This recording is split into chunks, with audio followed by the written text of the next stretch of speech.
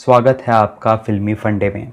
मैं हूँ दिगंत सूरती और आप देख रहे हैं फ़िल्म ब्रेक डाउन यह एपिसोड काफ़ी लंबा होगा, पर मुझे पक्का यकीन है आपको मज़ा आएगा। आप इस एपिसोड को इंटरवल्स में भी देख सकते हैं। थैंक यू हाय गाइस मैं हूँ दिगंत सूरती और आज हम बात करेंगे 2018 की एक बहुत ही सुंदर फ़िल्म के बारे में, जिसका नाम है पद्मावत। जो directed by Sanjay Leela Bhansali and shot by Sudeep Chatterjee so जो सुदीप चैटर्जी हैं, वो इंडियन सोसाइटी ऑफ़ सिनेमाटोग्राफर्स के मेंबर हैं और उन्होंने बहुत सारी बेहतरीन फ़िल्में शूट की हैं। चक दे इंडिया दौर इकबाल बाजराव मस्तानी और गुजारिश सो so, उनकी जो फिल्म्स है वो काफ़ी सुंदर होती है। सिनेमाटोग्राफी वाइज बहुत ही उम्दा नॉलेज है उन्हें। काफ़ी विद्वान है वो। और हम बात करेंगे उनके क्रू मेंबर्स के बारे में भी जो की क्रू मेंबर्स है। Edited by Rajesh Pandey production designer Subhadra Chakraborty Amit Ray वो आ, इन दोनों ने बहुत ही अच्छा आ, काम किया है सेट डिज़ाइनिंग में। Because historically accurate set design करना बहुत ही डिफ़िकल्ट काम है और बहुत ही रिसर्च करनी पड़ती है कि उस ज़माने में किस तरह की ड्रेपरी होती थी, किस तरह की वॉल्स यूज़ होती थी और और वॉल्स पे किस तरह के चित्र लगे होते थे और बहुत ही डिटेल्ड वर्क होता है इन लोगों का। और director of photography Sudeep Chatterjee जिनके बारे में बात की पहले और makeup and hairstyle and prosthetic designer so जो अलाउद्दीन खिलजी का मेकअप देखते थे जो घाव हैं, जो लगे हुए और सब प्रोस्थेटिक मेकअप में आता है, प्रीतिशील सिंह बहुत ही अच्छा काम किया है। और पद्मावत में प्रोस्थेटिक मेकअप एक्चुअली बहुत इंपॉर्टेंट है, खून दिखाना जो पहले के घाव है, वो वो वो दिखाना और V F X supervisor N Y V F X वाला, बहुत ही लीडिंग ब्रांड है ये वी एफ़ एक्स में बहुत सारी इंडियन फिल्म्स को सुपरवाइज किया है ये कंपनी ने वी एफ़ एक्स के नज़रिए से। और बात करें एक डायलॉग्स की, प्रकाश कापड़िया जी ने लिखे हैं। डायलॉग्स प्रकाश कापड़िया जी ने कटियार कारजात गुस्री नाम की एक मराठी फ़िल्म के डायलॉग्स भी लिखे हैं।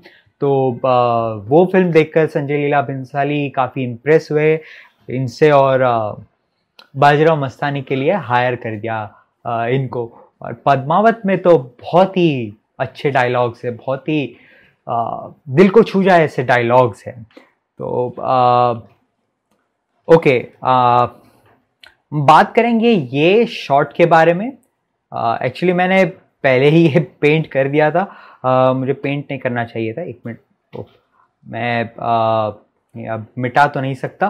पर हम बात कर लेते हैं कि ये जो शॉट है वो आ, वो एक्चुअली कोई अफ़गानिस्तान का शूट नहीं किया। ये आ, ये कंप्यूटर में बनाए गए थ्री सॉफ्टवेयर से और कंपोजिटिंग कंपोजिटिंग एक वी एफ़ एक्स टर्म है। उसका मतलब होता है कि लेयर्स जो रहती है उन्हें कंबाइन करके एक फ्रेम है ऐसा बनाया जाता है। तो आ, ये जो पहाड़ों का हम शॉट देखते हैं तो आ, ये लेह लद्दाख में शूट किया है और ये जो हम आ, आ, के बिल्डिंग्स जो देख रहे हैं उस ज़माने की वो वो अलग शॉट लिया गया और जो स्काई है वो अलग है ग्राउंड अलग है। उन सबको मिला के एक शॉट है ऐसा इल्यूजन क्रिएट किया जाता है। तो आ, बात करते हैं इस फ्रेम के बारे में। तो ये पहला फ्रेम है जहाँ जलालुद्दीन खिलजी का इंट्रोडक्शन होता है।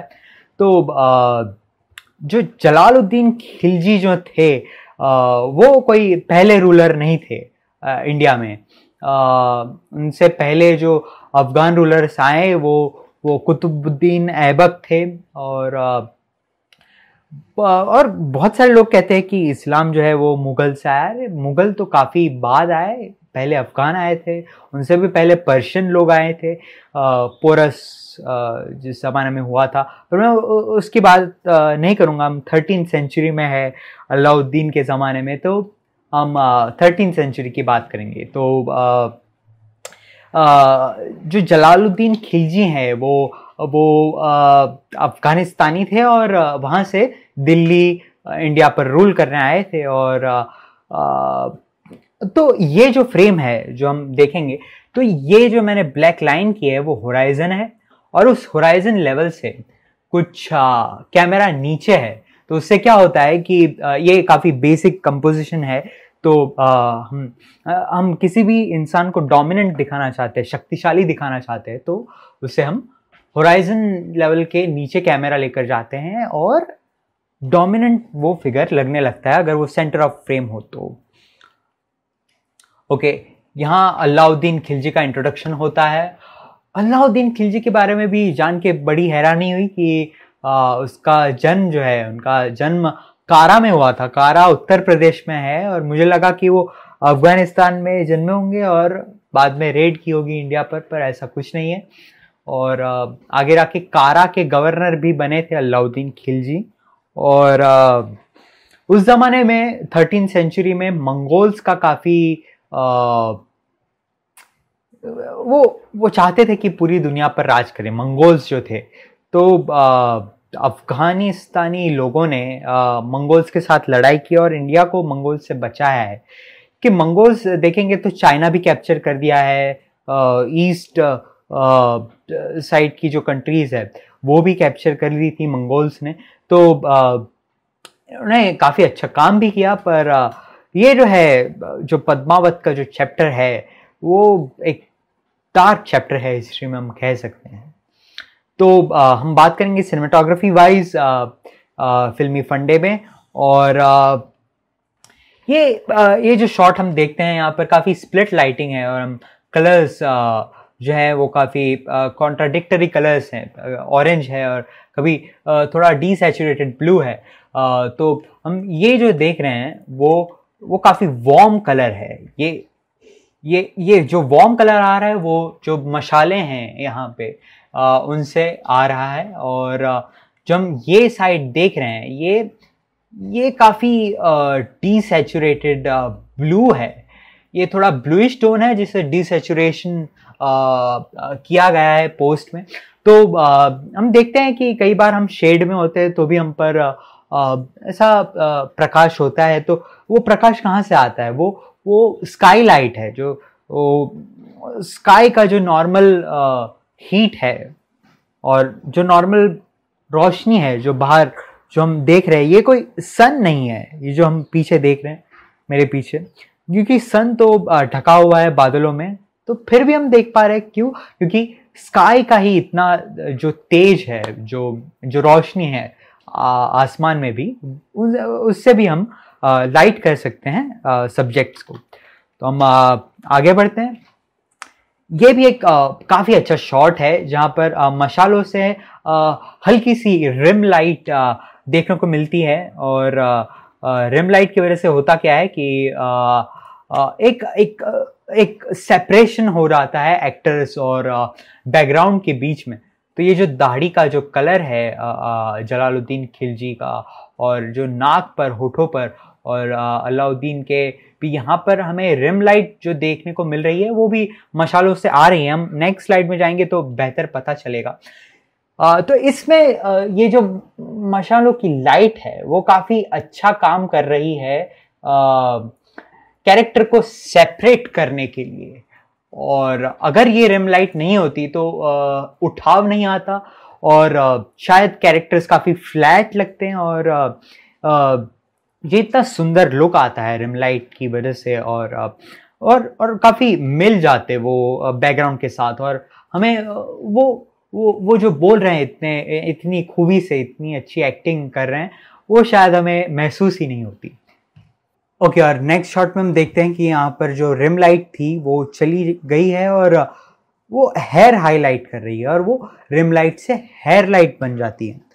और हम देखेंगे कि ये जो स्काई लाइट है वो वो काफ़ी ज़्यादा हाईलाइट कर रही है ये पार्ट को और यहाँ पर काफ़ी शेडो शेडोज काफ़ी क्रिएट हो रहे हैं।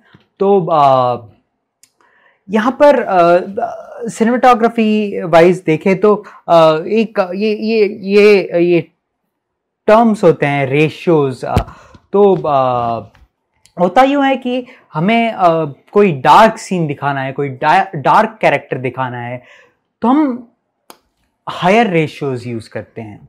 हायर रेशियोज में क्या होता है कि हाइलाइट्स जो हैं वो काफ़ी कम रहेगी और शेडोज जो है वो काफ़ी ज़्यादा रहेगी। इसमें तो, तो काफ़ी कम है। आ, मैं दूसरा एग्जांपल दिखाऊँगा।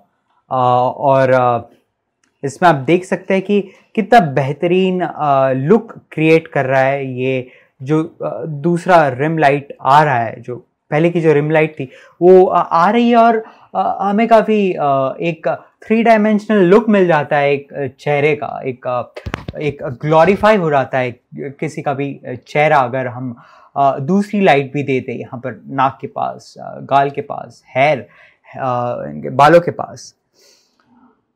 ये जो आँखों में जो रोशनी दिख रही है उसे कैच लाइट कहते हैं हम उसके बारे में आगे बात करेंगे।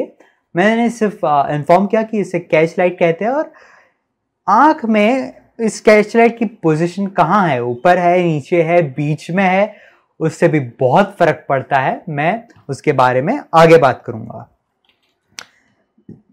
ओके हम यहाँ देखते हैं कि ये मेहरोनिसा है जो सेंटर में बैठी है। ये भी काफ़ी कलर थियरी वाइज काफ़ी ब्यूटीफुल शॉट है। मिनट कलर थियरी वाइज काफ़ी ब्यूटीफुल शॉट है क्योंकि आ, हम देखते हैं कि ए, एक तो इसमें सिमेट्रिकल जो फ्रेम है वो काफ़ी ब्यूटीफुल लगती है ये आ, जो ये स्ट्रेट लाइंस है एंड उससे बहुत फ़र्क पड़ता है और ये ये आ, ये जो स्कल्स हैं जो जो उन्होंने कुछ हंटिंग की होगी तो उसकी जो स्कल्स है तो उससे एक मतलब एक माध्यम मिलता है एक मीडियम मिलता है कि हम कंसंट्रेट करें सिमेट्री से एक्चुअली कंसंट्रेशन बढ़ता है हमारा जो एक्चुअल सब्जेक्ट है उस पर। तो हम देखेंगे तो आ, ये इसमें लाइटिंग का काफ़ी अच्छा यूज़ किया गया है क्योंकि लाइट सभी पर पर तो पड़ रही है पर यहाँ पर है जो काफ़ी हाईलाइटेड है। और अगर सभी पर सेम लाइट पड़ती तो शायद इतना उठाव नहीं आता। और हम देखेंगे कि हम देखेंगे तो यहाँ पर आजू बाजू ये जो लेडीज़ हैं तो उन्हें काफ़ी डार्क क्लोथ्स में रखा गया है। मैं ब्लैक टोन्स है डार्क ब्लू है और मरून टाइप के कलर्स है। पर हम यहाँ देखेंगे तो काफ़ी ब्राइट कलर्स है सेंटर में। तो हमारा ध्यान जो है वो एक ये ये साइकोलॉजिकल एक सिंपल सी चीज़ है कि हमारा ध्यान ब्राइट चीज़ों की तरफ़ ज़्यादा जाता है। तो आ, ओके नाउ ये जो है इंट्रोडक्शन है रवल रतन सिंह का। और शाहिद कपूर ने बहुत अच्छी भूमिका निभाई है मतलब बहुत ही अच्छी एक्टिंग है। तो आ, ये इंट्रोडक्शन है और हम काफ़ी सॉफ्ट लाइट देखते हैं। ये ये जो है, ये ये जो फौलाज हम देख रहे हैं, ये ये पेड़ पौधे, ये सब सेट में क्रिएट किया गया है। ये सारे असली पेड़ पौधे हैं। ये जो है, वो पेड़ भी नकली सेट पर बनाया गया है। और जितना भी हम पीछे ये सब कुछ देख रहे हैं वो सब CGI है, यानी कि कंप्यूटर जनरेटेड इमेजरी ये सब ब्लू स्क्रीन या ग्रीन स्क्रीन रखकर वी एफ़ एक्स बाद में कंपोजिटिंग की जाती है। तो हम देखेंगे कि काफ़ी ब्यूटीफुल लुक दिया गया है कि ये सुबह का सीन है, जहाँ राहुल रतन सिंह शिकार करने निकले हैं और बहुत ही ये सुंदरता इसमें आ रही है कि ये सनलाइट कितनी अच्छी रेज दे रहा है और हमें अच्छा बैकग्राउंड दे रहा है और जो स्काई की लाइट है, वो हमें हल्की सी सनलाइट यहाँ पर देखने को मिलती है। और मैंने जैसे कि कहा कि कंट्रास्ट हाई रहता है लो रहता है तो इसमें आप देखेंगे कि काफ़ी लो कंट्रास्ट है, काफ़ी हद तक शेडोज नहीं यूज़ की गई है हाइलाइट्स ज़्यादा दी गई है। और ये ये सब कुछ उन्होंने बेहतरीन सेट बनाया है ये ये आ, सिंग आ, ये श्रीलंकन आर्किटेक्चर है गुफा का। और बुद्धिस्ट आर्किटेक्चर है गुफा में जिस प्रकार का होता था। और बहुत ही माइन्यूट डिटेल्स के साथ सेट डिज़ाइनिंग करते हैं ये लोग की मूर्तियाँ कैसी रहेंगी उस उस गुफा में किस प्रकार के लाइट सोर्स रहेंगे? अभी गुफा में मशाले होंगी या इस तरह की बकेट्स होंगी जिसमें फायर बॉल्स रखे गए हैं। या तो बहुत ही रिसर्च रहता है इनका अप्रोच सिनेमाटोग्राफी और सेट डिज़ाइनिंग में। तो हम देखेंगे कि ये जो है, ये रात का सीन है जहाँ ये रवल रतन सिंह को जो पद्मावत है, रानी पद्मावत वो लेकर आई है अपनी गुफा में देखभाल करने के लिए उसे जो घाव लगा है। और हम मून लाइट देखते हैं यहाँ पर से इस साइड आ रही है और ये शायद बड़ा सा पैनल रहेगा लाइट का, काफ़ी सॉफ्ट है। और ये जो है ये ऑरेंज जो लाइट आ रही है वो इस फ्लेम के ऐसा दिखाया गया है असलियत में आ, फ्लेम्स की लाइट्स नहीं रहती पर आ, आ, एक लाइट सोर्स बड़ा सा लाइट सोर्स क्या रहता है आ, और उसमें से लाइट जो दी जाती है वो फ्लिकर की जाती है। तो वो उसके बारे में भी बाद में बात करेंगे पर ये काफ़ी ब्यूटीफुल शॉट है ये मास्टर शॉट है इसका जो इस ये रवल रतन सिंह जी का इलाज चल रहा है और ये जो पीछे जो गुफा का चित्र है हम देखते हैं इस फ्रेम में एक्चुअली ये सेट बनाया गया था ये कोई आ, आ, एक, एक मिनट पॉज लूँगा थिंक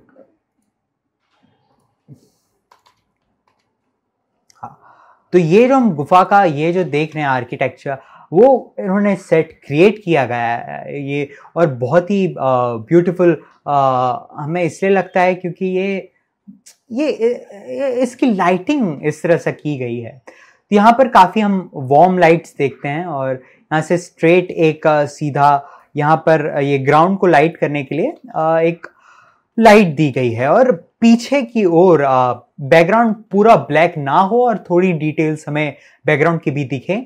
इसलिए एक लाइट हल्की सी लाइट दी गई है पीछे और यहाँ पर ऑरेंज तो ये काफ़ी कंट्रास्ट क्रिएट करता है। Orange blue orange blue and इस तरह से एक ब्यूटीफुल इमेज बन जाती है। अगर आप कलर थियरी पढ़ेंगे तो आपको पता चलेगा कि कंट्रास्ट कलर्स लेकर कितनी ब्यूटीफुल इमेजेस क्रिएट की जा सकती है। अगेन uh, um, ये रात का सीन है मूनलाइट है यहाँ से मूनलाइट आ रही है और हम देखते हैं कि ये रेज uh, जो है वो फॉग की वजह से होती है। ये सेट uh, पे इजीली क्रिएट की जाती है हेज uh, डालकर एक हेज uh, क्रिएट करने का एक मशीन uh, होता है जिसमें से धुआँ निकला निकलता है और फिर हम अगर कोई हार्ड लाइट सोर्स यहाँ से दें कोई हार्ड लाइट अगर एक साइड से दें तो ये इस तरह के रेज हमें देखने को मिलते हैं और पूरी फ़िल्म में ऐसे बहुत सारे शॉट्स हैं जिसमें इस तरह के रेज हमें दिखाई दिए गए हैं। और अगेन रिम लाइट का जो कॉन्सेप्ट है, वो हमें देखने को मिलता है और सिमिलरली कॉन्ट्रास्ट क्रिएट करने के लिए यहाँ पर थोड़ी वार्म लाइट दी गई है। और ये सुबह का सीन है जब रानी पद्मावती उठती है और आ, आ, ये बहुत ही डिटेल्ड शॉट है आ, केव का जहाँ पर हमें देखने को मिलता है आर्किटेक्चर किस तरह का आ, आ, किस तरह की मूर्तियाँ थी और आ, अच्छा इसमें एक मिस्टेक है आ, ये अगर आप नोटिस करेंगे तो ये जो आ, आ, ये जो एक साधन होता है बुद्धिस्ट लोगों का पूजा के लिए प्रेयर व्हील जिसे कहते हैं, वो हमेशा लेफ़्ट साइड एंटी क्लॉकवाइज घुमाया जाता है। तो इसमें ये मिस्टेक है कि क्लॉकवाइज घुमाया गया है। तो पता नहीं तो इसमें रिसर्च में कमी रह गई दीपिका पदुकोण की, पता नहीं। तो आगे बढ़ते हैं और अच्छा ये प्रीवियस स्लाइड में जो है हम ये बात करेंगे कि ये स्पेरिकल शेप्स होते हैं वो वो वो बहुत इंपॉर्टेंट है सिनेमाटोग्राफी में क्योंकि आ, हम स्पेरिकल शेप्स ज़्यादा देखते हैं अपनी आँखों से। आ, हमें काफ़ी वाइड व्यू दिखता है तो हम एक स्पेरिकल एक पैनारोमिक व्यू देखते हैं। तो आ, अगर आपको इमेज अपनी ब्यूटीफुल बनानी है तो हो सके तो अपर एंड लोअर फोरग्राउंड थोड़ा स्पेरिकल रखिए कुछ कुछ ना कुछ गोल रखें उसमें तो उससे एक एपिक फील आएगी इमेज में। ये अगेन सुबह का सीन है जहाँ पर आ, ये इनसे मिलने आते हैं। और ये बहुत ही ब्यूटीफुल सनलाइट यहाँ पर आपको देखने मिलेगी। यहाँ पर वो रिम लाइट का काम कर रही है यहाँ पर वो की लाइट का काम कर रही है।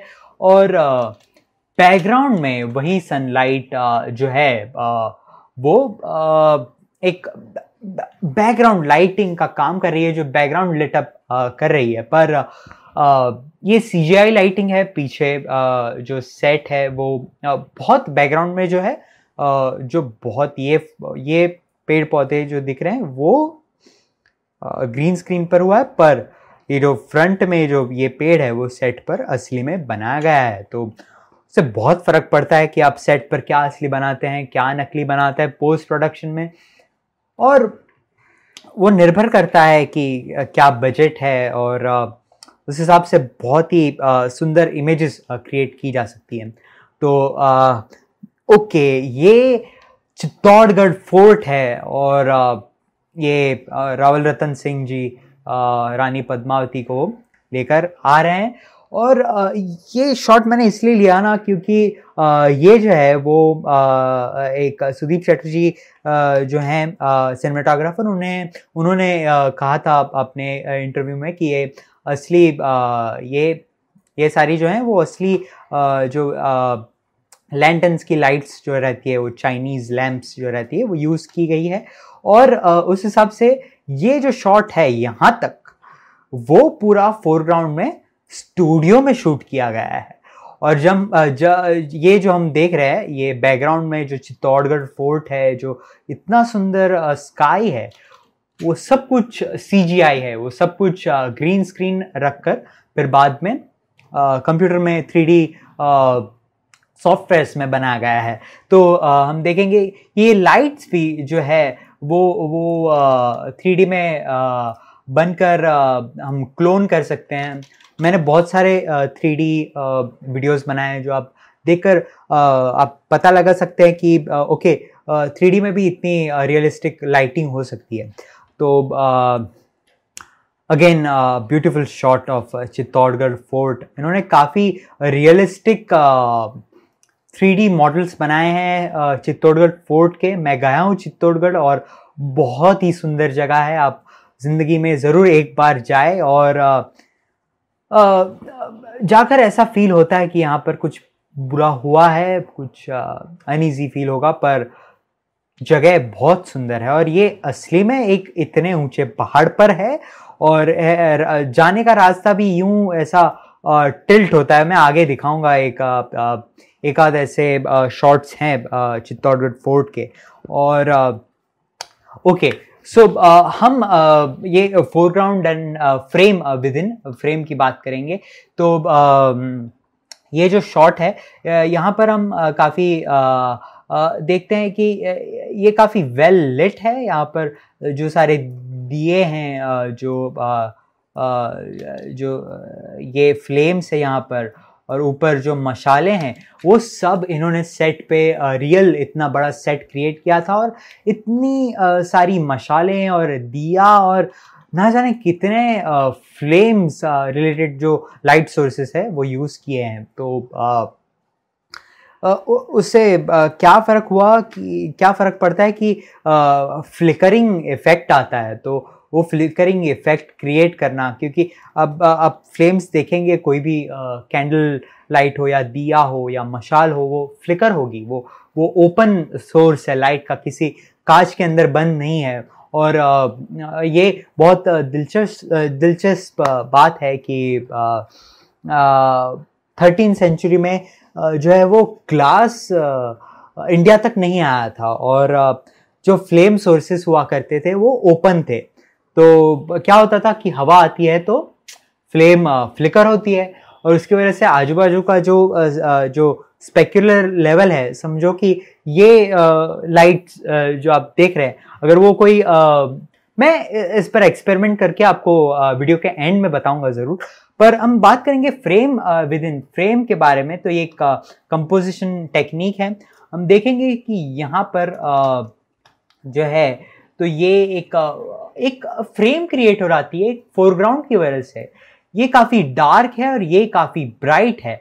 तो उसकी वजह से क्या होता है कि एक जो अंधेरा है वहाँ, एक, हम एक इमेजिनरी लाइन बना देते हैं ओके ओके ये शॉट ऐसा है तो एक, ये जो जो ब्राइट सोर्सेस है, वहाँ पर हमारा ध्यान ऑटोमेटिक चला जाता है। तो ये भी बहुत ही अच्छा शॉट है। हम देखेंगे कितना वेल लिट है। और एक बड़ा सा लाइट सोर्स यहाँ पर ऊपर लगाया गया है। इसके ऊपर, यहाँ पर। और लाइट नीचे दी गई है। और प्रैक्टिकल्स जो हैं, वो लाइट के, ये फ्लेम्स है। और ये सारी फ्लेम्स है, ये दिया पकड़ पकड़ के लोग खड़े हैं। वो वो सब प्रैक्टिकल लाइट से और उठाव आता है फ्रेम्स में। और सेट डिज़ाइन की वजह से बहुत ही ज़्यादा सुंदरता बढ़ जाती है फ़िल्म की। क्योंकि ये देखेंगे ये जो जाली है, जो नेटवर्क है, इस विंडो का, वो वो वो एक्चुअली कोई पर्दा या कुछ नहीं, पर स्टोन है। वो स्टोन की वॉल में इस तरह का वो लोग डिज़ाइन क्रिएट करते हैं और बहुत ही ब्यूटीफुल आर्किटेक्चर होता है राजस्थान का। ज़रूर जाए तो घूमकर बहुत देखे आर्किटेक्चर और ये जो शॉट है वो इंट्रोडक्शन है जब दिल्ली वो पहुँच गए हैं जलालुद्दीन खिलजी और ये शॉट मुझे बहुत पसंद है क्योंकि इसकी जो शुरुआत है वो डायगनल होती है डायगनल शॉट है कुछ इस तरह और फिर धीरे धीरे कैमरा सीधा होता है और हमें पता चलता है ओ आ, ओके जलालुद्दीन खिलजी अपने तख्त पर बैठने आ गए हैं। तो आ, आ,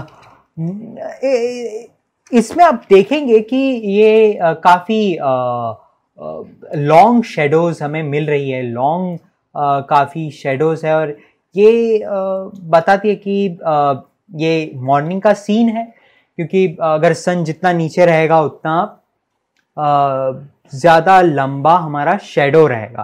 तो नेक्स्ट कपल ऑफ़ शॉट्स है जिसमें पता लगेगा कि एक्चुअली मैं क्या कह रहा हूँ? तो ये देखिए सन काफ़ी लो है ऑलमोस्ट हमारे कंधों तक सन आ रहा है तो काफ़ी लो है।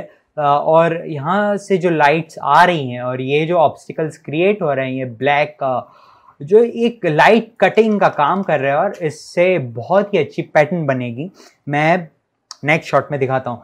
पर इसमें हम देखते हैं आ, मैंने पहले कहा था कि कैच लाइट के बारे में हम बात करेंगे।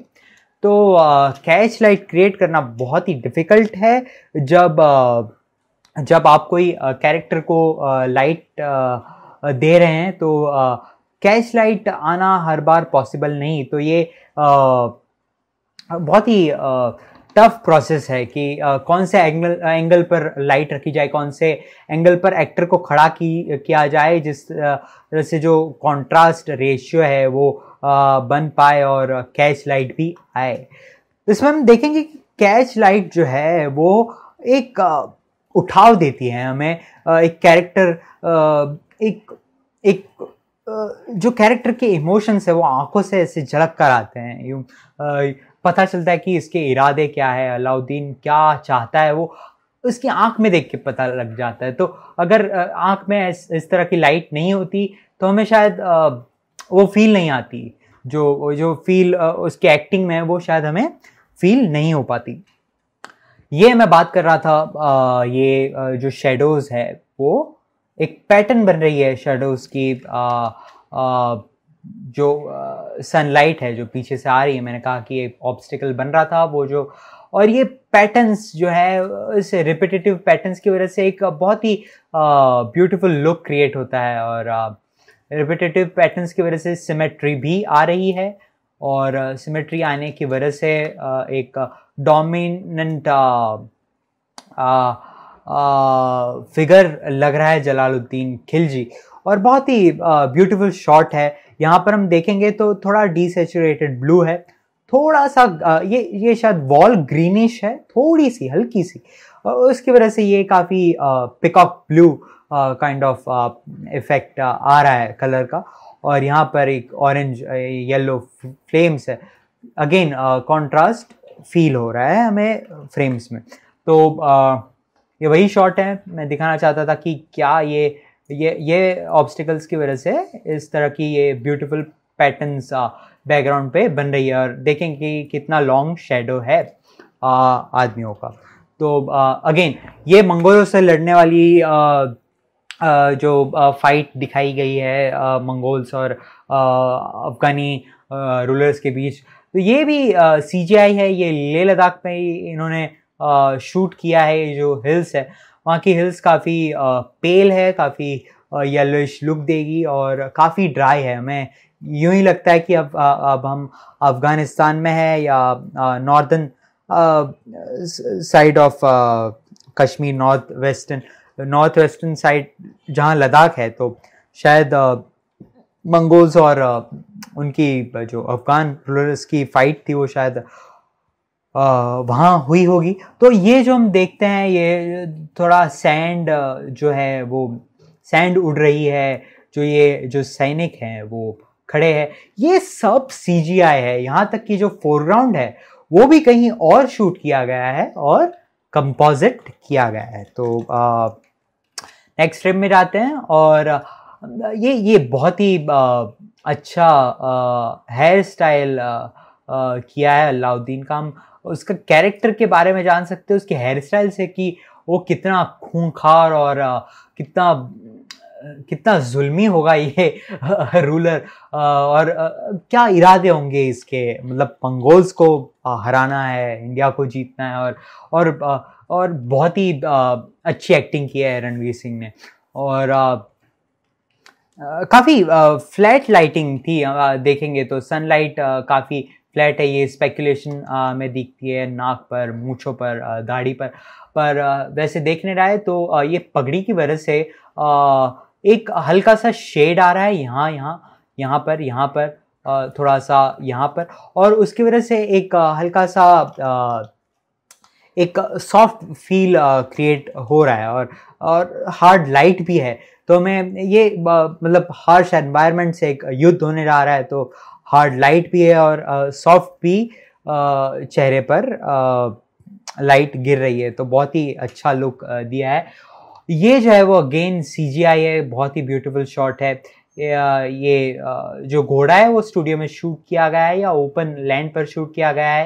ये फोरग्राउंड कहीं और शूट किया गया है ग्राउंड और पहाड़ कहीं और। और ये तो पूरा सी जी आई में क्रिएट की गई धूल है। ओके okay, हम आ, आते हैं अभी सेकंड पार्ट की ओर जहाँ पर हम बात करेंगे। ये अलाउद्दीन का चैप्टर तो ख़त्म हो गया। अब आ, हम चित्तौड़ आ गए हैं और रानी पद्मावत रानी पद्मावती के बारे में बात करेंगे, और हिस्टोरिकली नहीं, पर सिनेमाटोग्राफी वाइज देखिए तो इसमें देखिए कितनी फ्लैट लाइट है, कितनी कितनी इनोसेंट लाइट है और देखने जाए तो यहाँ पर शेडो का कोई कंट्रास्ट ही नहीं है कोई स्प्लिट लाइटिंग या कुछ नहीं हो रहा है। ये एकदम फ्लैट लाइट है और हम जब आ, किसी को प्योर दिखाना चाहते हैं या किसी को काफ़ी इनोसेंट दिखाना चाहते हैं तो हम काफ़ी फ्लैट लाइटिंग करते हैं काफ़ी तो इसे बटरफ्लाई बटर बटरफ्लाई लाइट भी कहा जाता है, क्योंकि यहाँ पर से अगर हम ऊपर से लाइट दें तो नाक के नीचे एक बटरफ्लाई जैसा शेडो क्रिएट होगा। तो उससे क्या होगा कि जो हमारी नाक की शेडो है, वो यहाँ पर नहीं गिरेगी बल्कि यहाँ पर गिरेगी तो उससे हम शेडोज नज़रअंदाज कर सकते हैं और गले एंड चेहरों को एक सेपरेशन मिल जाती है बटरफ्लाई बटरफ्लाई लाइटिंग की वजह से। बटरफ्लाई क्यों कर रहा बटरफ्लाई की वजह से। और एक बहुत ही सुंदर लुक क्रिएट होता है। अगर इसमें भी देखेंगे तो जो कैच लाइट है, वो बहुत ही ब्यूटीफुल इफ़ेक्ट दे रही है। हम हम आँखों में से खूबसूरती को देख सकते हैं। ये मैंने कहा था कि जो रेज है, वो सनलाइट के रेज हैं वो हेज द्वारा क्रिएट किए जा सकते हैं। गॉड रेज मैं उन्हें कहता हूँ। तो ये जो गॉड रेज हैं वो वो बहुत ही ब्यूटीफुल लगते हैं अगर आ, आप कभी ट्राई करेंगे घर पर भी ट्राई कर सकते हैं। धूप वूप अगरबत्ती उसके धुएँ से आप अगरबत्ती तो नहीं पर जो धूप रहती है उसके धुएँ से आप क्रिएट करके एक हार्ड लाइट लाइट सोर्स एक छोटे से छेद में से या कहीं से पास करेंगे तो इस तरह का इफ़ेक्ट आपको ज़रूर देखने मिलेगा। तो ये बहुत ही ब्यूटीफुल टेक्निक है। तो इसमें आप देखेंगे शॉर्ट में कि ये जो पंडित है तो ये कैरेक्टर जो है वो काफ़ी डार्क है। तो अगर फ़िल्म देखी है आपने तो आपको पता रहेगा कि कितना डार्क कैरेक्टर है। तो उसे उसे लाइट में नहीं रखा गया, उसे गॉड रेस के अंडर नहीं रखा गया। ये ये कोई मतलब पंडित है, पर कितना डार्क कैरेक्टर है तो उसे डार्कनेस में रखा गया है ये रिवील करने के लिए कि ये ये सारी छोटी छोटी चीज़ें हैं क्रिएटिव और ये लिटरी आस्पेक्ट लिटररी आस्पेक्ट्स हैं। ये ये ये पोएटिक आस्पेक्ट्स हैं। ये ये अप्लाई किए जाते हैं सिनेमाटोग्राफी में ताकि एक मीनिंग हो क्योंकि अगर हम शूट कर देंगे कि ओके गॉड रेज आ रहा है ये पंडित यहाँ खड़ा है ये मंदिर का सीन है उसमें मज़ा नहीं है। अगर आप, आप नरेशन नहीं करेंगे इसमें विजुअल्स के द्वारा तो क्या फ़ायदा? तो आ, हम देखते हैं कि यहाँ पर गॉड रेज आ, हमें वापस देखने को मिलती है और काफ़ी वेल लिट एनवायरनमेंट है और काफ़ी अच्छी ज्वेलरी और और काफ़ी लो कॉन्ट्रास्ट मैंने कहा था हाई कॉन्ट्रास्ट मतलब काफ़ी डार्क और लो कॉन्ट्रास्ट मतलब काफ़ी ज़्यादा लाइट है इसमें। का और कम शेडोज़ है। तो शेडोज़ जो देखेंगे, यहाँ यहाँ है आँखों के ये नाक के पास है और बहुत ही सुंदर लुक वापस क्रिएट हो रहा है। और उसी सीन में अगर हम पंडित का शॉट देखते हैं तो देखिए कितना हाई कॉन्ट्रास्ट लुक क्रिएट हो रहा है। बहुत ही हाई कॉन्ट्रास्ट है। और देखेंगे कि कितना हार्ड लाइट है। और इसमें भी गॉड रेज जो है वो पीछे हैं। पर आ, कितना हार्ड लुक क्रिएट हो रहा है। आँख में एक अजीब सा एक अजीब सी एक बेचैनी सी कुछ कुछ उत्सुकता या ऐसा लगता है कि कुछ होने वाला है। हमें हमें लगता है कि ये देख के कुछ अजीब सा लगता है आँखों में और ये कितना डार्क पार्ट है यहाँ पर। देखेंगे तो यहाँ पर डिटेल्स हमें नज़र नहीं आ रही है, पर यहाँ देखेंगे तो इसमें डिटेल्स गालों की गले की हमें डिटेल्स नज़र आती है। तो बहुत ही ये इफ़ेक्टिव वे है किस तरह से हम कैरेक्टर्स के इमोशंस कैरेक्टर्स के सोच के अनुसार लोगों पर लाइटिंग करें। तो इसमें हम देखेंगे कि कैच लाइट जो है, वो काफ़ी ऊपर की ओर है। और इसमें आप नोटिस करेंगे तो जो पद्मावती है, वो कभी आई कांटेक्ट नहीं करती इस पंडित के साथ। तो ये बहुत ही जानने वाली चीज़ है कि ओके क्यों आई कांटेक्ट नहीं करती?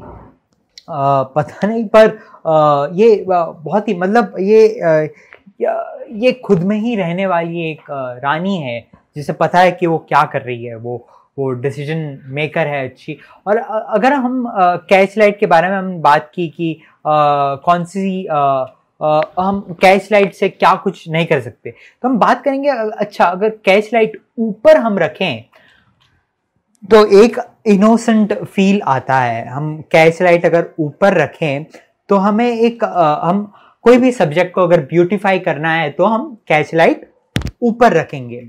हो सके तो।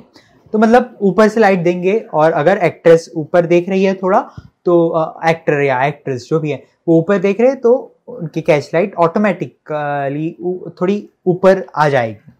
और इसमें वापस हम देखते हैं कि इसमें कैच लाइट जो है वो ऊपर नहीं है वो साइड पर है और बहुत ही आ, एक अजीब सी फील आती है हाई कंट्रास्ट और एक तीखी नज़र और हल्का सा जो हेयर लाइट है और कुछ अजीब सा होने वाला है। ये ये कोई बुरा कैरेक्टर है या हमें ऐसी फील ऑटोमेटिकली आ जाती है।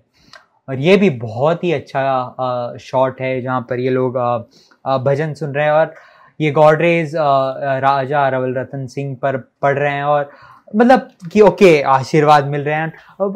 ऐसा हम बोल सकते हैं और ये जो है, ये पद्मावती के ऊपर जो हम देख रहे हैं लाइट वो एक्चुअली डायरेक्ट लाइट नहीं है। जो नीचे से अगर देंगे डायरेक्ट लाइट तो ये काफ़ी हार्ड हो जाती लाइट और हम यहाँ पर शेडोज देख पाते और ये काफ़ी मतलब बदसूरत सा इमेज हो जाता। पर ये क्या है कि ये लाइट जो है यहाँ पर दाढ़ी पर नाक पर सिर के यहाँ ये बाउंस्ड लाइट है। तो हम आ, आ, कभी भी आ, अगर कुछ शूट कर रहे हैं सनलाइट में तो ये हम आ, इस तरह के बाउंस जो बाउंस लाइट के लिए ये फ्लैक्सीज यूज़ होती है कार्डबोर्ड यूज़ होते हैं वाइट कलर के। तो उससे क्या होता है कि हम बाउंस कर पाते हैं लाइट्स को सनलाइट को और आ, कोई भी आर्टिफिशियल लाइट को। तो आ, उससे होता यह है कि जो टेक्सचर्स है स्किन के, वो काफ़ी हार्ड नहीं दिखते काफ़ी सॉफ्ट लुक आता है रिफ्लेक्टेड लाइट्स जो हों तो तो ये घूमर डांस का शॉट है, ये काफ़ी सिमेट्री है। सिमेट्री मैंने जैसे कि कहा कि डोमिनेंस दिखाना है तो हम क्या करेंगे? फ्रेम को सिमेट्रिकल हम रखेंगे और सिमेट्री की वजह से और अगर सब्जेक्ट सेंटर में हो तो ऑटोमेटिकली वो एक डोमिनेंट इमेज बन जाती है, ये फिगर डोमिनेंस दर्शाता है। और बहुत ही अच्छी लाइटिंग है, ऊपर से लाइटिंग दी गई है और शेड में है और बहुत ही वंडरफुल इमेज क्रिएट करते हैं या सुदीप चटर्जी और संजय लीला भंसाली मिलकर। और ये जो देखते हैं, वापस हम देखते हैं कि ओके ये एक frame frame within frame है। तो ये जो स्काई है, वो नकली है, वो सीजीआई है पूरा। और ये ये जो फोरग्राउंड है, वो असली सेट है। और ये घूमर डांस चल रहा है और और फ्लेम्स जो है हाथ में। और बहुत ही बेहतरीन सिनेमाटोग्राफी है। ये पूरा सॉन्ग देखने जैसा है। अच्छा ये जो शॉट है कोई एक पर्टिकुलर सब्जेक्ट थर्ड पर हो अब मतलब वन थर्ड पर ये जो आ, हम वन थर्ड जो मेरा स्ट्रेट लाइन कभी नहीं आता। आ, तो आ, तो अगर हम वन थर्ड पर रखें किसी इमेज को तो आ, आ, ये ये वन थर्ड पर रखें और जो मेन सीनरी है उससे बैकग्राउंड में प्ले करे। तो ये बहुत ही अच्छा कंपोजिशन मिलता है और ऐसे कंपोजिशन आपको बाजीराव मस्तानी में और पद्मावत में बहुत जगह मिलेंगे। मतलब थर्ड पर एक सब्जेक्ट और बाकी फ्रेम में ये दूसरा मेन सब्जेक्ट जो जो इतना मेन नहीं है, पर मतलब मेन है, पर ज़्यादा मेन नहीं है।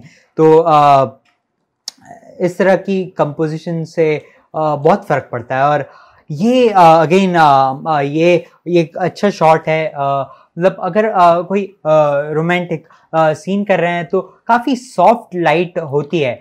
तो अच्छा सुदीप चैटर्जी ने अपनी जो कुक ऑप्टिक्स टीवी नाम का एक चैनल है कुक ऑप्टिक ऑप्टिक्स जो है वो लेंसेज क्रिएट करती है सिनेमा लेंसेज तो उसकी चैनल पे सुदीप चैटर्जी ने आके ये कहा था कि ये फ्लिकरिंग जो है, ये फ्लिकरिंग लाने के लिए इतना सॉफ्ट इतना सॉफ्ट लाइट तो है पर फ्लिकरिंग उसमें लाने के लिए फ्लिकर बॉक्सेस यूज़ किए गए थे। तो फ्लिकर बॉक्सेस होते हैं जो ओपन फ्लेम्स का इफ़ेक्ट देते हैं और उससे बहुत फ़र्क पड़ता है। रियलिज्म आता है ए, एक शॉट में क्योंकि ये जो लाइट देख रहे हैं ये कोई इसका लाइट नहीं है। ये हल्का हल्का ये जो है स्पेकुलेशन हमें सारी में देखने को मिलता है। पर फेस पर जो इतना सॉफ्ट लाइट है तो फ्लेम्स का इतना सॉफ्ट लाइट नहीं होता। सोर्स बड़ा होना चाहिए जिससे सॉफ्ट तो ये जो सॉफ्ट लाइट है वो एक्सटर्नल लाइट है कोई और उसमें फ्लिकरिंग इफ़ेक्ट दिया गया है। बहुत ही ब्यूटीफुल शॉट है। आ, ये नेक्स्ट शॉट है हाँ। ये ये बहुत इंपॉर्टेंट है कि आ, अच्छा आ, किसी को मैं एकदम मैस्कुलिन फिगर है और मस्कुलर है एकदम और किसी को बहुत ही कट्स और वो सब है बहुत ही अच्छी बॉडी है तो कैसे हम शूट करेंगे? तो पहले तो सॉफ्ट लाइट से uh, काम नहीं होगा हल्की सी लाइट हार्श करनी पड़ेगी और हार्श uh, लाइट की वजह से क्या होता है कि शेडोज क्रिएट होती है और शेडोज क्रिएट होने की वजह से जो मसल्स के कट्स की जो शेडोज है वो उभर कर आ जाती है। तो हमें पता चलता है कि ओ रवल रतन सिंह इतने मस्कुलर है करके ओ करके। तो ये ये ये ये ब्यूटीफाई कर सकते हैं हम अगर कोई मैन फिगर है आ, कोई। तो एक मस्कुलर बॉडी अगर आपको दिखानी है तो अब अब जान गए कि ओके हार्ड लाइट देनी होगी। और हार्ड लाइट के साथ साथ हम शेडोज अच्छा रिफ्लेक्ट होती है कई बार लाइट्स अगर हम एक डायरेक्शन से दे तो कई बार अगर शेडोज क्रिएट करना है तो रिफ्लेक्टेड लाइट को कट करना पड़ता है। तो यहाँ पर भी आप देखेंगे तो यहाँ से कुछ लाइट्स आ रही होंगी, पर उन्होंने कुछ कटर लगाकर लाइट्स कट की गई है, और जिससे ये हाईलाइट हो, ये ये पार्ट्स हाईलाइट हो, ना कि रिम लाइट आ जाए और रिम लाइट से वो वो ये मस मसल्स का जो जो उठाव आ रहा है वो बिगड़ जाए। तो अगेन ये इसमें भी एक ब्यूटीफुल कॉन्ट्रास्ट क्रिएट होता है ब्लू स्काई और ऑरेंज लैम्प्स तो नेक्स्ट शॉट के हो जाएँगे। इसमें भी सिमेट्रिकल शॉट्स है। पर ये संजय लीला भंसाली है वो यहाँ के वेस हेंडरसन है मुझे लगता है क्योंकि हर शॉट सिमेट्रिकल होते हैं इतने सिमेट्रिकल ये आ, आ, देखेंगे तो ये चीज़ें आउट ऑफ़ फोकस होकर भी कितने सिमेट्री में है। मतलब आ, ये यहाँ पर हमें सिमेट्री देखने को मिलती है। और अगेन मैंने जैसे कि कहा कि ओके मसल्स को लाइट अप करना है तो इस तरह करेंगे। और ओके ओके इसमें कैश लाइट जो है कैश लाइट काफ़ी इसे रवल रतन सिंह को गुस्सा आया था। तो गुस्से के लिए कैसे लाइट करेंगे कैच लाइट? तो हो सके तो आप गुस्सा अगर दिखाना है तो स्प्लिट लाइटिंग दिखाए। तो इसमें देखेंगे कि काफ़ी हाई कॉन्ट्रास्ट है।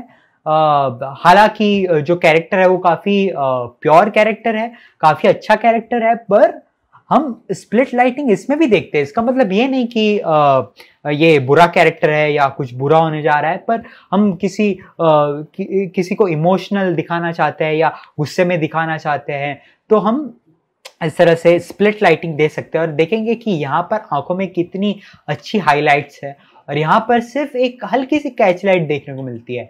और स्प्लिट लाइट का यही एक एक फ़ायदा है कि आपको एक गुस्सा ऑटोमेटिक दिखने लगता है स्प्लिट लाइट में। मैं इसलिए हल्का सा, मैंने मैं थोड़ा थोड़ा सा ऐसे बैठा हूँ ताकि मैं गुस्से में ना लगूँ।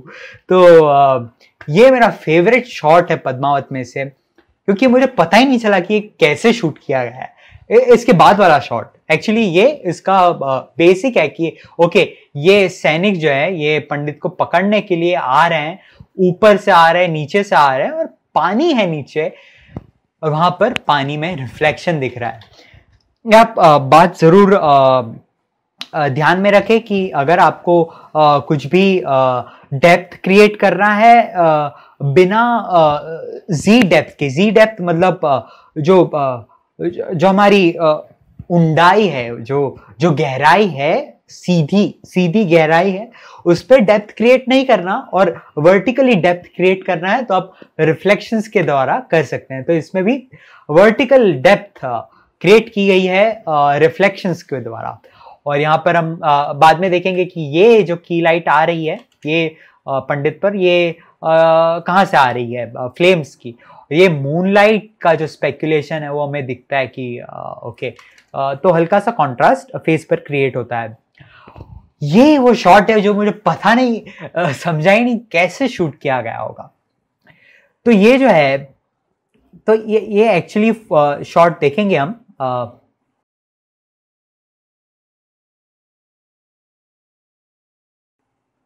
फोरग्राउंड में से यहाँ से सैनिक जा रहे हैं और फ्लेम्स के साथ और देन यहाँ पर बैकग्राउंड हम देखते हैं कि एक बड़ा सा मैसिव कोई ऑरेंज लाइट का सोर्स यहाँ पर गिर रहा है और यहाँ पर मूनलाइट है ये दोनों ओर और यहाँ पर बीच में कोई तो सोर्स है। यहाँ पर पीछे जो हम देखेंगे लाइट ये कोई तो पीछे कोई एक हल्की सी टू के लाइट रखी गई है हल्की सी लाइट है। ज़्यादा बैकग्राउंड को एक आ, ये सेपरेट करने के लिए कैरेक्टर को बैकग्राउंड से। और ये ये जो पिलर्स है ये जो लाइट है ये जो ये शायद पिलर्स का ये शेडो इतना हार्श है तो इसका मतलब ये जो शेडो है, ये इंसान की जो शेडो है तो मुझे लगता है कि आई थिंक यहाँ से एक लाइट दी गई होगी, ये काफ़ी काफ़ी बड़ा सोर्स होगा और यहाँ से हार्ड लाइट दी गई है जिससे हमें हार्ड शेडोज मिल रहे हैं पिलर्स एंड कैरेक्टर्स के सैनिक जो जा रहे हैं वो। और और जो दूसरी लाइट दी गई है, वो यहाँ से दी गई है। तो ये जो फोरग्राउंड में जो चल रहा है, वो सिपाही के भी जो सॉफ्ट शेडोज हैं, वो हमें इतने बड़े दिख रहे हैं। मतलब मतलब दो लाइट्स यूज़ की की गई है, एक ही जगह पर फोकस की गई है लाइट उसका सेंटर एक ही है और बहुत ही अच्छी इमेज क्रिएट की गई है। और तो यहाँ पर ऐसी बड़ी शेडोज होकर छोटी होती रहती है और यहाँ पर नॉर्मल शेडोज सीधी आती है अगर। तो बहुत ही मस्त शॉट है ये। नेक्स्ट शॉट है जो नेक्स्ट शॉट है जो पंडित जी आते हैं अपराध किया है उन्होंने। और इसमें देखेंगे कि यहाँ पे काफ़ी हाई की है मतलब यहाँ पे कोई काफ़ी टॉप एंगल से दी गई है लाइट और देखेंगे कि ये बहुत ही मतलब हार्ड लाइट है और आँख पूरी ब्लैक हो जाती है मतलब आँख ब्लैक होने की वजह से एक एक डरावना सा फील आता है। अगर हम बचपन में क्या करते थे कि टॉर्च लेकर नीचे से लाइट देते थे तो ओ हम भूत लग रहे हैं और तो ये जो है, वो ऊपर से भी अगर ज़्यादा ऊपर से लाइट दी जाती है तो यहाँ पर रेकून जो रेकून बोलते हैं उन्हें तो रेकून ऑफ़ आइज़ ऐसा कहा जाता है और ऐसा क्रिएट होने से काफ़ी डरावनी फील आती है। तो ये कैरेक्टर जैसा है, उस तरह की लाइटिंग है और इसमें भी देखेंगे तो कैच लाइट काफ़ी सेंटर ऑफ़ द आई है। तो डोमिनेंस अगर दिखाना है, अरे, मैं राजा हूँ तो इस इसका भी आप देखेंगे तो कैरेक्टर ये ऊपर है, ये नीचे है लेवल में। तो पंडित हैं, भले ही पंडित ने इनको राजा बनाया है या सीख दी है या जो भी है मान है एज में बड़े पर हम यहाँ पे देखते हैं कि इन्होंने अपराध किया है तो हल्का सा थोड़ा सा फ्रेम में लो है और ये हाई है। सिमिलरली यहाँ पर हमें वो चीज़ देखने को मिलती है और ये बहुत ही आ, आ, अच्छा सीन है जहाँ पर ये पंडित बोलते पाँव नहीं शू हो गए हमारे। तो वो ये ये अगर ईगोइज्म दिखाना है तो हम कैसे दिखाएँगे सिनेमाटोग्राफी में? तो हम पहले तो दिखाएँगे कि रिलेशन क्या है कैरेक्टर्स के बीच कौन ईगोइस्टिक है, कौन ईगोइस्टिक नहीं है। फिर हम बात करते हैं एक्टिंग के बारे में तो एक्टिंग तो अलग ही बात हो गई कि ओके यू यू करके हम ईगोइस्टिक चीज़ें दिखाते हैं, क्या है या जो भी है। और इसमें हम देखेंगे कि ईगो जो है वो सिनेमाटोग्राफी वाइज देखे तो यहाँ पर एक रिम लाइट दी गई है। और रिम लाइट ये रवल रतन सिंह पे काफ़ी कम है। और इस पे देखेंगे तो बहुत ही हार्ड रिम लाइट दी गई है कि और, और पता चलता है कि ओके ये ये मतलब ये एक विलन की शुरुआत हो रही है कुछ बुरा होने जा रहा है करके। हाँ अगेन ये बहुत ही सुंदर लगा colour wise blue and warm tone जो टील एंड ऑरेंज लुक है वो हमें यहाँ पर आ, मिलता है। टील एंड ना ब्लू एंड ऑरेंज लुक है। आ, और आ, ये जो स्काई है वो नकली है।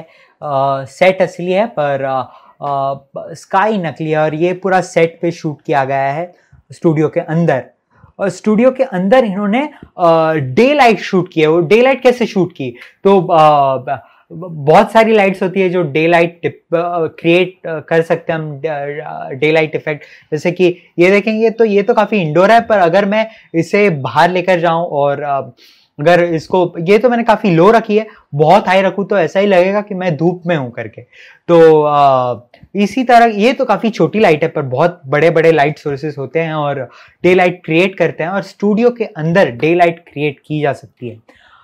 ये बहुत ही सुंदर शॉट है, मुझे लगा, क्योंकि इसमें जो है, वो कलर बहुत अच्छे यूज़ किए गए हैं।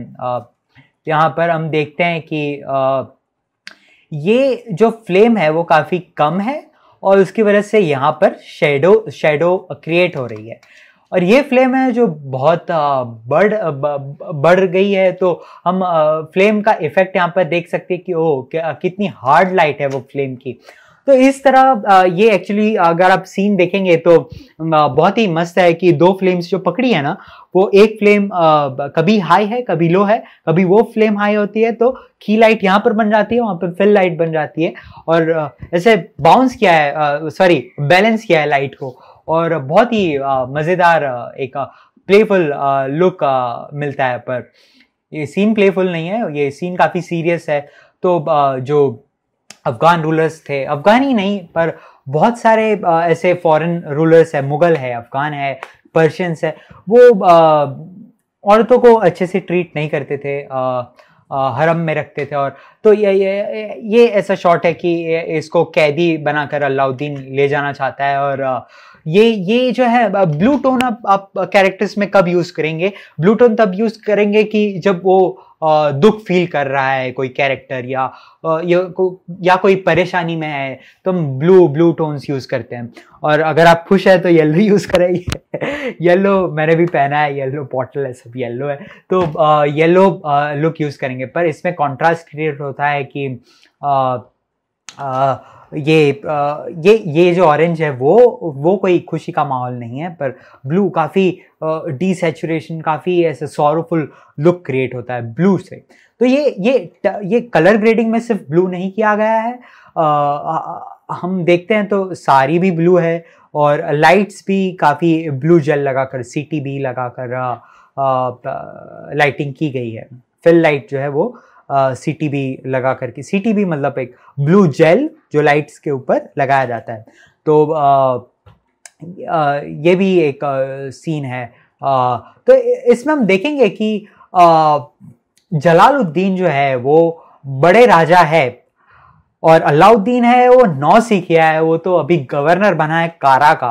आ, और और मतलब ये ये कोई मतलब मामूली सा अभी आया है, लड़ाकू है मतलब ठीक है उसकी बेटी का उसके ये जलालुद्दीन खिलजी की बेटी की शादी अलाउद्दीन के साथ हुई है, पर ठीक है, ये जो है वो मेरा गुलाम है करके गुलाम है करके। तो तो फिर भी हम देखते हैं कि ये जो है वो समान अंतर पे क्यों ऐसा रखा गया है कि जलालुद्दीन बड़े होकर भी डोमिनेंस में नहीं है? क्योंकि ये सीन में हम देखेंगे कि अलाउद्दीन किस तरह से अपने ये जो चाचा है उसका खून करता है करके, कितनी बेरहमी से। तो ऐसा कई होता था मतलब हिस्ट्री बहुत डार्क है यार। मतलब अब क्या कहें मतलब मार दिया जाता था बच्चों को रिलेटिव्स को तख्त पाने के लिए और ये ये वही है कि अगर आप कैरेक्टर में ट्रांजिशन लाना चाहते हैं तो कंपोजिशन से भी आप ला सकते हैं लाइट से भी ला सकते हैं। तो इसमें कंपोजिशन से लाने की कोशिश की गई है कि समान अंतर पर इन लोगों को रखा गया है। और again symmetry you see symmetry हर जगह है। वेस एंडरसन है ये इंडिया के? ओके okay, हम बात करेंगे मलिक कपूर के बारे में। मलिक कपूर जो था वो चेला था अलाउद्दीन का। और अलाउद्दीन की जो जो थे वो बाइसेक्सुअल थे तो पार्टनर भी था मलिक कपूर। मलिक कपूर गवर्नर बना बाद में अलाउद्दीन खिलजी का। और बाद में जो आ, आ, ये अफगान रूलर्स ने जो साउथ की ओर जो लड़ाई लड़ाइयाँ की जो वारंगल और तेलंगाना में बहुत सारी ऐसी प्लेसेस है जहाँ पर चढ़ाई की है। तो तो वो मलिक कपूर ने की थी। अलाउद्दीन का सिर्फ़ ऑर्डर था और खुद ये लड़ने जाता था मलिक कपूर तो इस पर काफ़ी ऐसा वो दिखाया है कि ओके थोड़ा गेइश काइंड ऑफ़ कैरेक्टर है पर असली में ये बहुत ही बड़ा योद्धा था बहुत ही एक्सपीरियंस्ड वॉरियर था। और इसमें हमें पता चलता है कि ओके okay, इसने लोग यूँ दो झटके में मार दिए करके। और मुझे ये बहुत ही अलग लगा कि यहाँ पर मुझे शिप दिखाई दे रही है पीछे। फ्रेम में अगर आप देखेंगे तो पीछे एक शिप है। तो मैंने बोला, अरे कारा जो है, वो उत्तर प्रदेश में है तो वहाँ पर शिप कैसे आई? पर पर फिर बाद में रिसर्च किया तो पता चला कि गंगा जो नदी है, वहाँ पर है। तो शायद वो शिप शेलो वाटर्स के लिए गंगा नदी में जो ट्रेड होती थी ट्रेडिंग होती थी तो उसमें वो शिप के द्वारा होती थी ट्रेडिंग तो इसलिए शायद शिप बताई गई है। तो वो कारा जो है, बंदर हुआ करता था। तो बहुत ही मतलब ये बहुत जानने को मिलता है। अगर आप फ़िल्म देखें और फिर आप हिस्ट्री पढ़े तो बहुत सीखने को मिलता है। बहुत सारे इंटरेस्टिंग फैक्ट्स जानने को मिलते हैं।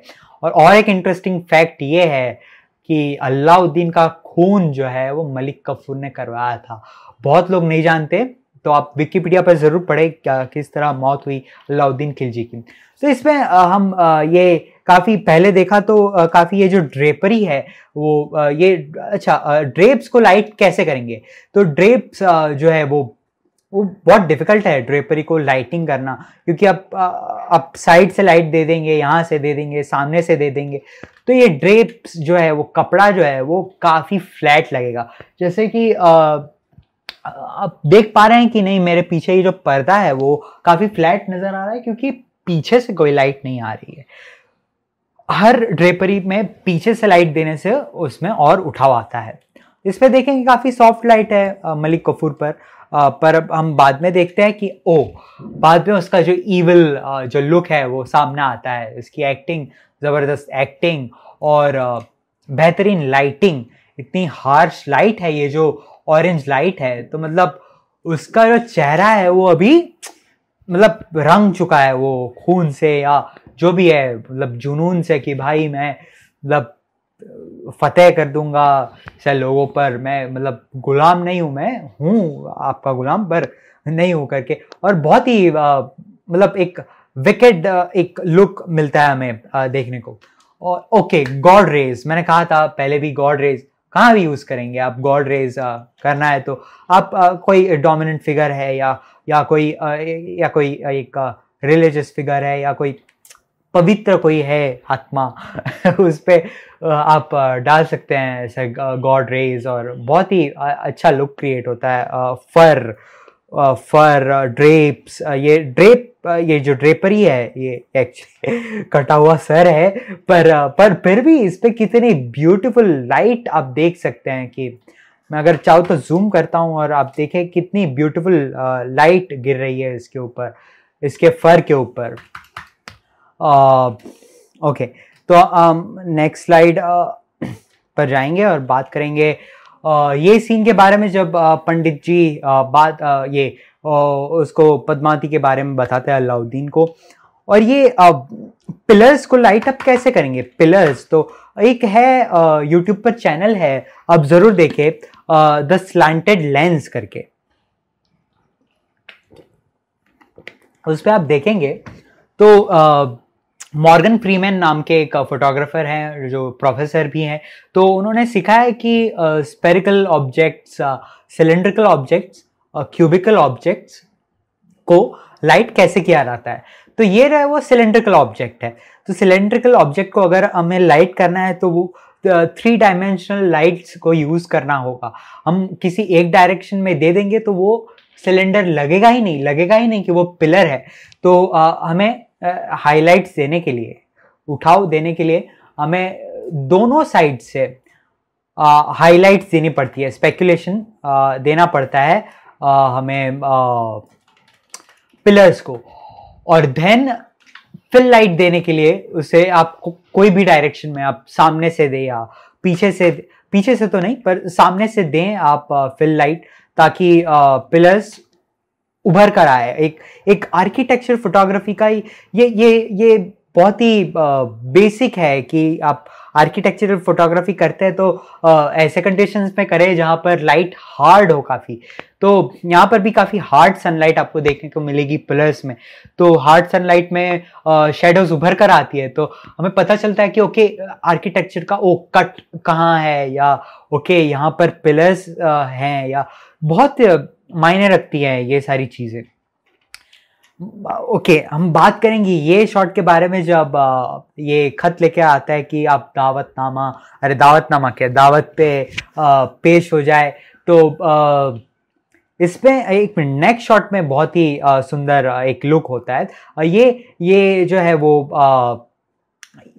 ये बहुत ही अच्छा कॉन्ट्रास्ट कलर्स से इन्होंने यूज़ किया है कि ग्रीन रेड काफ़ी कॉन्ट्रास्टी कलर्स है। अगर आप कलर व्हील और कलर थियरी अगर आप पढ़ेंगे तो तो red green dark green okay red light green red dark green red और इस तरह से बहुत ही अच्छी एक इमेज क्रिएट हो जाती है। और ये ग्रीन के ऊपर भी एक रेड रेड दो एक डॉट्स के जैसे हमें एक ए, ये बहुत ही अच्छी फील देता है हमें कलर्स और सिनेमाटोग्राफी में कलर्स बहुत इंपॉर्टेंट होते हैं। क्योंकि और और सेट डिज़ाइनिंग मतलब सेट डिज़ाइनिंग और सिनेमाटोग्राफी ये दोनों एक साथ मिलती है तब जाके इतना ब्यूटीफुल इमेज क्रिएट होता है। तो आ, ये जो है वो आ, बहुत ही अच्छा डायलॉग है कि अरे आ, आ, उनकी तलवार से ज़्यादा लोहा हम सूर्यवंशी मेवाड़ियों के सीने में है। पर आ, ये ये अगर आपको इतना दमदार डायलॉग बोलना भी है एक्टर्स कितने भी अच्छे हों पर अगर शॉट ही इतना अच्छा ना हो तो वो फील ही नहीं आएगा। तो अगेन मैंने आपको कहा है कि डोमिनेंस दिखाना है सिमेट्री लाइए सिमेट्री लाकर कैमरा थोड़ा हल्का सा नीचे रख दीजिए। होराइजन के ऊपर आई लेवल आ जाएगी और आई लेवल होराइजन के ऊपर होने से क्या फ़ायदा होता है कि आ, हल्का सा हमें एक एक देखने का नज़रिया हमारा चेंज हो जाता है कि ओके हम हम भी ऐसा थोड़ा ऊपर देखते हैं कि ओ तो अगर आप बड़ी बड़े पर्दे पर देखेंगे, बड़ी स्क्रीन पर तो आप ओके आप भी थोड़े एक आप खुद ऐसा लो महसूस करेंगे अगर कोई कोई लो एंगल से शॉट लिया गया और वो हाई आई लेवल पे है तो। तो ये जो नेक्स्ट शॉट है, मुझे बहुत पसंद है क्योंकि यहाँ पर जो दिए हैं वो ऐसे क्यूबिकल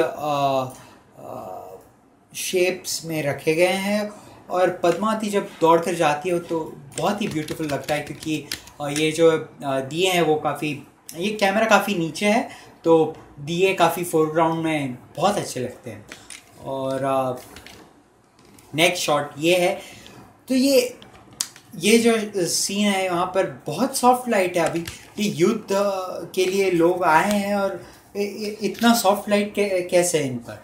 तो ये काफ़ी ओवरकास्ट डे है मतलब कुछ होने वाला है इसलिए ओवरकास्ट है तो आ, हमें एक अजीब सी फीलिंग आती है जब जब बारिश होने वाली आती है तो ये एक एक एक बेचैनी सी होती है तो इसमें भी ये बेचैनी शो करने के लिए ओवरकास्ट डे ऐसा दिखा है और देखते हैं कि ओवरकास्ट से शेडोज़ बहुत कम हो जाती है। ये स्प्लिट नज़र ही नहीं आता। और यहाँ पर देखेंगे तो हल्की शेडोज़ है, क्योंकि लाइट काफ़ी सॉफ्ट है। और कभी भी आप देखेंगे तो ओवरकास्ट में जो है वो बादलों की वजह से बहुत ही सॉफ्ट लाइटिंग मिलती है हमारे शहरों पर। ये जो शॉट है चित्तौड़गढ़ का, वो मुझे काफ़ी रियल लगता है क्योंकि चित्तौड़गढ़ अगर आप कभी जाएँ तो चित्तौड़गढ़ की मार्केट से रास्ता होता हुआ सिर्फ़ ऐसा एक स्ट्रेट रोड है और वो स्ट्रेट रोड से ऐसा ही चित्तौड़गढ़ का पहाड़ नज़र आता है और ये एक सीधी चढ़ाई है और डायरेक्ट यहाँ पर यूँ ऐसे दो तीन ऐसे टर्न्स है और देन चित्तौड़गढ़ फोर्ट का दरवाज़ा दरवाज़ा आता है। तो इसमें वो पंडित बोलते हैं कि ये इतना आसान नहीं है चढ़ना। असली में इतनी बड़ी फौज लेकर फोर्ट पर चढ़ना आसान नहीं है क्योंकि कुछ 20 मीटर या 20 मीटर भी नहीं है। एक्चुअली 20 फीट या 15 फीट जितना वाइड रास्ता है ऊपर चढ़ने के लिए। और पूरी सेना अगर पंद्रह फीट ऐसा बहुत ही टाइम लग जाएगा उनको ऊपर चढ़ने में। तो बहुत ही ब्यूटीफुल ये रियल रियलिस्टिक काफ़ी लोकेशन उन्होंने थ्री में बनाई है। और ओके हम यहाँ देखते हैं कि ये जो है, वो अलाउद्दीन के दोनों वज़ीर बन चुके हैं और ये सिमेट्री में है और ये सनलाइट यहाँ पर काफ़ी हार्श है। और उन दोनों पर जो थी काफ़ी सॉफ्ट थी तो यहाँ पर काफ़ी हार्श स्पेकुलेशन हमें नज़र आते हैं नाक पर और होठों पर गाल पर और ये फोरहेड पर। तो आ, ये ये कैरेक्टर का एक इमोशनल स्टेट दिखाता है कि ओके ओके ये अभी युद्ध के माहौल में हंस रहा है ये कैप्चर करने आया है एक जंग एक हुस्न के नाम वैसा सब करने आया है और इसके इरादे ये ये दिखाने के लिए हमें काफ़ी लाइट को हार्श रखनी पड़ती है। तो हो सकता है कि वो कैसल में शेड में हो इसलिए काफ़ी सॉफ्ट लाइटिंग हो और ये ओपन ग्राउंड में इसलिए वो हार्ड लाइट है इस पर। ओके okay, हम ये शॉट के बारे में बात करेंगे। तो ये जो है वो रियल सेट बनाया गया है यहाँ से लेकर ये जो है महल जैसा और यहाँ तक। ये जो पीछे आप देखेंगे ना ये आ, ये सीजीआई है, ये थ्री सॉफ्टवेयर में बनाया गया है, पीछे जो भी है। और ये ये ये रियल लोकेशन एकदम सेम टू सेम बनाया गया है। ये शायद मीरा महल नाम की एक प्लेस है चित्तौड़गढ़ में। अगर आप जाएँ तो ज़रूर देखें तो आपको पता चलेगा कि ये रियल लोकेशन जैसा बनाने की कोशिश की है और ये तालाब भी है छोटा सा वहाँ पर। और ये वी एफ़ एक्स में है ना बहुत सारी छोटी छोटी चीज़ें रहती है जो मायने रखती है फिजिक फिजिक्स रिलेटेड तो आ, कोई भी अगर ओपन फ्लेम है मशाले दिया या कैंडल्स या जो भी है तो वो एयर टर्बुलेंस की वजह से है ना अलग अलग शेप्स में बिहेव करती है। अब इसमें एक मिस्टेक है कि आ, ये जो सीजीआई में ये जो फ्लेम्स दिख रही है उसमें फ्लिकरिंग नज़र नहीं आ रही। तो ये एक नॉर्मल जो है थ्री में एक लाइट एक लाइट का डॉट बस बना दिया है, पर उसमें फ्लिकरिंग नहीं दी गई है। और एक सीन था पहले जिसमें फ्लिकरिंग ऐसा सी जी आई उस पर फ्लिकरिंग दी गई है, पर इसमें नहीं दी गई है, पता नहीं क्यों। पर ये छोटी छोटी चीज़ें बहुत मायने रखती है। जब आप बड़े पर्दे पर इसे देखेंगे तो आपको समझ में आएगा। ये छोटी स्क्रीन में ये सारी चीज़ें नहीं नज़र आती है। फिफ्टी थ्री इंचज से अबाव कोई भी स्क्रीन है उसमें आप क्लियरली देख सकते हैं सब चीज़ें। ये बहुत ही ब्यूटीफुल शॉट है ये असली लोकेशन उन्होंने बनाई है। और uh, मैंने जैसे कि कहा कि वर्टिकल डेप्थ अगर क्रिएट करनी है आपको तो आप रिफ्लेक्शंस यूज़ करें। और uh, बहुत ही रिफ्लेक्शन से अलग ही इमेज क्रिएट हो जाती है। एक मिनट। थोड़ा सा पैन करूँगा क्योंकि मुझे लगता है कि मेरा कंपोजिशन सही नहीं है और आई थिंक टेबल दिख रहा था। तो uh, ये सही है मैं थर्ड पर हूँ। तो uh, ये अगर बात करेंगे uh, ये uh, के बारे में। ये मुझे एक कैरेक्टर के ऊपर जो लाइटिंग होती है उसके वाइज बहुत ही अच्छा शॉट लगा। क्योंकि इसमें आप देखेंगे तो एक तो सिमेट्री है आउट ऑफ़ फोकस ऑब्जेक्ट्स में भी, और यहाँ से कोई फ्लेम्स आ रही हैं, उसकी लाइट यहाँ पर, यहाँ से कोई फ्लेम आ रही है, उसकी लाइट यहाँ पर रिफ्लेक्ट हो रही है, और वो सारी चीज़ें आपको मतलब आँखों में देखने मिलेगी कि कहाँ से क्या लाइट्स आ रही है तो और ये ये जो हल्की हल्की सी जो लाइट चेहरे के बीचों बीच जो नज़र आ रही है, वो फिल लाइट है। जो की लाइट है, जो मेन है, वो तो एक्चुअली ऐसा हम बोल ही नहीं सकते कि कौन सी की है, कौन सी फिल है बिकॉज़ दोनों बहुत ही अच्छा काम कर रही है ये फेस को लिट करने में। और अगर बात करें कि ओके ये की लाइट समझे अगर, और इसे हम रिम लाइट समझे तो भी चल सकता है क्योंकि बहुत ही अच्छी इमेज आ, हम एक फेस को एक फेस के टेक्सचर्स को क्लियरली हम देख सकते हैं। और आ, अगर अगर किसी भी एक्टर के ऊपर अगर लाइट कहाँ से आ रही वो देखनी है तो आँख देखिए और आँख में आपको पता चल जाएगा कि लाइट कहाँ से आ रही है। तो हम थोड़ा सा जूम करेंगे और देखेंगे कि ओके यहाँ से एक लाइट सोर्स दिया गया है। यहाँ से एक लाइट सोर्स दिया गया है। पर राइट साइड नहीं नज़र आ रही है। तो हम क्या करेंगे कि कोई भी रिफ्लेक्टेड सरफेस हो ना तो उस पर आप देखिए और आपको क्लियरली पता चल जाएगा कि लाइट सोर्स कहाँ से दिया गया है। तो हम ये जो मोती है, वहाँ पे देखेंगे तो क्लियरली हमें दिखेगा कि ये कोई लेफ़्ट का लाइट सोर्स है, कोई राइट का राइट लाइट सोर्स है। Light source right source light source है और बीचों बीच एक वाइट लाइट सोर्स है। तो हम क्लियरली देख सकते हैं कि ओके तीन लाइट्स यूज़ की गई है ये ये एक फेस को लिटअप करने के लिए। बहुत ही ब्यूटीफुल इमेज क्रिएट होती है। और okay okay wait a second मैं वापस पीछे जाता हूँ और इसमें कैच लाइट देखिए आप कितनी सेंटर में है। uh, तो और ऊपर देख रहा है ये राजा जो है वो ऊपर देख रहा है और कैच लाइट एकदम बीचों बीच आ रही है। नेक्स्ट शॉट में अगर आप कैच लाइट देखें आँख में पद्मावती के आँखों में तो हमें काफ़ी आँख के नीचे के भाग में देखने को मिलेगी।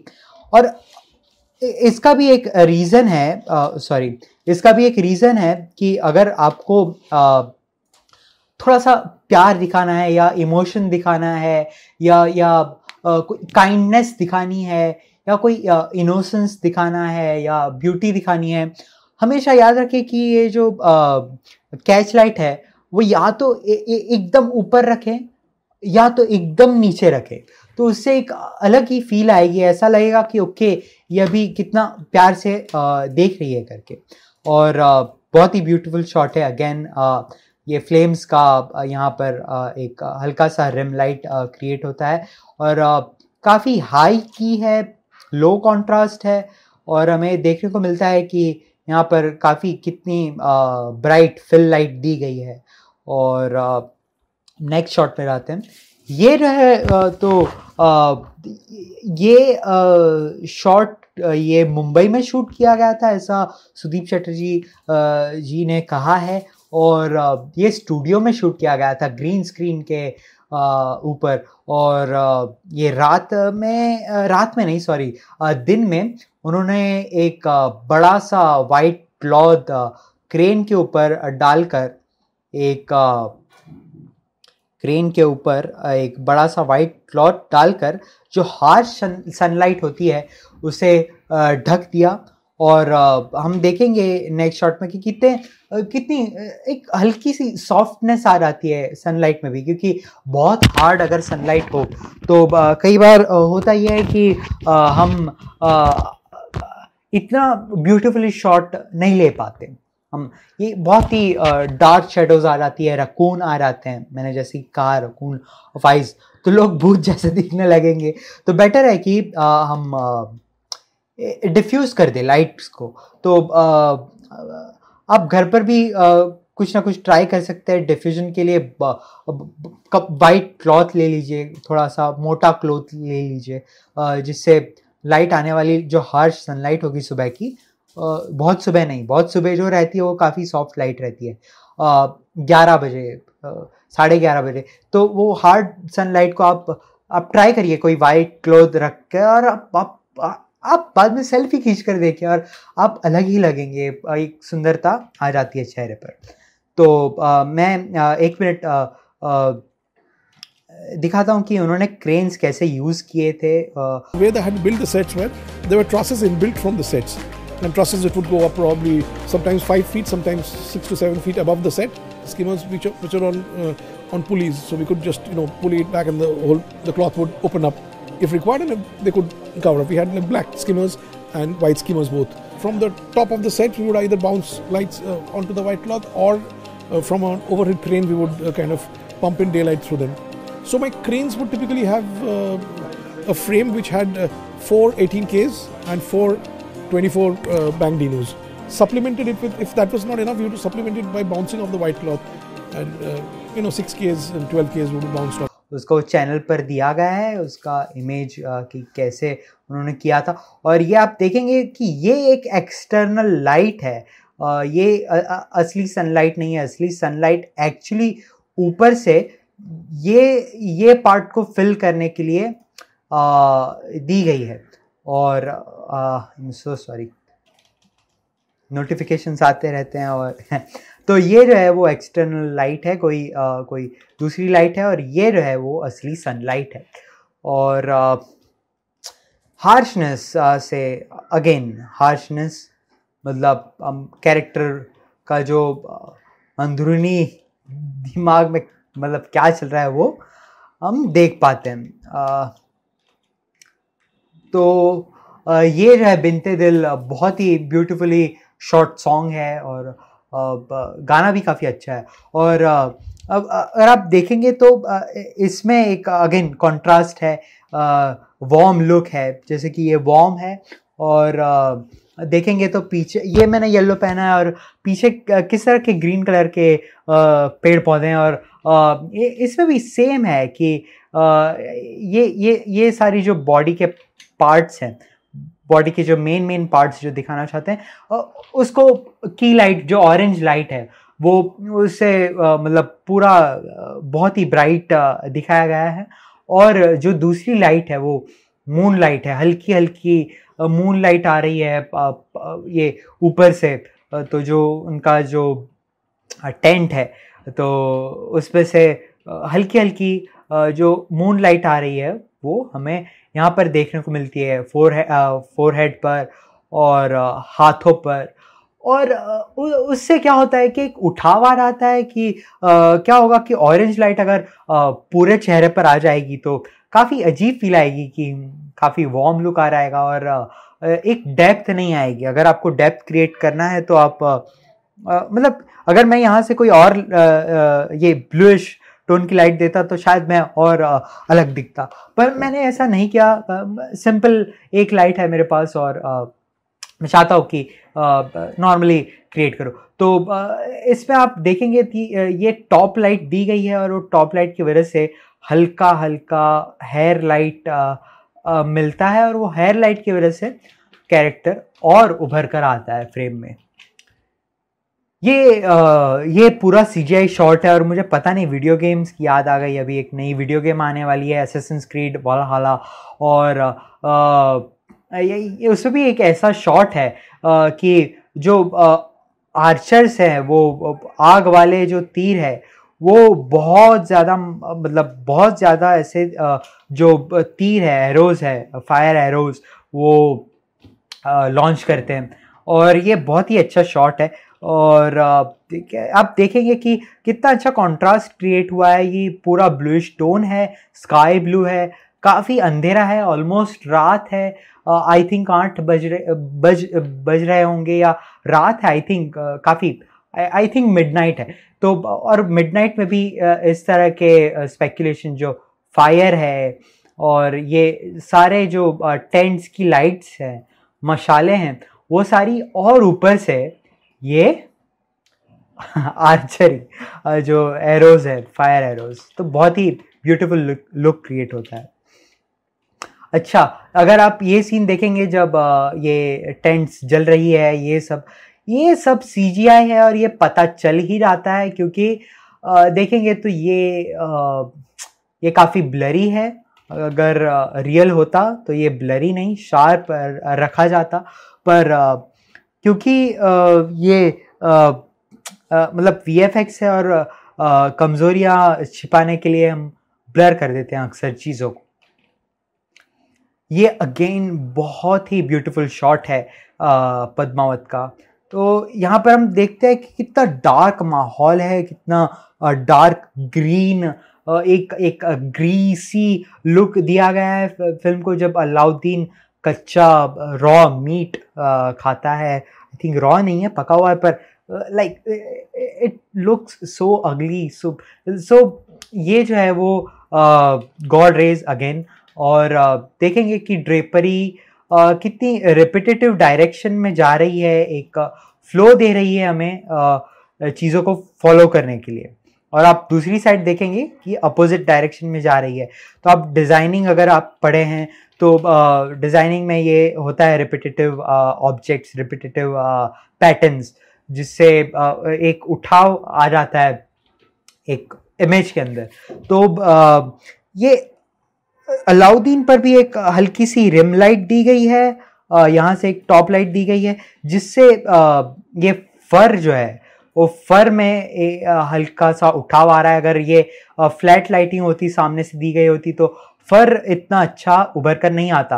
पर आप अगर बड़ी स्क्रीन पर देखोगे तो ऐसा ही लगता है कि ये कोई ये कोई जंगली जानवर है और ये बहुत ही गुस्से में खाना खा रहा है और बहुत ही ये, सारी एक्चुअली लिटरल ये पोएटिक चीज़ें हैं जो दिमाग में रखकर डायरेक्टर्स यूज़ करते हैं कि ये कितना डार्क सीन है ये जहाँ एक और ये कितना डार्क कैरेक्टर है। जो फर पहनता है और अगर आप, अब, रवल रतन सिंह का देखेंगे तो काफ़ी कलरफुल काफ़ी वाइब्रेंट क्लोथ्स है। मैं जैसे कि पहले बताया, कि, कितने वाइब्रेंट क्लोथ्स है और क्लोथ है वो। फर नहीं है, किसी जानवर को मारकर नहीं बनाएँगे। पर ऐसा हम नहीं कहेंगे ये मोरालिटी और उसमें नहीं जाएँगे, क्योंकि फर इम्पोर्टेंट था। उस ज़माने में फर की ही फर के ही वो स्वेटर्स और वो सब बनते थे क्योंकि अफ़गानिस्तान मतलब बहुत ही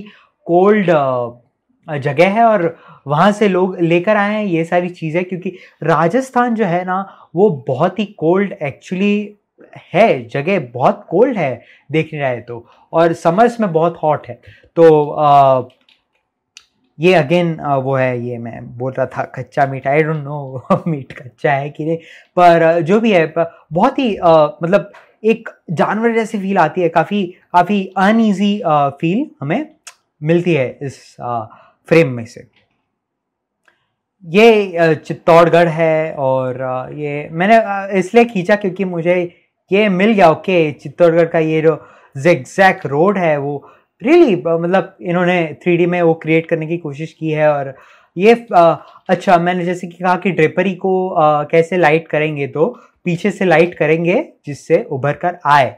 और हल्का हल्का फिल लाइट आप आगे से भी दे सकते हैं जिससे क्या होगा कि आ, ए, ए, अगर कोई चित्र बना हुआ है कोई कोई कोई सिंबल्स है अगर फ्लैग में तो वो भी दिखेंगे।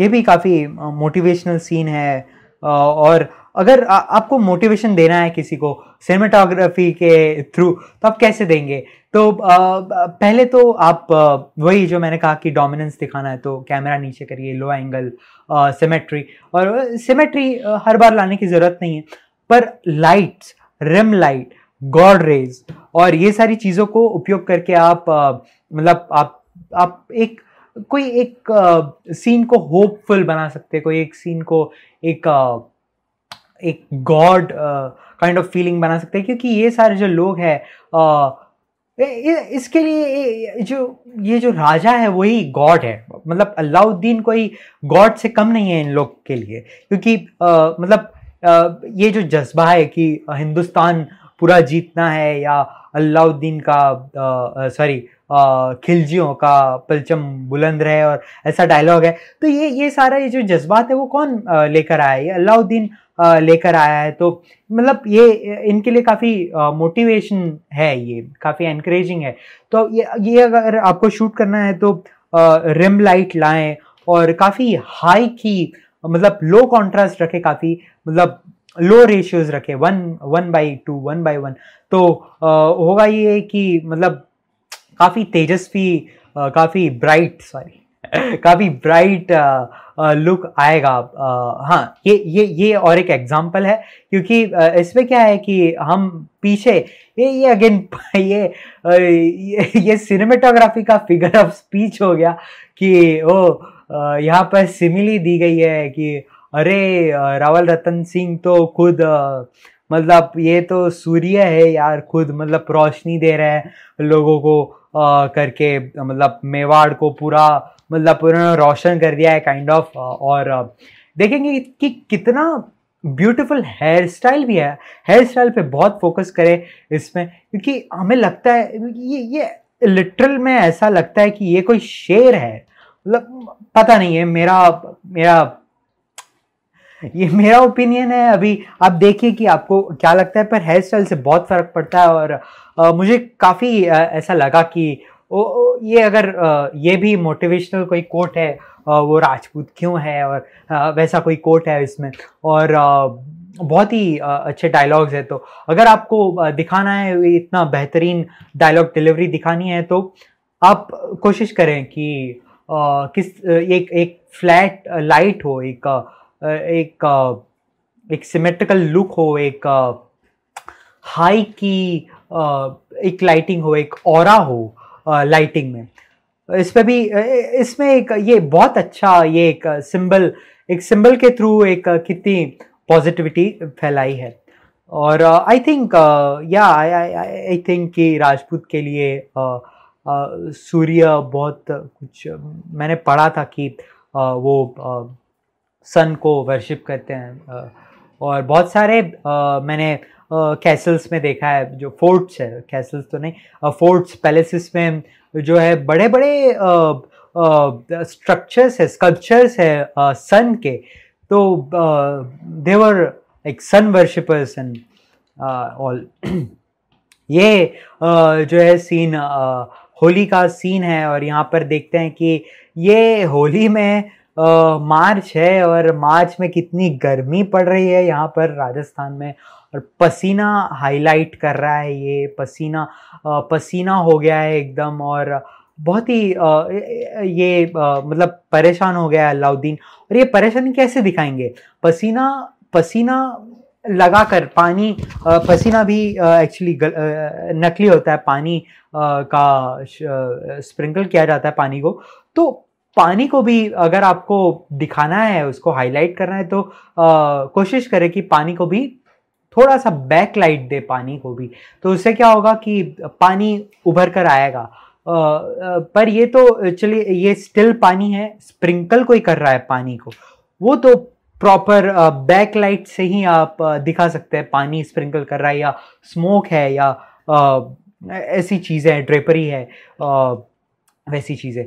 और ये भी काफ़ी अच्छा एक पैटर्न बनता है ये एक कैरेक्टर मतलब ये अब रंग चुका है अभी अभी ये अभी ये पीछे नहीं हटेगा अब अभी खून में ये रंग जाएगा। ये अब मुझे पता नहीं ये सिंदूर क्यों यूज़ किया गया आ, अगर कुछ गुलाल यूज़ होता लाल होता तो और वो डरावना फील आता था और वो लगता था कि ओके अलाउद्दीन अभी अभी अभी वॉर होगी अभी खून खराब होगा। तो ये ये एक्चुअली ये सिंबलाइज करता है कि ओके ये ये कितनी अजीब पैटर्न में बना हुआ है कि ओके अभी ये जो है वो कुछ होने जा रहा है करके।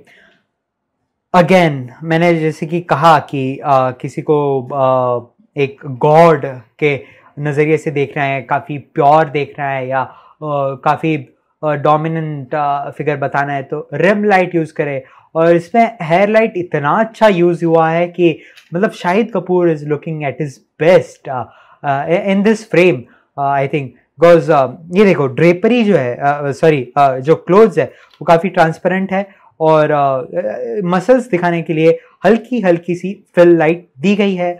और आप देखेंगे कि रिम लाइट की वजह से कितना उठाव आ रहा है ये बालों पर यहाँ पर आ, ये ये सारी ये जितने भी बॉर्डर्स है आ, आ, ये फिगर की और उससे बहुत फ़र्क पड़ता है। और देखेंगे कि आई आई जो कैच लाइट है आई में वो ऊपर है मतलब बहुत ही फ़र्क पड़ता है उससे। और ये कितना अजीब लगता है अगर मैंने ओके नेक्स्ट फ्रेम है ये होली ये लोग खेल रहे हैं।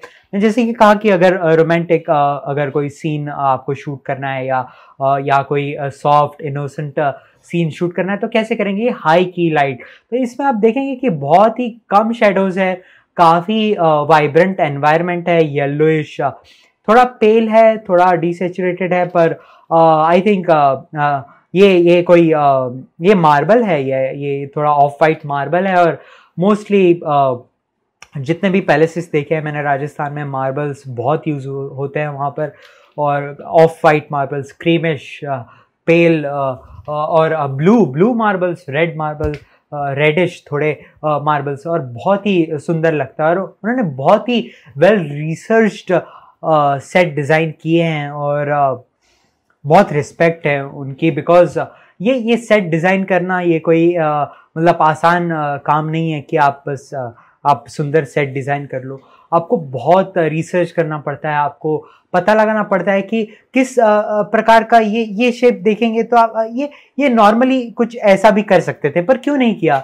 कि, क्योंकि एक आर्टिस्टिक एक एक डिटेल्ड एक एक अप्रोच होता है। मतलब आप कितने परफेक्शनिस्ट हैं। और यूँ ही किसी को मतलब बेस्ट फ़िल्म का या बेस्ट डायरेक्टर का अवार्ड नहीं मिलता। मतलब ये ये ये बहुत सारी चीज़ें हैं जो मायने रखती हैं। तो आ, क्या करेंगे? रोमांटिक सीन है। काफ़ी अच्छा की लाइट दे काफ़ी सॉफ्ट की लाइट दे। हार्श ना दे। हार्श देने से क्या होगा कि शेडोज आएँगी शेडोज आएँगी तो आ, एक कॉन्ट्रास्ट क्रिएट होगा। और ना चाहते हुए भी वो वो मतलब मतलब अनब्यूटिफाई कर देंगे आप रोमांटिक चीज़ों को भी। तो आ, हो सके तो soft light and high high high key lighting. Okay तो ये जो शॉट है, वो ये ये भी बहुत ही ब्यूटीफुल शॉट है और ये सेट उन्होंने क्रिएट किया है और मैंने देखा है कि राजस्थान का कल्चर इतना ब्यूटीफुल है म्यूज़िक है, खाना इतना अच्छा है और ये एक्चुअल में अगर आप किसी पैलेस में जाए तो ये लोग जब कोई खाना होता है या कोई रॉयल होटल्स में जाए तो इसी तरह खाने के वक्त ऐसा ये ये लोग म्यूज़िक बजाते हैं और बहुत ही अच्छा माहौल क्रिएट होता है। अच्छा अच्छा माहौल है तो अच्छा माहौल को शूट कैसे करेंगे? इस तरह शूट करेंगे। तो इस पर ये ये जो है तो हम देखते हैं कि ये जो प्रैक्टिकल लाइट्स हैं, इससे कितना उठाव आता है कि प्रैक्टिकल लाइट से एक, हम सीन को ब्यूटीफाई कर सकते हैं। सीन को अगर अगर एक्टर्स फोकस में नहीं है अगर एक्टर्स मेन फोकस नहीं है और सीनरी मेन फोकस है तो प्रैक्टिकल लाइट्स को कोशिश करें कि प्रैक्टिकल लाइट्स जो है जो दिया है मशाल है और जो भी हो सकता है कैंडल्स हो सकता है या जैसे कि मेरी प्रैक्टिकल लाइट अभी पीछे है तो आ, आ, तो वो सारी उभर कर आनी चाहिए वो वो रिपीट करे प्रैक्टिकल लाइट्स जैसे कि इस पर रिपीट की गई है जो चीज़ें रिपीट होती हैं और वो अच्छी चीज़ें हों अच्छी चीज़ें हों अगर रिपीट की हुई तो ऑफकोर्स अच्छी लगती हैं। और इसमें आप देखेंगे ये हाई एक मतलब ये पता नहीं यहाँ से लाइट कैसे आ रही है। अगर ये फ्लेम ये ये लाइट कर रही है और ये फ्लेम ये लाइट कर रही है तो ये एक्चुअली यहाँ से थोड़ी हल्की सी रिम लाइट आनी चाहिए थी। यहाँ से रिम लाइट एक्चुअली थोड़ी सी यहाँ पर टच हो रही है। पर देखेंगे तो शॉर्ट में आई थिंक यहाँ पर भी मशाले हैं। ये ये साइड या ये साइड अंदर की तरफ़ और यहाँ से लाइट थ्रो हो रही है या ऊपर से लाइट्स आ रही है और उससे एक उठाव आ रहा है बैकग्राउंड और एक्टर्स के बीच में। और ये सिर्फ़ ये ऑरेंज लाइट जो की है जो, जो उनको सेपरेट करी है उनकी वजह से। और ये बहुत ही, ये स्काई और वो सब जो आप देख रहे हैं स्काई और पीछे का जो बैकग्राउंड जो ग्राउंड है, वो सब सीजीआई है। ये मुझे बेस्ट शॉट लगा वन ऑफ़ द बेस्ट क्योंकि पूरी फ़िल्म ही बेस्ट है पूरी फ़िल्म बहुत ब्यूटीफुल है। और ये आप देखेंगे कि इतना हाई कंट्रास्ट है, फिर भी मतलब हाई कंट्रास्ट तो मैं नहीं कहूँगा क्योंकि हाई कंट्रास्ट नहीं है, पर शेडोज इतनी ज़्यादा है और तो भी इतना ब्यूटीफुल शॉट किस तरह लिया गया है? तो पहले तो हम देखते हैं कि यहाँ पर काफ़ी वेट फ्लोर है, और वेट फ्लोर का स्पेकुलेशन जो है, वो हम यहाँ पर देख सकते हैं कि कोई मशाल से ये लिट हो रहा है। पीछे ये सेपरेशन लाने के लिए, क्योंकि यहाँ पर काफ़ी डार्क है और अगेन यहाँ पर एक विंडो है जहाँ से लाइट आती है। और ये पॉन्ड में जो पानी है, उस पर स्पेकुलेशन दे रही है। और ये पूरा शॉट आप देखेंगे तो इतना ब्यूटीफुल है कि पूरा यहाँ से यहाँ पैन होता है कैमरा पूरा सर्कुलर वे में। बहुत ही मस्त शॉट है और ये जो स्पेक्युलर है वो यहाँ से लेकर यहाँ तक पहुँच जाता है और बहुत ही ब्यूटीफुल शॉट है। और ये जो है वो सनलाइट का as a rim light use किया है।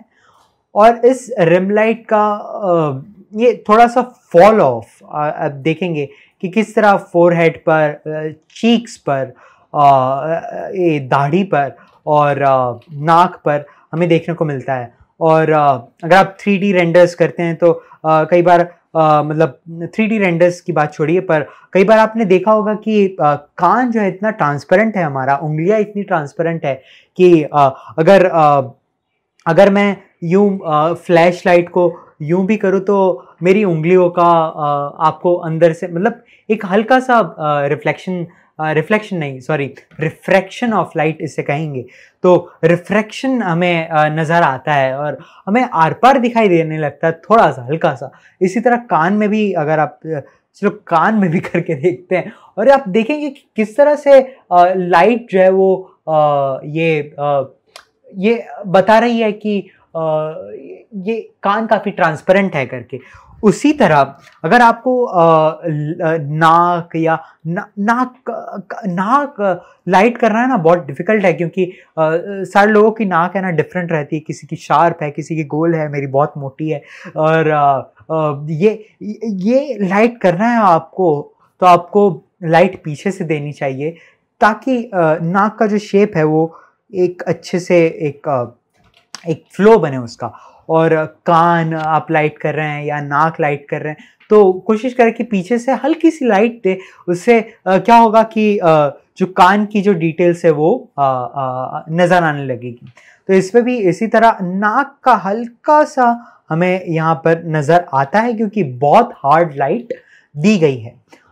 और ये जो फिल लाइट दी गई है ना यहाँ पर, वो फ्लिकर होती है अगर आप वीडियो देखेंगे तो। तो मतलब कि ये कोई मशाल की फिल लाइट आ रही है चेहरों पर।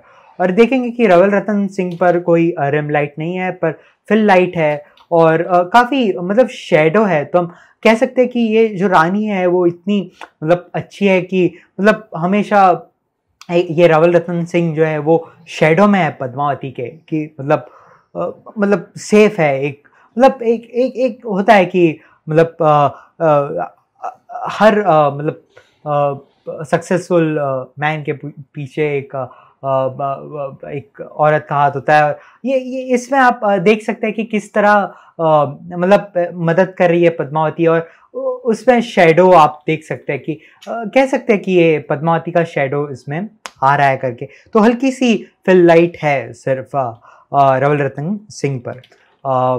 ओके गॉड रेज अगेन तो गॉड रेज को कट कैसे करेंगे?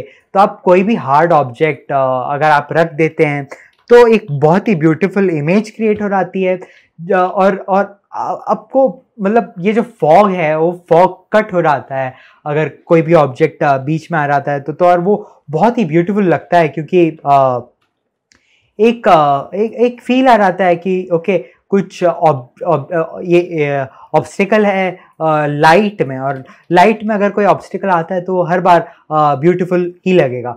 अगर ये फेदर भी अगर थोड़ा और आगे जाता तो वो लाइट में रहता तो हमें इसमें हल्का सा एक इफ़ेक्ट आता, एक फर का बहुत अच्छा इफ़ेक्ट आता। पर ये क्योंकि शेड में है इसलिए अच्छा नहीं लग रहा, पर मतलब उसका भी कोई रीज़न होगा क्यों शेड में रखा है। यहाँ पे आप देखेंगे ये जो सन है वो एक्चुअल सन नहीं है पर सी जी आई सन है आ, या कोई लाइट को बाद में एज ए सन डिपिक्ट किया है। और आ, देखेंगे कि आ, ये जो है स्काई लाइट है अलाउद्दीन के चेहरे पे। हम जैसे कि मैंने पहले कहा था हम अगर शेड में रहते तो भी हम चेहरों को देख पाते हैं। हम कहते हैं अरे धूप में क्यों कोड़े छाव में आ रहा हो। और फिर भी हम सामने वाले का चेहरा देख पाते हैं। क्यों ऐसा देख पाते हैं? क्योंकि स्काई लाइट स्काई में इतना पावर है इतना इतना हाई टेम्परेचर है स्काई का कि आ, हम हम आ, आ, इतना ब्राइट हो जाता है हमारा चेहरा और चीज़ें। तो आ, वही है वही लाइट जो है वो अलाउद्दीन पर नज़र आती है। ओके ये एक्चुअल में प्लेस है चित्तौड़गढ़ में। ये सीढ़ियाँ है पर ये आई थिंक बंद की गई है पता नहीं क्यों। आई थिंक यही जगह है जहाँ पर रानी पद्मावती और बाकी औरतों ने मिलकर जोहर किया था। तो आई थिंक वो प्लेस बंद कर दी गई है ताकि लोग वहाँ पर ना जा पाए। काफ़ी दुखद हिस्ट्री की एक हिस्ट्री का एक चैप्टर है। तो खैर इसके बारे में बात नहीं करेंगे, पर ये जो शॉट है अगेन भले ही अगर किसी को डोमिनेंट दिखाना है और अगर वो स्क्रीन पर छोटा है, छोटा भी क्यों ना हो? पर कैमरा अगर नीचे है तो वो वो डोमिनेंट दिखने लगता है, अपने आप ही दिखने लगता है। और इसमें भी आप देखेंगे कि अलाउद्दीन की नज़र है, वो ऊपर की ओर जा रही है। शिट मैंने उसको अंधा बना दिया। एक ओके ये उसकी नज़र जो है वो ऊपर की ओर है। तो मतलब ये ये भले ही पूरा फ्रेम में एक एक एक लंबा चौड़ा सा अलाउद्दीन आपको नज़र आता है, पर हम देखेंगे कि उसकी नज़र काफ़ी ऊपर है। मतलब मतलब एक एक सबॉर्डिनेट स्टेटस इसे मिल रहा है। क्योंकि ये अपने घर में नहीं है, अपने वतन में नहीं है, अपने अफगान में नहीं है। ये ये अफगान, अफ़गानिस्तान में नहीं है। ये ये इंडिया में है और वो भी रवल रतन सिंह के घर चित्तौड़गढ़ में। तो ये ये काफ़ी लो है यहाँ पर। फिर भी ये तलवार लेकर आया और देखेंगे कि आ, ये आ, ये बहुत ही अच्छा शॉट है जहाँ पर अलाउद्दीन ढक देता है आ, आ, उसके कैरेक्टर को रवल रतन सिंह के कैरेक्टर को। हम ऐसा बोल सकते हैं कि ओके अब अब अब जो है वो ग्रहण आने वाला है कुछ एक एक कुछ होने वाला है करके। मतलब ये ये, या क्लियरली देख सके कि कितने वाइब्रेंट कलर्स है। और उसके ऊपर ये ब्लैक एक लंबा चौड़ा सा, एक एक एक ओमीनियस एक एक बहुत ही अजीब तरह का एक जो कैरेक्टर है वो वो आ चुका है। तो हम कह सकते हैं कि कोई कोई चाँद सा है या कोई सूरज है, उसके ऊपर सा ग्रहण आ गया है करके।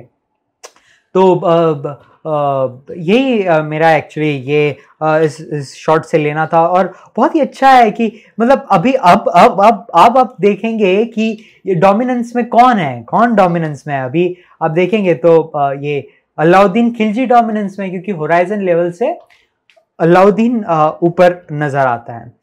ये बहुत ही अच्छा शॉट है क्योंकि इसमें अल्लाह, ये ये दोनों खाना खाने बैठते हैं और अलाउद्दीन पे बहुत ही हार्श लाइट है। क्योंकि अभी है ना, उसके उसकी सोच हमें पता चलती है ओ यहाँ पर वो पद्मावत पद्मावती को देखने आया है या जो भी है। तो ये हार्श एकदम हार्श लाइट है, काफ़ी हार्श आप आई लैशेस का भी शेडो इतना हार्श देख सकते हैं, इसका नाक का शेडो हार्श बहुत हार्श लाइट है। और और वहाँ ये देखिए, ये ये शॉट में बोल रहा था कि काफ़ी अंधेरे में है मतलब ये ये ये ये काफ़ी, अलाउद्दीन काफ़ी अंधेरे में है कि उसके पता नहीं है कि मतलब भाई मतलब रवल रतन सिंह भी कोई कम नहीं है तो अभी इग्नोरेंट है, तुझे पता नहीं है कि पद्मावती को देखना है तो तुझे मेरी लाश से गुजरना होगा इन ऑल बट बट देखेंगे कि सिर्फ़ नाक पर और स्पेक ना, नाक पर और हल्की हल्की फोरहेड पर हमें स्पेकुलेशन दिखती है। और आँख के नीचे बहुत ही काला शेडो होठों के ऊपर काला शेडो और नाक के नीचे बहुत ही दमदार हार्ड काला शेडो मतलब एक एक इविल लुक अगर आपको क्रिएट करना है तो आप या तो बहुत नीचे से मैंने आपको कहा पहले टॉर्च जो एग्जांपल दिया। तो वो यहाँ से वो ऊपर से दी गई है और बहुत ही इविल लुक क्रिएट होता है। सिमिलरली ये उसका फ्रेम पूरा अपोजिट है। अपोजिट अपोजिट अपोजिट ये रहे वो उसका अपोजिट फ्रेम है और आ, ये आ, ये आप देखेंगे तो कितना गॉड मतलब फील आता है। एक तो गॉड रेज है मतलब हल्का हल्का इसके टेक्सचर्स की वजह से विंडोज़ के टेक्सचर की वजह से हल्का हल्का जो सनलाइट है वो कट होकर आ रहा है। और सिमिलरली जो गॉड रेज हमने पहले देखी वैसी आ रही है और इसमें चेहरे पर लाइटिंग पूरी उल्टी है। यहाँ पर बहुत सॉफ्ट लाइट है, बहुत ही हाई की है लो कॉन्ट्रास्ट है। आप शेडोज देखेंगे तो बिल्कुल भी हार्श नहीं है। शेडोज और और आप देखेंगे कितना वाइब्रेंट कलर है उसमें। अलाउद्दीन का कितना डार्क ड्रेस था और यहाँ पर आप देखेंगे कितना वाइब्रेंट है रेड एंड हल्का सा येलो एंड पगड़ी भी देखिए। मतलब आपको एक आ, अलग सा फील आएगा कि okay bro I am innocent you are here to do something bad so मैं अच्छा हूँ।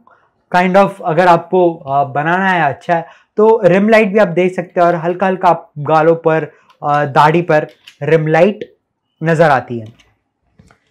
ओके uh, मैंने जैसे कि कहा था कि गुस्सा दिखाना है तो कैसे दिखाएँगे? आ, आ, ये आ, मैं खुद इतनी बड़ी आँखें कर रहा था पर गुस्सा दिखाना है तो आप कैच लाइट जो है वो सेंटर या आ, नीचे या ये काफ़ी प्रोमिनेंट कैच लाइट रखें। और एक्टर्स के ऊपर भी डिपेंड करता है कि वो कितनी आँख फाड़ सकते हैं और पर आ, आ, ये काफ़ी ब्यूटीफुल है। अगर आप देखेंगे अभी तो अभी रवल रत्न सिंह पर काफ़ी हार्श हार्श लाइट है। अभी देखेंगे कि काफ़ी हार्श शेडोज़ है काफ़ी हाई कॉन्ट्रास्ट है काफ़ी हाई रेशियो है।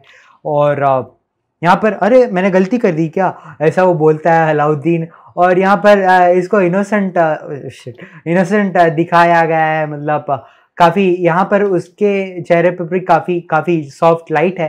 पर देखेंगे कि बाद में उसका कैरेक्टर पता चल जाता है कि कितना ईविल है।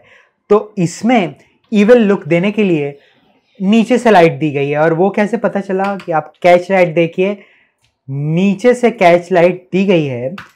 मैंने पहले कहा था कि आ, नीचे से कैच लाइट देने से ओके काइंडनेस या ब्यूटी या वैसे।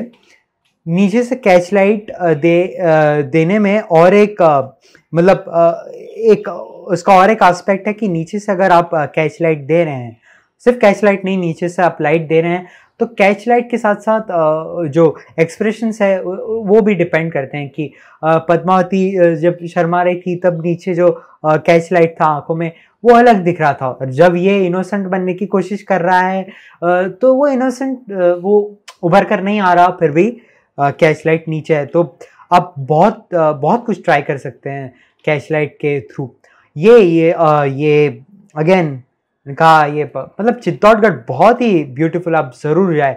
बस मैंने ये चित्तौड़गढ़ के अप्रिसिएशन के लिए ये रखा है और प्लस क्या कर दिया। ये बहुत मस्त है। और अब अब यहाँ पर बातें होती है, थोड़ा झगड़ा होता है कि कौन सी बात सही है, कौन सा डिसीज़न सही है तुम्हारा पद्मावती, क्या बोल रही हो तुम? यू आर अ फेमिनिस्ट ये बोलती है तुम फेमिनिस्ट बनो यार, रवल रतन सिंह, क्या कर रहे हो? एंड ये क्या है कि ये डिसीज़न लेती है कि नहीं, मैं जाऊँगी अलाउद्दीन खिलजी के सामने। और इसमें आप देखेंगे कि काफ़ी रिम लाइट बहुत ही प्रोमिनेंट रिम लाइट दी गई है और थ्रोट पर भी बहुत ज़्यादा रिमलाइट है, आँखों के नीचे रिमलाइट है और हल्की हल्की हेयर लाइट भी है।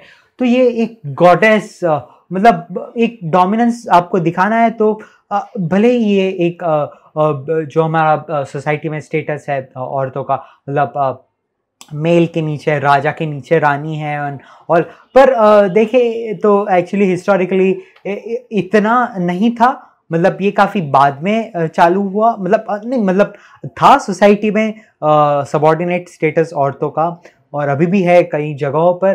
पर बहुत सारी ऐसी फीमेल्स हैं जिन्होंने हिस्टोरिकल ग्रैंड डिसीजंस लिए हैं। जैसे कि पद्मावती एक हैं, जिन्होंने डिसीज़न एक जौहर का डिसीज़न लिया। देन रज़िया सुल्तान रज़िया सुल्तान की स्टोरी सुने आप। वो भी एक दिलचस्प स्टोरी है। Then Manikarnika again great warrior तो ऐसी बहुत ही गिनी चुनी फीमेल्स है हिस्ट्री में मेडिवल हिस्ट्री की बात कर रहा हूँ। मॉडर्न हिस्ट्री में तो बहुत है। मॉडर्न हिस्ट्री में आप आप पढ़ेंगे तो बहुत ऐसी फीमेल्स है क्योंकि फेमिनिस्ट मूवमेंट एक्चुअली चालू हो गया था मॉडर्न हिस्ट्री में। पर पहले ऐसा नहीं था। पहले फेमिनिज्म या ऐसे कोई वर्ड्स नहीं थे। अरे फेमिनिस्ट बनो कोई ऐसा कहता नहीं था लोगों को।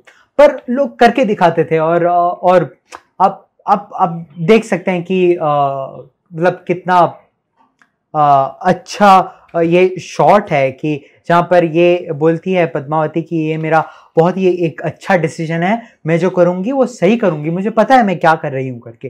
तो अगर आपको आ, कुछ ऐसा दिखाना है तो आप कोशिश करें कि रिम लाइट दे और आ, आप एक एक आ, कहते हैं कि एक होदा हो किसी का अगर तो दिखाने के लिए रिम लाइट यूज़ हो, होती है।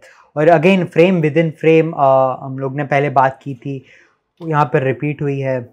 और मैंने कहा कि स्मोक को अगर आपको आ, अच्छा दिखाना है तो कहाँ से दिखाएँगे कि बैक लाइट करके? तो ये स्मोक को यहाँ से लाइट दी गई है तब जाकर आ, ये इतना ब्यूटीफुल लगता है।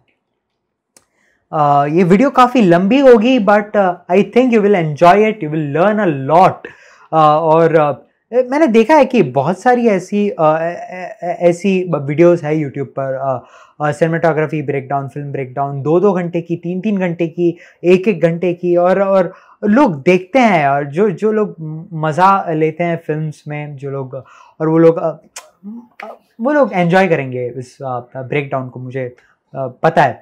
और ये गॉड रेस हम वापस देखते हैं। इसमें अल्लाह ये अलाउद्दीन निहत्था है इसमें हम काफ़ी उसको एक गॉडली एक मैनली एक एक फील देते हैं और अगेन रिम लाइट हम देंगे।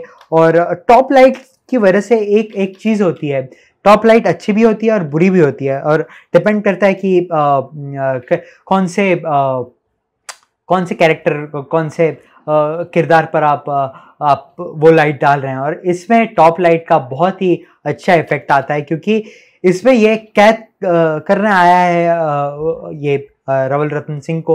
और इसमें ये मतलब टॉप लाइट देकर आप पूरा ये पार्ट शेडो हो जाता है। मतलब आप देखेंगे इधर तो ये पार्ट जो है वो वो पूरा शेडो है और फोर हेड और नाक पर ही सिर्फ़ लाइट है। सिर्फ़ फोर हेड नाक पाँव और कंधों पर लाइट है, पर पूरा जो है बॉडी वो तो पूरा शेडो में है मतलब कुछ तो गड़बड़ है दया काइंड ऑफ़ फील हमें देता है। और ये सिमिलर एग्ज़ाम्पल है कि मतलब वो आखिर में तो रो रहा है अलाउद्दीन कि कितनी सारी यादें जुड़ी है चित्तौड़ के साथ और और बहुत सारी चीज़ें। पर हम देखते हैं कि ये ये जो है वो एक हल्का सा, एक इविल एक टोन आता है वो टॉप लाइट से आ रहा है और टॉप लाइट से क्या होता है कि हम हम ये ये ये बहुत ही अच्छा एग्ज़ाम्पल है कि इसमें टॉप और और नीचे दोनों से लाइट दी गई है ताकि एक अजीब सी फील आए। तो ये जो आप देखेंगे ये स्पेकुलेशन ये टॉप लाइट के कारण मिलती है ये होटो पर जो है वो। और ये जो फिल हो रहा है जिसकी वजह से ये शेडोज बन रही है आ, तो ये हल्की सी फिल लाइट हल्की सी फिल लाइट नीचे से दी गई है।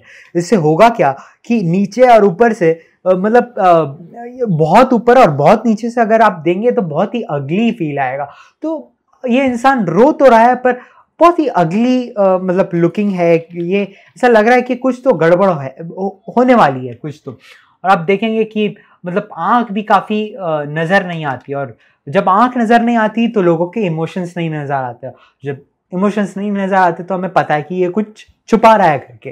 तो सिमिलरली इसमें वही ये ये टोन ये सारे एक्टर्स इतने ग्रेट इतने इतने अच्छे इसलिए होते हैं क्योंकि ये जानते हैं कि कैसे एक्सप्रेशन कब देने हैं और ब्रिलियंट एक्टिंग और, ये व्हाट द एफ़ मोमेंट है पद्मावती के लिए। जब जब वो बोलती है कि अरे वो तो आ जाएँगे मून राइज तक। तो मून राइज जो चाँद खिलने तक तो अरे आज तो अमावस्या है करके। आज तो चाँद कहाँ खिलेगा? तो ये एक एक डब्ल्यू टी एफ़ मूवमेंट है पद्मावती के लिए। और आप देखते हैं कितना अगर आपको टेंस लुक क्रिएट करना है टेंशन क्रिएट करना है तो कैसे करेंगे? आँख में पहले तो कैच लाइट ला दीजिए, रुला दीजिए एक्टर्स को और फिर रिम लाइट दे दीजिए। रिम लाइट देने से क्या होता है कि एक उठावा रहता है। अगर ये डार्क होता, ये ये एक्चुअली डार्क है, बहुत डार्क है बैकग्राउंड सिर्फ़ गॉड रेज जो है वो बहुत यहाँ पर आ रही है और इतना गॉड रेज मतलब काफ़ी नहीं है कि पूरे बैकग्राउंड को लिट अप करें। तो आ, अगर ये डार्क है और हेयर उसके जो है वो डार्क है हम हम इंडियंस में ब्लॉन्ड्स जो है वो वो ओरिजिनल ब्लॉन्ड्स नहीं रहती और औरतों के बाल ब्लैक या या ब्राउनिश बहुत डार्क ब्राउनिश हो, होते हैं। तो आ, क्या होता है कि ब्लैक बैकग्राउंड में काफ़ी खो जाते हैं बाल। तो ये बालों को लाइट करने के लिए रिम लाइट हेयर लाइट दी जाती है रिम लाइट हेयर लाइट जो कहें, वो वो देने की वजह से एक सेपरेशन आ जाता है और वो सेपरेशन आने की वजह से आपको वो इंटेंसिफाई हो जाता है लुक जो है, वो चेहरे का लुक है, वो इंटेंसिफाई हो रहा है। तो हेयर स्टाइल में और एक बात क्लियरली कि अगर आपको टेंस कुछ क्रिएट करना है तो बिखरे हुए बाल आप बना लीजिए। जैसे कि हालात फ़िल्म जो मैंने रिसेंटली की थी, देव पारे के साथ, उस पर सीन था जब जब पहले तो बंदी है वो नॉर्मल है, वो पड़ा हुआ है टेंशन में, पर देन जब फाइट होती है, तब तब आप फाइट में कट्स होते हैं और देन आप वो कैरेक्टर पर आते हैं तो ऐसा नहीं लगना चाहिए कि वो हेयर स्टाइल तो वैसे की वैसे ही है हेयर स्टाइल भी आपको चेंज करनी पड़ती है। तो उसके बिखरे हुए, हम लोग ने बाल लिटरली उसके बिखरे हुए कर दिए थे। तो इसमें भी बिखरे हुए बिखरे बिखरे बिखरे हुए बाल जो है वो वो काफ़ी इफ़ेक्ट करते हैं इमेज को as a as a story telling purpose या आप जो भी कहें गॉड रेज अगेन तो एक रे ऑफ़ होप है कि uh, ये जहाँ भी वो है वो सेफ़ है वो वापस आ जाएँगे रवल रतन सिंह। और ये मंदिर का सीन है ये ये सारी ज्वाला ये एक एक, लीडिंग लाइन एक क्रिएट करती है लीडिंग लाइंस जो हैं एक कंपोजिशन टेक्निक है लीडिंग लाइंस एक लीड करती है हमें। तो ये पिलर्स का पोजीशन भी है वो लीड करता है हमें पद्मावती की ओर और अगेन गॉड रेज लीड करती है हमें कैरेक्टर की ओर। और ये बहुत ही ब्यूटीफुल कैरेक्टर कि अभी वो अंधेरे में है। गॉड चाहे हो सकता था कि वो गॉड रेज पद्मावती पर पड़ती हो, पर ऐसा नहीं है। पर ये काफ़ी अभी, जैसे कि वो पहले वाले शॉट में मैंने कहा था कि पंडित जी अंधेरे में है, उस पर गॉड रेस क्यों नहीं पड़ रहे? सिमिलरली यहाँ पर भी हम देखेंगे कि ये ये अभी अंधेरे में है, वो, अभी वो सोच नहीं पा रहे कि अभी वो क्या करेगी, वो नेक्स्ट मूव क्या होगा। तो आप बहुत कुछ कर सकते हैं सिनेमाटोग्राफी से बहुत कुछ किया जा सकता है। अच्छा आ, बात करेंगे लेंस फ्लेयर लेंस फ्लेयर नहीं सन फ्लेयर लाइट फ्लेयर के बारे में। तो ये जो है ये ये जो रेज आती हैं वो वो ये एक्चुअली ये तो नकली क्रिएट की गई है जो लेंस फ्लेयर जो कह लेंस लाइट फ्लेयर जो है वो नकली इसमें क्रिएट की गई है। पर आप इमानुअल यूएस की जो जो एक ऑस्कर विनिंग सिनेमाटोग्राफर है, उसकी फ़िल्म ज़रूर देखें। तो वो जो है वो जो सिनेमाटोग्राफर है, वो असली सनलाइट के जो सन फ्लैश होते हैं, वो वो कैप्चर करता है। द रेवेनेंट फ़िल्म है द ट्री ऑफ़ लाइफ करके एक फ़िल्म है। और वो आप देखें और आप पागल हो जाएँगे कि आप नेचर के साथ, आप नेचुरल लाइट में भी आप कितनी ब्यूटीफुल सिनेमाटोग्राफी कर सकते हैं। तो ये चित्तौड़गढ़ का ये जो है वो सी जी आई कटआउट है, ये ये अलग शॉट उन्होंने लिया है और देन कंपोजिट किया है थ्री में।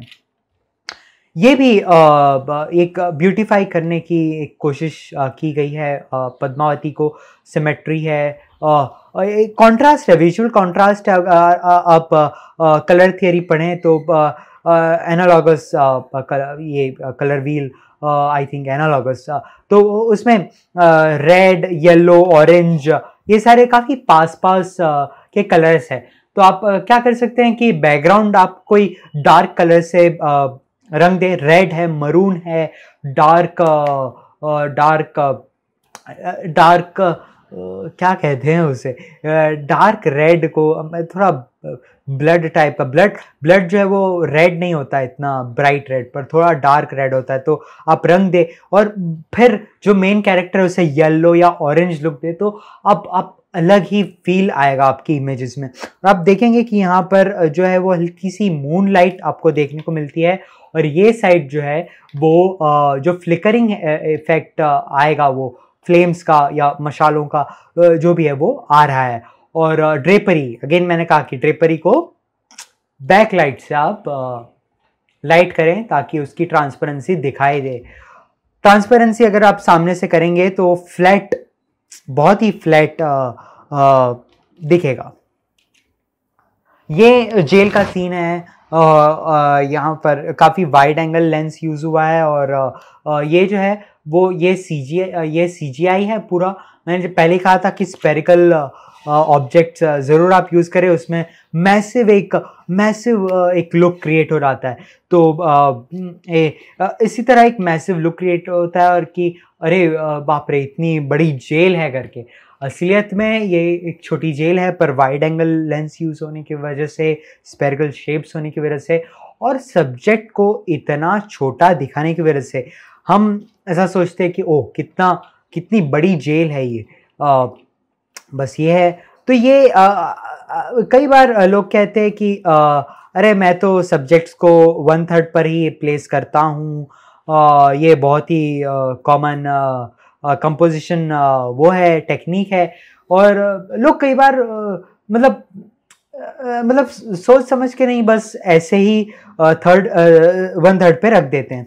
तो इसमें वन थर्ड पे रखने का ये बहुत ही अच्छा ज़रिया है एक कि आप वन थर्ड पे किसी ऑब्जेक्ट को, किसी फोरग्राउंड को रखिए और दूसरे वन थर्ड पे आप कैरेक्टर को रखिए।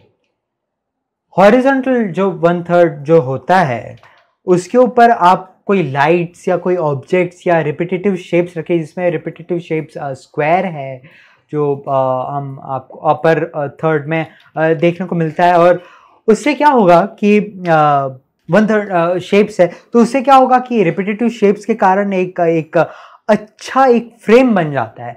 एक एक नॉर्मल वन थर्ड की जगह पे आपको एक डायनामिक वन थर्ड मिलता है आप फोरग्राउंड मिलता है आपको मेन सब्जेक्ट मिलता है आपको एक बैकग्राउंड बैकग्राउंड मिलता है आपको बैकग्राउंड मिलता है और लोअर थर्ड पे फिर आप कुछ भी कर सकते हैं। ये ये ये बहुत ही अच्छा शॉट है, क्योंकि यहाँ पर एक डोमिनेंट फिगर पद्मावती का जो डिसीज़न मेकिंग पावर है, वो बोलती है कि मैं जो करूँगी, वो वो एज अ बहन नहीं as a Rani as a as a queen मैं आपको आदेश दे रही हूँ। ये कोई बहन की वो नहीं है, बिनती नहीं है। तो ये बहुत ही अच्छा सीन है। तो अगर आप एक्टिंग के नज़रिए तो ओके ओके फिंगर या जेस्टर्स या इमोशंस वो ठीक है। सिनेमाटोग्राफी वाइज देखे तो रिम लाइट यूज़ करके हम जो एक्शन का डोमिनेंस है वो दिखा सकते हैं। अगर ये उंगली इस तरह होती और पीछे का पूरा ब्लैक बैकग्राउंड है, उंगली पर भी लाइट नहीं होती तो ये ये ये डोमिनेंट ये ये प्रोमिनेंट नहीं लगता, ये ये नॉर्मल लगता। अरे सुन अरे सुन नहीं बोल रही, सुनो, ये सुनो और अरे सुन में बहुत फ़र्क है। और ये सुनो और ये जब कहने के लिए, ये जो टोन लाने के लिए हम रिम लाइट यूज़ करते हैं, और रिम लाइट यूज़ करने की वजह से बहुत उठाव आता है। और सिर्फ़ बैकग्राउंड से सेपरेशन नहीं, पर एक एक प्रोमिनेंस आ जाता है, एक उसमें। आँख भी देखेंगे, गुस्से वाली आँखें हैं और जो कैच लाइट है, ये जो आई मूवमेंट है, वो वो बहुत ही एक उठाव लाता है। और हल्की हल्की फिल लाइट देने के लिए एक मून लाइट का एक मतलब एक ब्लू जेल लगाकर मून लाइट दी गई है ऊपर से। मेरी बैटरी अचानक चली गई थी और मुझे पता भी नहीं चला। तो हम लोग बात कर रहे थे ये फ्रेम के बारे में और ये फ्रेम जो है वो गॉड रेज डायरेक्ट लीड कर रही है अलाउद्दीन की तरफ़ और क्योंकि एक मैसेज आया है अलाउद्दीन को पद्मावती की तरफ़ से कि हम लोग आ रहे करके, आप ये शर्तें हैं, वो शर्तें मंजूर है मंजूर है, ये कहते रहता है और ये मतलब एक एक खुशी का माहौल है इसके लिए, इसलिए गॉडरेज डायरेक्टली इसको लीड कर रही हैं। और आप देखेंगे कि काफ़ी हाई हाई की है। ज़ीरो कॉन्ट्रास्ट है मतलब यहाँ पर कोई कोई ईविल वो नज़र नहीं आता मो, मोटिव पर देन असलियत में तो है वो मोटिव हमें पता है कि उसका क्या मोटिव है।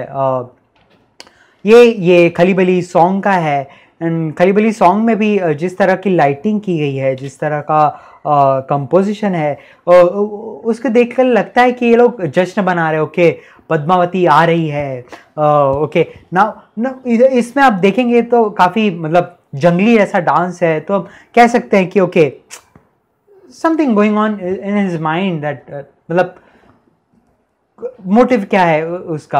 वो हमें पता चलता है और ये ये ऐसे कुछ अजीब टेढ़े मेढ़े जेस्चर्स एंड मतलब एक एक एक मेटाफर हम बोल सकते हैं कि okay he is planning something और बहुत ही बेहतरीन शॉट है ये ये एक्चुअली ये एक्चुअली मैं अच्छे से स्क्रीनशॉट नहीं ले पाया था, इसलिए ये, क्योंकि आप देखेंगे ये सबने डार्क क्लोथ्स पहने हैं और एक सर्कुलर मैंने कहा कि एपिकनेस स्पेरिकल शेप्स और इस पर इतने स्पेरिकल शेप्स है, ये ये ये चारों जो फ्लेम्स है, वो इतने इतने ब्यूटीफुल लगती है कि हमें मतलब एक एपिकनेस आता है और एपिक एपिकनेस आता है एपिक एपिक फीलिंग आती है।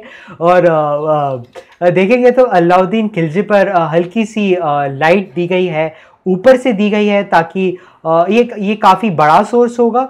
क्योंकि इन सब पर भी लाइट आ रही है, पर इस पर काफ़ी हाईलाइट होती है, क्योंकि इसने हाथ भी ऊपर रखे हैं और चेहरा भी काफ़ी ऊपर रखा है। आई थिंक हल्की हल्की लाइट कट की गई है यहाँ पर, और ज़्यादा लाइट सेंटर में दी गई है, और स्पेकुलेशन आप ज़मीन पर आप देख सकते हैं। और इसमें कंट्रास्ट यहाँ आता है कि मतलब ये जो येलो फ्लेम्स है उससे बहुत फ़र्क पड़ता है क्योंकि ये पूरा डार्क ब्लूइश टोन है जो इंडिगो कलर है। और और देन आप देखते हैं कि ओके ब्राइट चारों साइड या कहीं तो ब्राइट कलर्स है तो इस पर जो फिल लाइट आ रही है लोगों पर भी ये ये साइड से और क, आ, आ, जो राइट साइड पे लोग हैं उन्हें उनको लेफ़्ट साइड राइट साइड और हर जगह मतलब हर हर एक्टर्स के एक चेहरे पर वार्म लाइट है एक चेहरे पर कूल लाइट है। तो इससे कॉन्ट्रास्ट क्रिएट हो रहा है और यही सबसे बड़ा कॉन्ट्रास्ट है कि ये वार्म है एंड ये कूल है। तो बहुत ही बेहतरीन सिनेमाटोग्राफी है यार। मतलब माइंड ब्लोइंग सिनेमाटोग्राफी है। अगेन uh, ये बहुत ही ब्यूटीफुल शॉट है। uh, घायल हो जाता है Alauddin Khilji. God rays again leading towards Alauddin Khilji. And ये हम देखते हैं कि यहाँ से धुआँ निकल रहा है, ये धूप कर रहा है मलिक कफूर। और ये धुआँ अगर बैक लिट नहीं होता ना तो हमें नज़र नहीं आता। एक्चुअली ये शॉट में नज़र नहीं आ रहा, मैंने स्क्रीनशॉट अच्छे से नहीं खींचा, पर आप सीन ज़रूर देखें और उसमें बहुत ही अच्छा धुआँ नज़र आएगा। और ये आई थिंक मैंने और एक, नहीं, मैंने और एक स्क्रीनशॉट नहीं लिया। पर देखेंगे तो यहाँ पर मेहरोनीसा बैठी होती है और पीछे से भी लाइट आती है। तो आई थिंक दिखा गया है कि ये जो लाइट है वो सोर्स है इस इस धुएँ को लिटअप करने के लिए। और again symmetry frame within frame ये बहुत सारे कंपोजिशन को मिला के एक बहुत अच्छी इमेजरी बन जाती है। ये ये मैं भूल गया कि कहाँ का कहाँ का आर्किटेक्चर है, ये कौन सा पैलेस है, आप कमेंट में ज़रूर बताएँ। मैं भूल गया हूँ। और ये जो है, वो यहाँ तक सेट है और देन क्लोनिंग किया गया है। ये आप देखेंगे तो क्लियरली समझ सकते हैं कि काफ़ी ब्लरी होता है वी एफ़ एक्स का। आप बड़े पर्दे पर देखेंगे तो आपको पता चल जाएगा। और बहुत ही मतलब ब्यूटीफुल लगता है पर पता चल जाता है। ये नॉर्मल लोगों को नहीं, पर जो लोग वी एफ़ एक्स जानते हैं, जो लोग एनिमेशन में है V F X C G I lighting C G I cinematography में, उन्हें पता है कि मतलब okay what is real what is not real और बहुत ही ब्यूटीफुल शॉट है। और पिंक पर्पल स्काई कभी कभी हमें देखने को मिलता है और और और और, और उसी तरह की लाइटिंग हमारे चेहरे पर भी मिलती है। और मेरोनिसा ने जो कपड़े भी पहने हैं वो भी पिंक है। तो बहुत ही बहुत ही ब्यूटीफुल एक लुक क्रिएट होता है ये। ये ऑलमोस्ट शाम है और शाम में जो एक ब्लू आर है जो हल्का सा ब्लू आर उसकी चेहरे पर हमें आ, मिलता है और ये जो ब्लश मेकअप है वो भी आ, एक एक उठाव आता है। क्यों उठाव आता है? क्योंकि ब्लश मेकअप जो है वो रेडिश रहेगा थोड़ा सा और देन अगर ब्लू लाइट आती है तो मतलब लाइट ब्लू होगी पर रेड होगा रेड एंड ब्लू मिक्स होता है तो क्या बनता है? आप ज़रूर गूगल करिए कौन सा कलर बनता है। थोड़ा मजेंटा कलर आपको मिलेगा। मेजेंटा कलर का हमें ब्लश लिप्स और और और आ, कई सारी जो हाइलाइट्स है जहाँ पर आ, हमारे हमारा खून का हम जब हँसते खुश होते हैं आ, हम आ, किसी को देखते हैं तो आ, और देखते हुए खुश होते हैं तो जिस तरह का हमारे स्किन पर एक अजीब सा एक लाली आना जिसे हम कहते हैं हिंदी में तो वो वो वो अगर हाईलाइट आपको करना है तो मेक श्योर sure कि जो लाइट हो, वो काफ़ी वार्म ना हो। वार्म होने की वजह से क्या होगा कि चेहरा पूरा वार्म दिखेगा ना? तो ये ये ये ये चेहरे, ये ये नाक होठ और वो सब वार्म दिखाने के लिए कोशिश करें कि वाइट लाइट दो। और वाइट लाइट देने की वजह से ये जो रेडिश या पिंकिश जो हाईलाइट्स है, वो आपको क्लियरली दिखेगी। और बहुत ही ब्यूटीफुल शॉट है।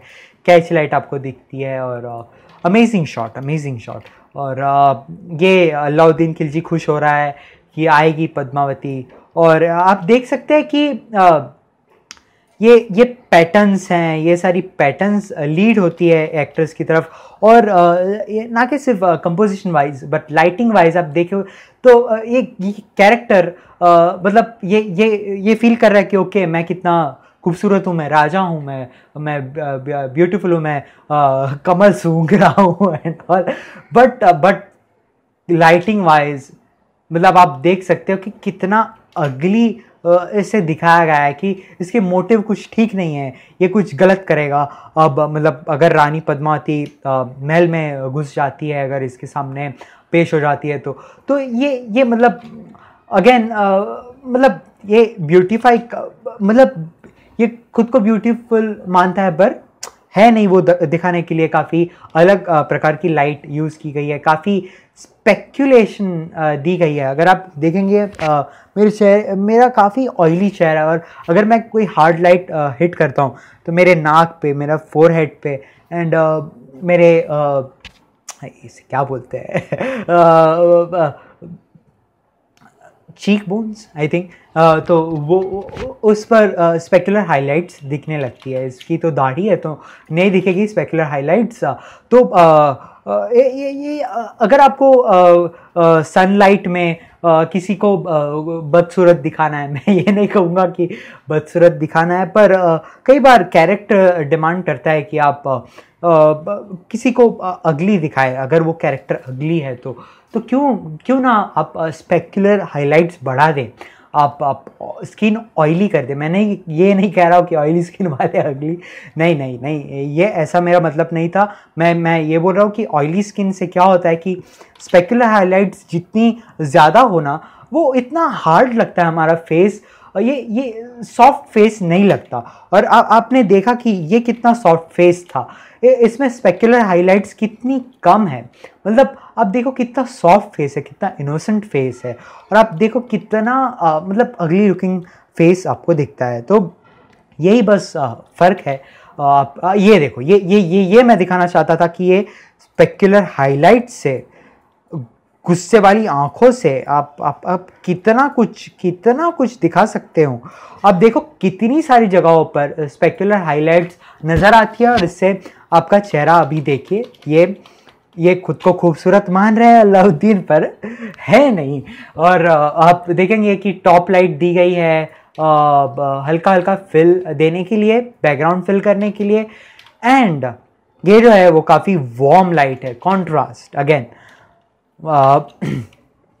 ओके ये इस्लाम अगेन दिखाया गया है कल्चरल एमालगमेशन मतलब सब एक्चुअली देखने जाए ना तो मतलब लोग बहुत ही हिट हो जाते हैं कि यार, ये रिलीजन दिखाया गया है, इस तरह दिखाया गया है हिस्टोरिकल फिल्म्स में, बहुत सारी ऐसी फिल्म्स हैं मैं ये फ़िल्म की बात नहीं करूँगा कि भवनी भवा एक फ़िल्म है directed by Ketan Mehta starring Naseeruddin Shah Smita Patil Om Puri और बहुत ही बहुत ही रिजिड और बहुत ही रॉ फ़िल्म है। अगर आप क्लासिज्म कास्टिज़म रिलीजन वो सारी चीज़ें अगर पढ़ना चाहें तो स्टडी करना चाहें फिल्म्स के थ्रू तो ज़रूर देखें वो फ़िल्म तो लोगों को बहुत हिट हो रहा था कि अरे रिलीजन इस तरह से नहीं दिखा गया। अरे मुस्लिमों को बैड दिखाया गया यार यार, हिंदुओं को ग्लोरीफाई किया गया है, हिंदुत्व को ग्लोरीफाई किया गया है। ऐसा इसका मोटिव नहीं है। ये ये ये ये बहुत सारी चीज़ें संजय लीला भंसाली जी ने कही है अपने वीडियो में। आप ज़रूर देखें। वायोकॉम 18 की चैनल पर एक पूरा स्पीच दी है कुछ पाँच दस मिनट की कि ऐसा मत समझिए मिस इंटरप्रिटेट क्यों करते हैं लोग? और ये ये काफ़ी ब्यूटीफुल शॉट है, मुझे लगता है कि एक अच्छा कंपोजिशन है, मस्जिद दिखता है और एक सनसेट हो रहा है और और ब्लू स्टोन है और यहाँ पर सनसेट का ऑरेंजी लुक है। तो नेक्स्ट ये frame within frame okay तो uh, कई uh, कई बार लोग अगर frame within frame composition use करते हैं तो क्या करते हैं कि ओके okay, बॉक्स ले लेते हैं नॉर्मल बॉक्स लेते हैं और वो uh, बना देते हैं वो उसे frame within frame composition क्या होता है जब आप आर्किटेक्चर फोटोग्राफी सीख जाते हो तो? क्या है कि राजस्थान में आ, अगर आप आ, बहुत घूमे राजस्थान तो जो विंडोज़ की फ्रेम्स है वो वो स्क्वायर नहीं है, वो वो काफ़ी आर्क आर्क है। ये ये आई थिंक ये ये दिल्ली का है, ये ये ये राजस्थान का नहीं है, ये दिल्ली का है। फिर भी एक आर्क क्योंकि ये जो अफगानी आर्किटेक्चर था या राजस्थानी आर्किटेक्चर है, जो, या, ये दोनों आर्किटेक्चर बहुत ही अमेजिंग है। आप स्टडी करें, आप आप अब जाए ये सारी प्लेसेस पर, आप आप फील करेंगे कि कितनी ब्यूटी है ये ये ये ये आर्ट में। अगर ये आर्ट नॉर्मल यूँ होता तो क्या मज़ा आती ना? तो ये ये ये फ्रेम विद इन फ्रेम का बेस्ट एग्जांपल है कि ये एक विंडो की फ्रेम ली गई है, एक दरवाज़ा या विंडो जो भी है उसकी फ्रेम ली गई है और एक ये सैनिक दौड़ता हुआ जाता है अरे वो भाग गए भाग गए करके। और बहुत ही beautiful frame within frame composition का एक एग्जांपल है। ये आ, ये ये अगेन ब्यूटीफुल शॉट है क्योंकि ये आ, अच्छा लोग कहते हैं कि आ, अगर आपको जी डेप्थ दिखानी है जी डेप्थ मतलब ये जी डेप्थ हो गई ये जी डेप्थ हो गई ये जी डेप्थ हो गई। जी डेप्थ दिखानी है तो आ, कोशिश करें कि पैरल रहे आ, लोग चीज़ों के। पर अक्सर रूल को तोड़कर आप ब्यूटीफाई कर सकते हैं चीज़ों को। और इसमें डायगनल लिया गया है। डायगनल क्यों लिया गया है? क्योंकि मतलब रूल्स कभी कभी तोड़कर आप बहुत ही अच्छा प्रोडक्ट बना सकते हैं। और आप देखेंगे कि ये जो सीढ़ियाँ हैं, वो डायगनल जा रही हैं। ये ये ये एक फ्लो में अगर एक फ्लो में होता तो ये कुछ ये ये कुछ इस तरह जाती सीढ़ियाँ। पर हम चाहते हैं कि ये डायगनल रहे और ये कैरेक्टर्स का रिलेशन मेंटेन हो। तो ये ये काफ़ी प्रोमिनेंस में दिखाई देती है मैरोनीसा क्योंकि मदद की है उसने, पद्मावती की। और यहाँ पर वार्म लाइट यहाँ पर कूल लाइट बहुत ही अच्छा कॉन्ट्रास्ट बहुत ही और ये बाद में थैंक यू बोलती है पद्मावती। बहुत ही ब्यूटीफुल सीन है। आप देखें घर जाकर वापस देखें अमेज़ोन प्राइम पर ये अमेज़ोन प्राइम वीडियो पर ये अवेलेबल है फ़िल्म और again frame within frame ये फ्रेम है और अमेजिंग शूट और ये पूरा सीजीआई है ये ये जो आप देखेंगे ये कुछ 40-50 एक्स्ट्राज होंगे जो एक्टिंग कर रहे हैं लड़ने की।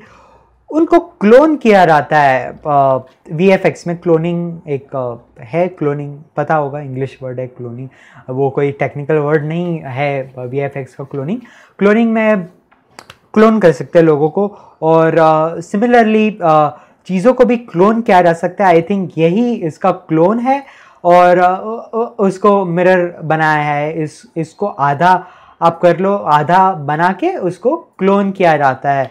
पूरा बनाने में बहुत टाइम जाता है क्योंकि मैं थ्री डी करता हूँ मैं वीएफएक्स करता हूँ और बहुत ही आ, बहुत ही आ, दिमाग को दर्द दे नाक में दम कर दे ऐसा काम है वो। और तो ये चीटिंग होती है मतलब आपने हाफ़ बना दिया हाफ़ ऑफ़ मिरर कर लो इजी है, आपने चालीस पचास लोगों को ले लिया, बाकी आप क्लोन कर लो मतलब एक एक एक विटी अप्रोच है, एक एक एक दिमाग का खेल है बस वीएफएक्स और कुछ नहीं। और ये ये ये ये बहुत ही अच्छा ये सीन है। आप देखोगे कि ये विंडो का शेप है थोड़ा एक ओवल शेप आप ऊपर से एक ट्रायंगुलर है। और ये आपको फील होगा ओके ये ये ये जो शॉट है वो पीओवी है जब पद्मावती रवल रतन सिंह को बाहर ले जाती है छुड़ा कर लेके जाती है। सेकंड शॉट आप देखो और आप आप बोलो कि क्या मिस्टेक है। आप कुछ मिस्टेक महसूस हुई। नहीं हुई तो मैं बताता हूँ कि ये जो आ, है आ, जो मैंने बोला था ओवल शेप का विंडो है, वो ओवल शेप का विंडो से ये पता नहीं, ये स्क्वायर शेप का विंडो हो रहा था आप ध्यान से देखो, वो ऊपर का ट्राइंगुलर जो शेप था, वो चला गया। मतलब ये कंटिन्यूटी बेसिक है मतलब ये जो है, वो वी एफ़ एक्स शॉट है सॉरी ये जो है, वो वी एफ़ एक्स शॉट है। ये ये ये कुछ शूट नहीं किया गया, वो थ्री में क्रिएट किया गया है और पीछे ग्रीन स्क्रीन है, पर मतलब ये जो है वो वो वो असली सॉरी ये असली आ, इमेज है। ओ oh शिट ये कुछ हो गया गड़बड़। ओके ये असली आ, ये आ, प्लेस है। यहाँ पर तो कंटिन्यूटी का ध्यान रखना बहुत इंपॉर्टेंट है फिल्म्स में।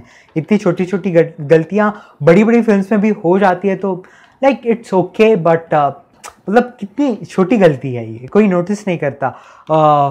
ये बहुत ही ब्यूटीफुल सीन है। क्या मेरी हाथों में प्यार की लकीर है?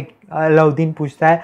और ये इनोसेंस आपको एक ईविल ईविल कैरेक्टर में भी इनोसेंस दिखाना है तो आप कैसे दिखाएँगे? कोई बात नहीं, आप आप रुला दीजिए वो कैरेक्टर को। और हो सके तो लो कॉन्ट्रास्ट रखें। लो कॉन्ट्रास्ट ये काफ़ी सॉफ्ट लाइट है। शेडोज दिख रही हैं हमें। पर ये ये बहुत सॉफ्ट है। अगर हार्ड होती तो ये ये बहुत इतना हार्ड होता, ये इतना हार्ड होता, ये यहाँ पर रकून बनते हैं आइस के।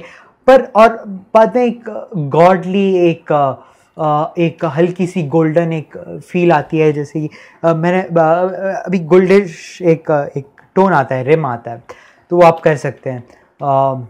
ये आई डोंट ये ये एक्चुअली साइंटिफिकली पता नहीं कितना सच है कि सर धड़ से अलग हो जाए या ये इसका नोटिस करेंगे कि ओके ये इसका सर कट चुका है, यहाँ पर पड़ा हुआ है और वो फिर भी लड़ता है।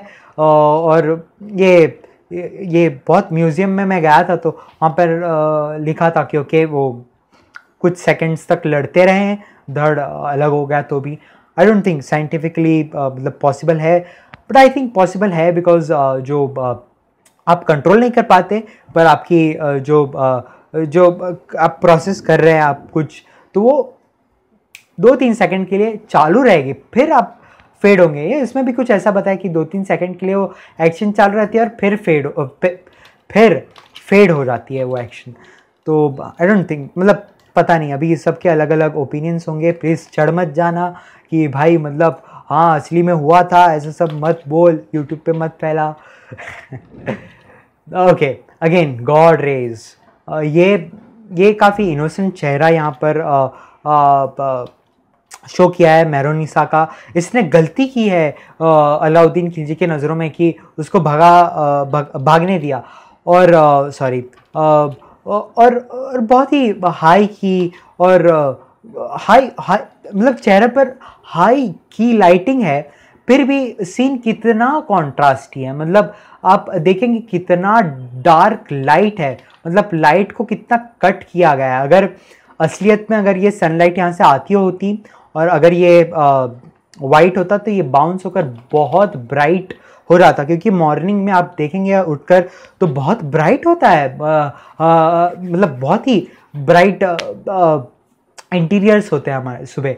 पर ये बहुत डार्क है क्योंकि स्पेस भी बड़ा है और ये लोगों ने जो काले कपड़े पहने हैं उससे भी बहुत कॉन्ट्रास्ट क्रिएट होता है। ये ये बहुत ही ब्यूटीफुल सीन है जहाँ जहाँ पद्मावती आ, कुछ तो आ, साड़ी में कुछ कर रही है आई थिंक और ये पद्मावती का महल है ये ये अगले शॉर्ट्स में भी देखेंगे। और ये गॉड रेस है रिम लाइट है बहुत ही ब्यूटीफाई किया गया है। जितने भी पद्मावती के शॉर्ट से ब्यूटीफाई किया है, बहुत मतलब उस पर बहुत कंसंट्रेट किया है उसको ब्यूटीफाई करने में। ये है वो कक्ष जहाँ पर वो खड़ी थी। अब मिरर आ गया वहाँ पर, खड़ी थी वहाँ पर। और कितना ब्यूटीफुल है मतलब एक हाई की लाइट मतलब हाई वोल्टेज की की लाइट दी गई है, जिससे एक पूरा पूरा, ये ये पूरा लिटअप हो जाए। और ये ये लाइट यहाँ से आ रही है, वो थोड़ा मतलब अगर हाँ ओके कट के आ रही है लाइट तो ये जो चीज़ है, इसका शेडो यहाँ ओके आ रहा है आई थिंक मैं आई थिंक नोटिस नहीं कर पा रहा हूँ, पर मतलब ब्यूटीफुल है मतलब ये अगर ये स्टूडियो में किया गया है तो ये बहुत चीज़ ध्यान में रखनी पड़ती है कि ओके इसका लाइट आना चाहिए, इसका लाइट आना चाहिए, इसका लाइट आना चाहिए, ये और बहुत बहुत डीपली रिसर्च्ड ये अप्रोच होता है, बहुत टेक्निकल ये लोग चीज़ें करते हैं। और वाह ये ये जो शॉट है जब ये पालखी, क्या बोलेंगे पालखी को, एक, रथ, एक एक एक मूवेबल व्हीकल व्हीकल में ये अलाउद्दीन जा रहा है अपनी फ़ौज के साथ वापस चित्तौड़ की ओर।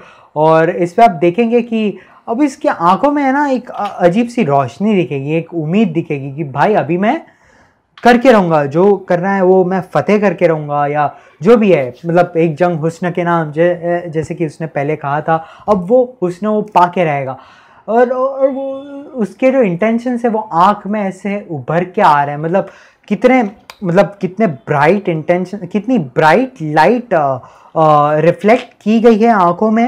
मतलब ये बहुत डिफ़िकल्ट है आँखों में इतनी ब्राइट की लाइट लाना पर डायरेक्ट आँख पे वो फेंकी गई है लाइट और uh, बहुत ही ब्यूटीफुल सेट डिज़ाइन और uh, ये अब देखेंगे सेट डिज़ाइन में uh, जिस तरह का कैरेक्टर है उस तरह की मतलब ये भी है मतलब उसको कॉम्प्लीमेंट करे, उस हिसाब के सेट के प्रॉप्स भी हैं। मतलब यहाँ पर हंट किए गए डेयर्स के डेयर्स या बफेलोस के स्कल हैं और यहाँ पर ये इतने नोकीले जैसे कि उसमें एक डायलॉग है, ये जितने तक सुनहरे लगते हैं और नोकीले भी हैं और बहुत ये ये पोइटिकली बहुत ही और विजुअली बहुत ही मतलब रिप्रेजेंट कर रहा है वो वो चीज़ को।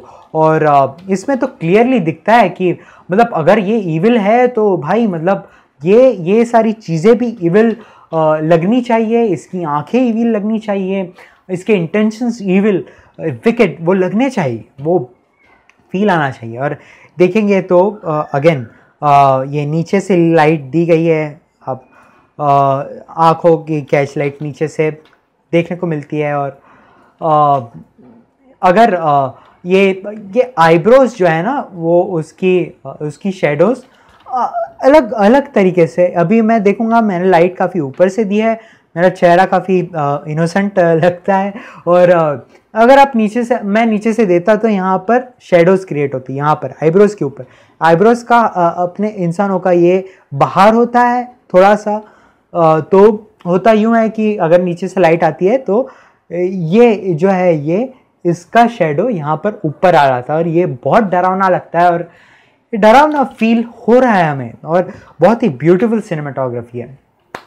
ये जो अलाउद्दीन खिलजी है, वो असलियत में वो क्रिएट करते थे ऐसा ये जो आर्टिलरी क्या बोलेंगे आप जो जो सब फेंक सकें जो बॉल्स है फायर बॉल्स और वो सब। और ब्लिट्स क्रीग नाम का एक जो युद्ध नीति थी वो यूज़ करता था अलाउद्दीन की। पहले सब तोप वोप छोड़ दो और बाद में पैदल जाओ और उनके जो वीकेंड आर्किटेक्चर है वीकेंड आर्किटेक्चर वहाँ से घुसो तोड़ो दरवाज़ा और देन देन युद्ध करो। तो ये गोरेला स्टाइल नहीं थी काफ़ी ऐसे मतलब मुँह उठा के चल पड़े युद्ध में इस तरह की स्टाइल थी और ये हिटलर भी कुछ इस तरह का यूज़ करता था। ब्लिट्स क्रीग से कहते आप विकीपीडिया पर ज़रूर सर्च करें blitzkrieg war technique okay? तो ये काफ़ी हिस्टोरिकली एक्यूरेट बताया गया है इसमें। और ये अगेन पद्मावती ब्यूटिफाई किया गया है उसे। और आ, आ, मैंने जो आपको कहा था स्लांटेड लेंस नाम का एक आ, चैनल है उस पर आप ज़रूर देखें हाउ टू लाइट करके उसमें हाउ टू लाइट मेटल्स भी है। मेटल्स को है ना कभी भी डायरेक्ट लाइट से आप लाइट नहीं कर सकते क्योंकि आप डायरेक्ट लाइट करेंगे ना तो आप, आपको है ना बहुत हार्श हार्श टेक्सचर आएगा और हार्श टेक्सचर की वजह से है उसका जो डिटेल्स रहता है ना वो वो शेडोज़ में है ना चला जाएगा। तो मेटल्स जो है उसको रिफ्लेक्ट करके, कुछ इस तरह का सिल्वर कॉयल जो है ना, वो रिफ्लेक्ट करके मेटल्स को लाइट किया जाता है। तो तलवार जो आप देखते हैं, तलवार का क्लोजअप रहेगा या तलवार, चाकू गन्स स्पेशली बिकॉज़ गन्स बहुत यूज़ होती है मेटल्स की। तो वो रिफ्लेक्टेड हम लाइट्स देखते हैं, वो डायरेक्ट लाइट्स नहीं होती। और अगेन वाओ मतलब कैच लाइट से कितने ब्यूटिफाई ब्यूटिफाई कर सकते हैं हम लोग चेहरों को। और ऑरेंज मैंने आपको पहले कहा था कि बैकग्राउंड में डार्क कलर्स आगे वाइब्रेंट कलर्स और ये ये लिटरली वो वो एग्ज़ाम्पल है उस एग्ज़ाम्पल का एग्ज़ाम्पल है। तो आप मतलब आप uh, आप ज़रूर पढ़ें। थोड़ा सा पढ़ लीजिए कलर थियोरी के बारे में आप बहुत कुछ सीख जाएँगे कलर थियोरी सीख जाएँगे, आप बहुत कुछ सीख जाएँगे। और अगेन मैंने कहा vertical axis reflections vertical axis depth reflections Z axis depth ये तो जी एक्सिस डेप्थ इन्होंने सच में इतने मैसिव सेट्स क्रिएट किए हैं और बनाए गए ये कोई सीजीआई सेट नहीं है। और ये इसलिए इतनी ग्रैंड फ़िल्म हमें लगती है जब आप थिएटर में देखते हैं। तो और और ब्यूटीफुल चीज़ क्या है? और बहुत ही माइन्यूट सी चीज़ है। ये जो ये क्या, ये जो झूमर हैं, ये जो ये जो ये लाइट्स हैं तो उनका जो रिफ्लेक्शन पानी में गिर रहा है उसका जो एकॉस्टिक्स हम आई थिंक बोलते हैं वो वो वो रिफ्लेक्शन पानी में अगर रिफ्लेक्शन लाइट का कुछ भी आता है तो अलग दिखता है। तो वो ओके okay, यहाँ पर आ, देखने को मिलता है। वो सिमिलरली वो पहले एक शॉट में था मैं बताना भूल गया पर बहुत ही ब्यूटीफुल अगेन वो मैंने कहा कि muscular muscular muscular muscular body है तो कैसे लाइट करेंगे ये क्लियरली दिखता है इसमें। इसमें तो है, वो लायन ही लग रहा है यार मतलब शाहिद कपूर लायन लग रहा है इसमें लिटरली और ये इसमें तो लायन ही लग रहा है मतलब ये बहुत ही ब्यूटीफुल शूट शॉट है। यहाँ पर इसका रिफ्लेक्शन दिख रहा है पद्मावती का, और ओ शिट मैंने पूरा फ्रेम ही हिला दिया। ओके ये बहुत ही ब्यूटीफुल ये झूमर उतार दिए गए हैं। और उसकी वजह से एक मतलब नीचे एक स्पेकुलर हाईलाइट मिल रही है हमें। और हल्की हल्की जो रिफ्लेक्टेड लाइट्स है मैंने कहा metals reflected lights reflected lights metals पर हमें देखने को मिलती है क्योंकि मार्बल्स है चारों तरफ़। तो क्या होगा? मार्बल से लाइट रिफ्लेक्ट्स होगी रिफ्लेक्ट होगी और आ, हमें मेटल्स पर दिखेगी। और ये फ्लेम्स जो हैं मशाले और उसका लाइट की लाइट एज अ की लाइट उन्होंने यूज़ किया है चेहरों पर। uh, बहुत ही ब्यूटीफुल अगेन ब्यूटीफाई किया गया है पद्मावती को। uh, और मैं uh, ये टॉप लाइट सेपरेट करने के लिए दी गई है पद्मावती को और कैच लाइट अगेन दो दो कैच लाइट देने से क्या होता है कि एक और उठाव आता है। तो मैंने कहा कि नीचे भी है तो काइंडनेस और ऊपर भी है तो मतलब एक एक okay I am with you करके एक फील आता है। हाँ मैं आ गया हूँ वापस एक्चुअली प्रॉब्लम हो गया था फोटोशॉप में। आ, कोई बात नहीं पर आ, मैंने जैसे कि कहा कि आ, ये जो है ये सी जी आई सैनिक है ये बहुत नकली लगता है अगर आप बड़ी स्क्रीन पे देखेंगे। मैंने थिएटर में दो बार देखी है फ़िल्म और बहुत ही अजीब फील होता है कि क्यों वो ऐड किए अगर ये ऐड नहीं करते तो कितना अच्छा लगता? मतलब क्यों नकली चीज़ें ऐड करनी है? और मतलब अजीब फील आती है। खैर नेक्स्ट शॉट जो है वो हम देखते हैं। हाँ ये ये भी बहुत नकली लगता है। इसका नकली होने का क्यों ऐसा लगता है? क्योंकि जब हम फायर को देखते हैं तो फायर बहुत ब्राइट ऑरेंज या बहुत ब्राइट येलो कलर का होता है। इससे बहुत डी सेचुरेशन आ गया है। बहुत डी सेचुरेशन दे दिया है उसको इसका एक्सपोजर है ना, कम कर दिया है वीएफएक्स जब इसका कॉम्पोजिशनिंग कॉम्पोजिटिंग क्या रहेगा तब, उसका एक्सपोजर कम कर दिया है। जिसकी वजह से एक प्रॉब्लम हो रहा है। इसका स्पेक्युलर हाइलाइट्स जो आग का स्पेक्युलर हाइलाइट्स होता है ना, वो बहुत ज़्यादा होता है। जैसे कि हम लोग ने पहले उस पर देखा कि मेटल्स पर जो उसके बख्तर पर जो स्पेकुलर हाइलाइट्स हो, कितना ज़्यादा था। और इसमें आप देखेंगे, इसके बख्तर पर स्पेकुलर हाइलाइट्स ही नज़र नहीं आती। ये आग है, ये तो कोई मशाल भी नहीं है आग का गोला है। फिर भी ये ये ये कॉपर है आई थिंक ये मेटल है एंड ये तो नॉर्मल कपड़ा है, पर ये ये जो कॉपरी या ये चमड़ा भी होता। तो चमड़े का एक अलग स्पेकुलर हाइलाइट्स एक स्पेकुलर लेवल अलग होता है। तो वो हल्का हल्का नज़र आता है। अगर आप फ़िल्म देखेंगे तो बहुत ही हल्का है, बहुत ही एक्सपोजर डाउन किया है। तो वो यहाँ पर थोड़ा मुझे मतलब अनईजी लगा कि ओ यहाँ पर कुछ तो गड़बड़ है। मतलब भाई साहब वीएफएक्स में भी सिमेट्री ये देखेंगे तो ये इतना लीडिंग लाइन से सिमेट्री लाने की कोशिश की है। मतलब वाह वेस एंडरसन ऑफ़ इंडिया मैंने कहा। और अब अब हार्शनेस खत्म हो गई है, क्योंकि उसको पता है कि ये जंग जीतने वाला है। मतलब बहुत ही आसान है, चित्तौड़गढ़ को फतेह करना और देख सकते हैं कि कितनी गॉडली कितना ब्यूटीफाई किया है अलाउद्दीन को अभी इसमें। और और नज़र में होप नज़र आती है कैश लाइट से और एक रे ऑफ़ होप रिम लाइट से और बहुत ही अच्छा लुक दिया गया है अभी अलाउद्दीन को।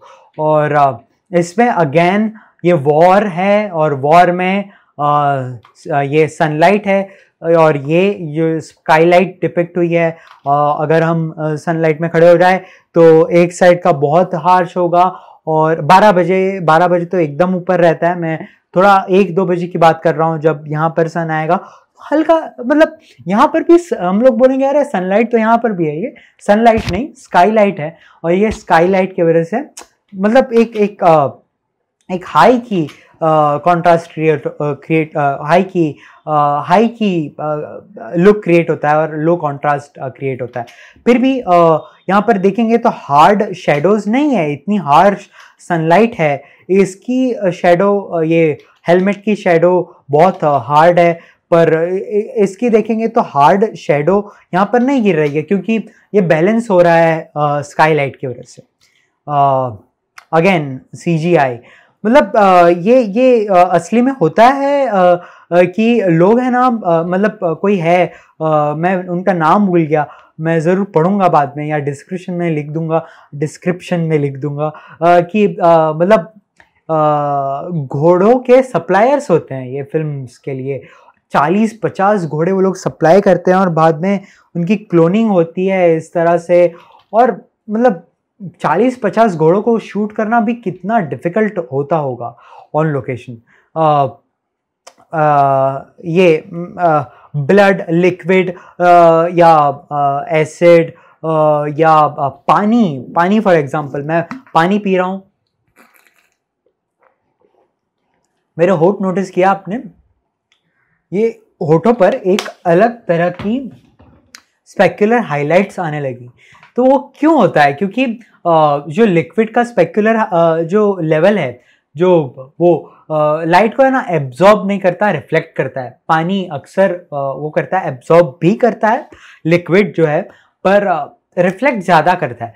तो उससे आप ये आप ये सब अगर थ्री डी में पढ़ेंगे तो आपको बहुत सीखने को मिलेगा। आप, आप पढ़िए ज़रूर विकीपीडिया से पढ़िए। तो पानी का जो है वो इसका ब्लड का आप स्पेकुलेशन देखिए। आप मतलब ब्लड इतना ज़्यादा हाईलाइट हुआ है कि मतलब अभी अभी अभी चित्तौड़ खून में रंग जाएगा और ये बहुत ही मतलब बहुत ही सैड मेटाफर है। मतलब सच में अब जौहर में सब औरतें कूद जाएगी और असली में मतलब पूरा चित्तौड़ खून में रंग जाएगा और ये ये मतलब ये ऐसे पोएटिक फिगर्स ऑफ़ स्पीच है विजुअल्स फिगर्स ऑफ़ स्पीच है, जिससे वो डिपिक्ट कर रहे हैं। और संजय लीला भंसाली इसमें ग्रेट है मतलब आप बहुत सारी फ़िल्म देखें उनकी और स्टडी करें आपको पता चल जाएगा कि इज़ जस्ट ग्रेट और अगेन दूसरा शॉर्ट आप देखते हैं वो है रेड साड़ी में सारी औरतें क्योंकि उन्होंने डिसाइड किया था कि ज़ोर में कूद जाएँगे। सारी औरतें रेड अब मतलब पूरा चित्तौड़ रंग चुका है लाल लाल लाल लाल हो हो गया है सब। और आ, मतलब बहुत ही अनईजी फील मतलब मतलब आपका फेवरेट रंग रेड है तो बात अलग है। पर मैं मज़ाक नहीं करूँगा, ये बहुत ही सीरियस सीन है। ये मेरा मतलब मैंने ये आई थिंक इंस्टाग्राम पर शेयर भी किया था। मेरा बहुत ही favourite favourite favourite favourite shot है। क्योंकि क्या होता है कि ये गॉड रेज जो है, वो इतने सारे गॉड रेज इतना मैसिव स्केल पर लाना बहुत हार्ड है। क्योंकि इतनी हार्ड लाइट्स आपको बहुत सारी हार्ड लाइट्स जो हैं, वो वो देनी पड़ती है। एच जो कहते हैं एच एम आई लाइट्स जो हैं, वो बहुत सारी देनी पड़ती है। और वो वो वो इस तरह का डे लाइट क्रिएट करती हैं और आप देखो तो इसमें जो फिल लाइट है, वो काफ़ी वॉर्म फिल लाइट दी गई है। और पद्मावती के ऊपर एक गॉड रेस पीछे जो उसको लीड कर रही है और देन उसके ऊपर भी बहुत सारी लाइट आ रही है। पता नहीं वो आई थिंक स्काई मतलब रिफ्लेक्ट हो रही है सनलाइट या जो भी है। पर मतलब एक, एक बहुत ही मीनिंगफुल शॉट है कि she is leading them towards towards the end of the life और मतलब कितना, ये आप देखेंगे थिएटर में, पता नहीं, किसी किसी को रोना भी आ जाता है और ये देखकर, ये कितना अगलीनेस है। मतलब अभी पता चलता है कि भाई मतलब गलती कर दी अलाउद्दीन के साथ फाइट करके। ये ऐसे ही लोग हैं जो मतलब everything is fair in love and war ऐसे मानने वाले लोग हैं। मतलब ये मतलब कहने के लिए तो कोर्ट है, पर आई डोंट थिंक कि एवरीथिंग इज़ फेयर मतलब मतलब वॉर में भी आप उसूल के खिलाफ जाकर आप कुछ मतलब इस तरह इस तरह जंग लड़े मतलब हाथापाई करनी थी आपको एज अ मैन लड़ना था और बाद में आपके चेले ने कुछ तीर चला दिए, मार दिया। राहुल रतन सिंह को मतलब कितनी डार्क हिस्ट्री है हमारी इंडिया की, कि कितने कितने बिट्रेयल्स हुए हैं हमारी इंडियन हिस्ट्री में। और पानीपत, अभी आशुतोष गोवारिकर की फ़िल्म आई मुझे काफ़ी मतलब मैंने थिएटर में देखी, मैंने गलत मतलब अच्छी फ़िल्म है, मैं ये नहीं कहूँगा कि मतलब विजुअली बहुत अच्छी है, पर देन एक स्टोरी टेलिंग में जो जोधा अकबर में बात थी वो पानीपत में नहीं आ पाई, पर बिट्रियल जो है, वो काफ़ी अच्छा डिपिक्ट किया है पानीपत में। और मैं यही बिट्रियल की बात कर रहा हूँ कि मतलब बिट्रियल दिखाना है तो कैसे दिखाएँगे? आप फ्रेम को अनईजी कर दीजिए, आप कुछ क्रॉस ला दीजिए, कुछ ऐसी parallel lines parallel parallel lines जो होंगी वो अगर होगी तो काफ़ी सिमेट्रिकल लगेगा काफ़ी नॉर्मल लगेगा। पर डायगनल है मैंने जैसे कहा वो डायगनल फ़िल्म तो अच्छी थी पर आ, कोई ऐसी लाइंस जो जो आगे जाकर कहीं मिलती है तो ये ये बहुत ही अनईजी फील आती है हमें। और इसमें आप कैरेक्टर्स को देखो मतलब कितना आ, कितना मतलब ये डोमिनेटिंग कैरेक्टर अलाउद्दीन का अभी भी नहीं सुधरा मतलब ऐसा कैरेक्टर और ये डिपिक्ट करने के लिए बहुत ही अच्छा फ्रेम है, ये बहुत ही अच्छा कंपोजिशन है। और इसमें हम बात कर रहे थे इसके बारे में तो हेयर स्टाइल अगेन मैंने कहा कि मतलब इसे जंगली बताया गया है और मतलब ऑस्कर जो है ना, वो ऑस्कर में हेयर स्टाइल का भी अलग अवार्ड होता है तो पता नहीं क्यों फ़िल्म फेयर में होता है कि नहीं, मुझे नहीं पता। पर होता तो आई थिंक पद्मावत को मिलना चाहिए था। पद्मावत को नहीं मिला हेयर स्टाइल के बारे में हेयर स्टाइल के लिए। पर आई डोंट नो वाई मतलब बहुत ही अच्छा हेयर स्टाइल मेकअप अमेजिंग है। अगेन ये वही शॉट है। ऊपर से थोड़ा लिया गया है और ऊपर से क्यों लिया गया है? क्योंकि ये अभी ये मजबूर है। ये लोग अभी मजबूर हो गए हैं। तो होराइजन देखिए। होराइजन ऊपर की ओर है। अब तक हम लोग ने देखा कि होराइजन जो था वो मिडल में था या नीचे था तो कैरेक्टर काफ़ी ऊपर थे और कैरेक्टर ऊपर होने की वजह से डोमिनेंट लग रहे थे। पर अभी यहाँ पर देखिए कि होराइजन यहाँ पर है और सारा जो डोमिनेंस है सारा जो जो आ, मेवाड़ या जो चित्तौड़ का जो जो जो ब्यूटी है चित्तौड़ का जो आ, जो जोश है वो सब अब मिट्टी में मिल चुका है, वो हार गया है, रवल रतन सिंह मर गए हैं, पद्मावती जी की जो ब्यूटी है, वो भी अभी नहीं हमें ब्यूटीफाई इसमें नहीं किया गया है कुछ भी। तो ये बहुत ही मतलब सिंबॉलिक है कि अगर आपको किसी को दर्दनाक या किसी को लो फील करवाना है सौरोफुल फील कर फील करवाना है तो आप क्या करेंगे? कैमरा हाई एंगल लेके जाएँगे और होराइजन के नीचे शूट करेंगे। तो आ, ये मैंने जैसे कि पहले बोला अलाउद्दीन ऊपर देख रहा था मतलब उसका स्टेटस लो है एंड ऑल सो ये सारी चीज़ें हैं। ये आ, ये देखो मतलब अगर स्पेक्युलर स्पेरिकल शेप्स नहीं है तो क्यूबिकल शेप्स में भी कितनी सिमेट्री आ जाती है कितना एपिक फील आता है। और ये अभी ब्यूटी एंड द बीस्ट जैसा थोड़ा फील आता है क्योंकि मतलब बीस्ट ये है वो चाहता है ब्यूटी को। एंड ऑल मैंने actually beauty and the beast नहीं देखा तो मैं मैं कुछ बोलूँगा नहीं। पर मतलब एक ये बीस्ट है, ये ये कोई बीस्ट है और मतलब इसके आँखों में वो वो चाहत दिखती है कि मैं मैं पाकर रहूँगा पदमा, पद्मावती को और ऐसा हो जाता है। एक एक डार्क चैप्टर शुरू हो जाता है हमारी हिस्ट्री का। और यहाँ पर जौहर का जो सीन है, बहुत ही एपिक सीन है। पूरा डे लाइट में ओपन में शूट किया है इन्होंने राजस्थान में। बहुत बहुत मेहनत की है और लोगों ने आके सेट जला दिया। मतलब कितना पागल सेट जला नहीं, तोड़ दिया सॉरी और और कितना पागल बन रहा होगा ये लोगों में कि बिना कुछ सोचे समझे, बिना कुछ जाने ऐसा आरोप लगाया संजय लीला बंसाली जी पर और क्रू मेंबर्स घायल नहीं हुए, बच गए बेचारे कि मतलब ऐसा कोई सीन बताया गया है कि पद्मावती और अलाउद्दीन के बीच कुछ ड्रीमी सीक्वेंस है। अरे मतलब आपको पता नहीं है फ़िल्म अब तक रिलीज़ नहीं हुई है शूटिंग चल रही है एडिटिंग नहीं हुई है और मतलब मतलब एक ये ये ये दर्शाता है कि मतलब एजुकेशन कितना मायने रखता है। खैर ये बहुत मतलब ये फ़िल्म फ़िल्म हिस्ट्री में भी एक डार्क चैप्टर में बोलूँगा, अरे, यहाँ पर ज़ोर डार्क चैप्टर है और वहाँ पर सेट्स तोड़ दिए, वो डार्क चैप्टर है, मैं ऐसा बोल सकता हूँ। मतलब कुछ राजपूत लोग होंगे सॉरी वो चढ़ जाएँगे मुझ पर कि ऐसा मतलब हम लोग ने कुछ सोच समझ के ऐसा किया था पर मतलब हिंसा सब कुछ नहीं होती।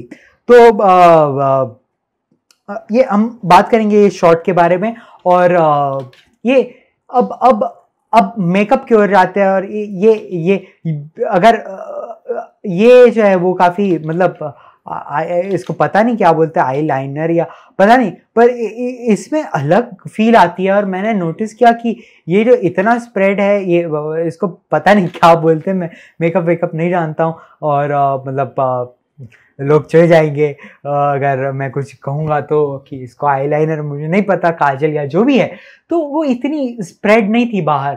और अभी आप देखते हैं कि ये स्प्रेड है, इसके जो लिप्स है वो वो डाउन है आईब्रोज जो है वो गुस्से में हैं और और, हम देखते हैं गले ये तो सारी मतलब गले पे शेडोज और बाल बिखरे हुए।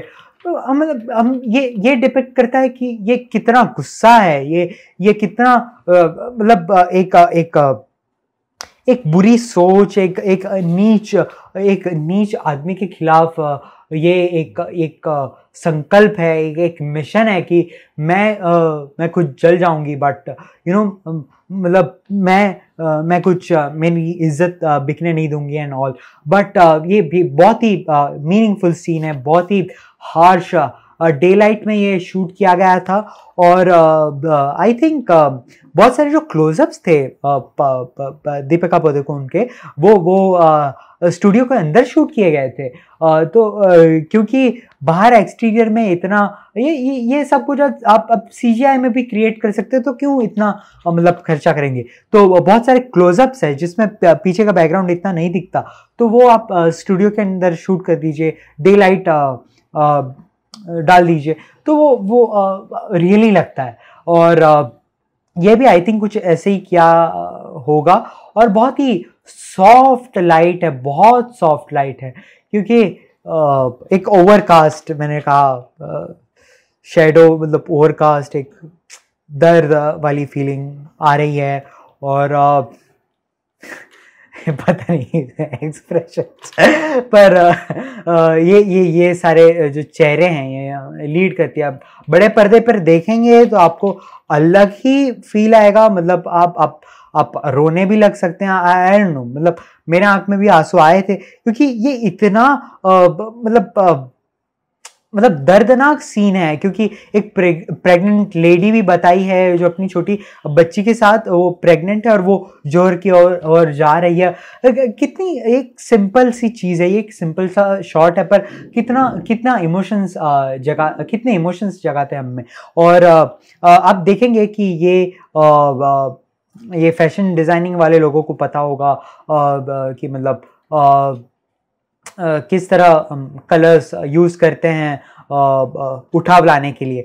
तो फ़ैशन शोज़ में मैंने देखा है मतलब कॉलेजेस में फेस्टिवल्स होते हैं। तो फ़ैशन शोज़ में जो मेन क्लोथ्स रहते हैं जो वो वो अलग कलर के रहेंगे और जो ड्रेपरी रहेगी वो क्लोथ्स के आजू बाजू वो अलग अलग कलर की रहेगी और उसमें उठाव जो आता है वो जो मेन क्लोथ का मेन जो कटिंग और वो सब दिखाई देता है हमें। और ये ये देखेंगे ये तो सामने से तो ये नॉर्मल जो है वो भगवा रंग जो है वो इन औरतों ने पहना है, वही यहाँ पर भी पहना है। पर जो ड्रेपरी है वो अलग रंग की और उससे उठाव आता है। और बिलीव इट और नॉट बट मतलब आप आप हल्का सा भी टोन चेंज कर देंगे ना कलर का। आप डार्क रेड से आप ड्रेपरी आप एक हल्का सा रेड आप ले लीजिए और बहुत फ़र्क पड़ जाएगा। आप आप बहुत सुंदर लगेंगे मुझे ऐसा लगता है। जैसे कि मैंने येलो पहना और, और हुडी पहन ली है इंडिगो तो एक कॉन्ट्रास्ट क्रिएट हो रहा है। क्यों? ये ये ये ये मतलब ये सारी सटल चीज़ें हैं जो हम आ, ऐसे नहीं देखते। बट अगेन हम हम ऐसे सटली कितना ब्यूटीफुल लाइफ को बना देते हैं। इसमें इसमें ये ग्लोरीफाई किया है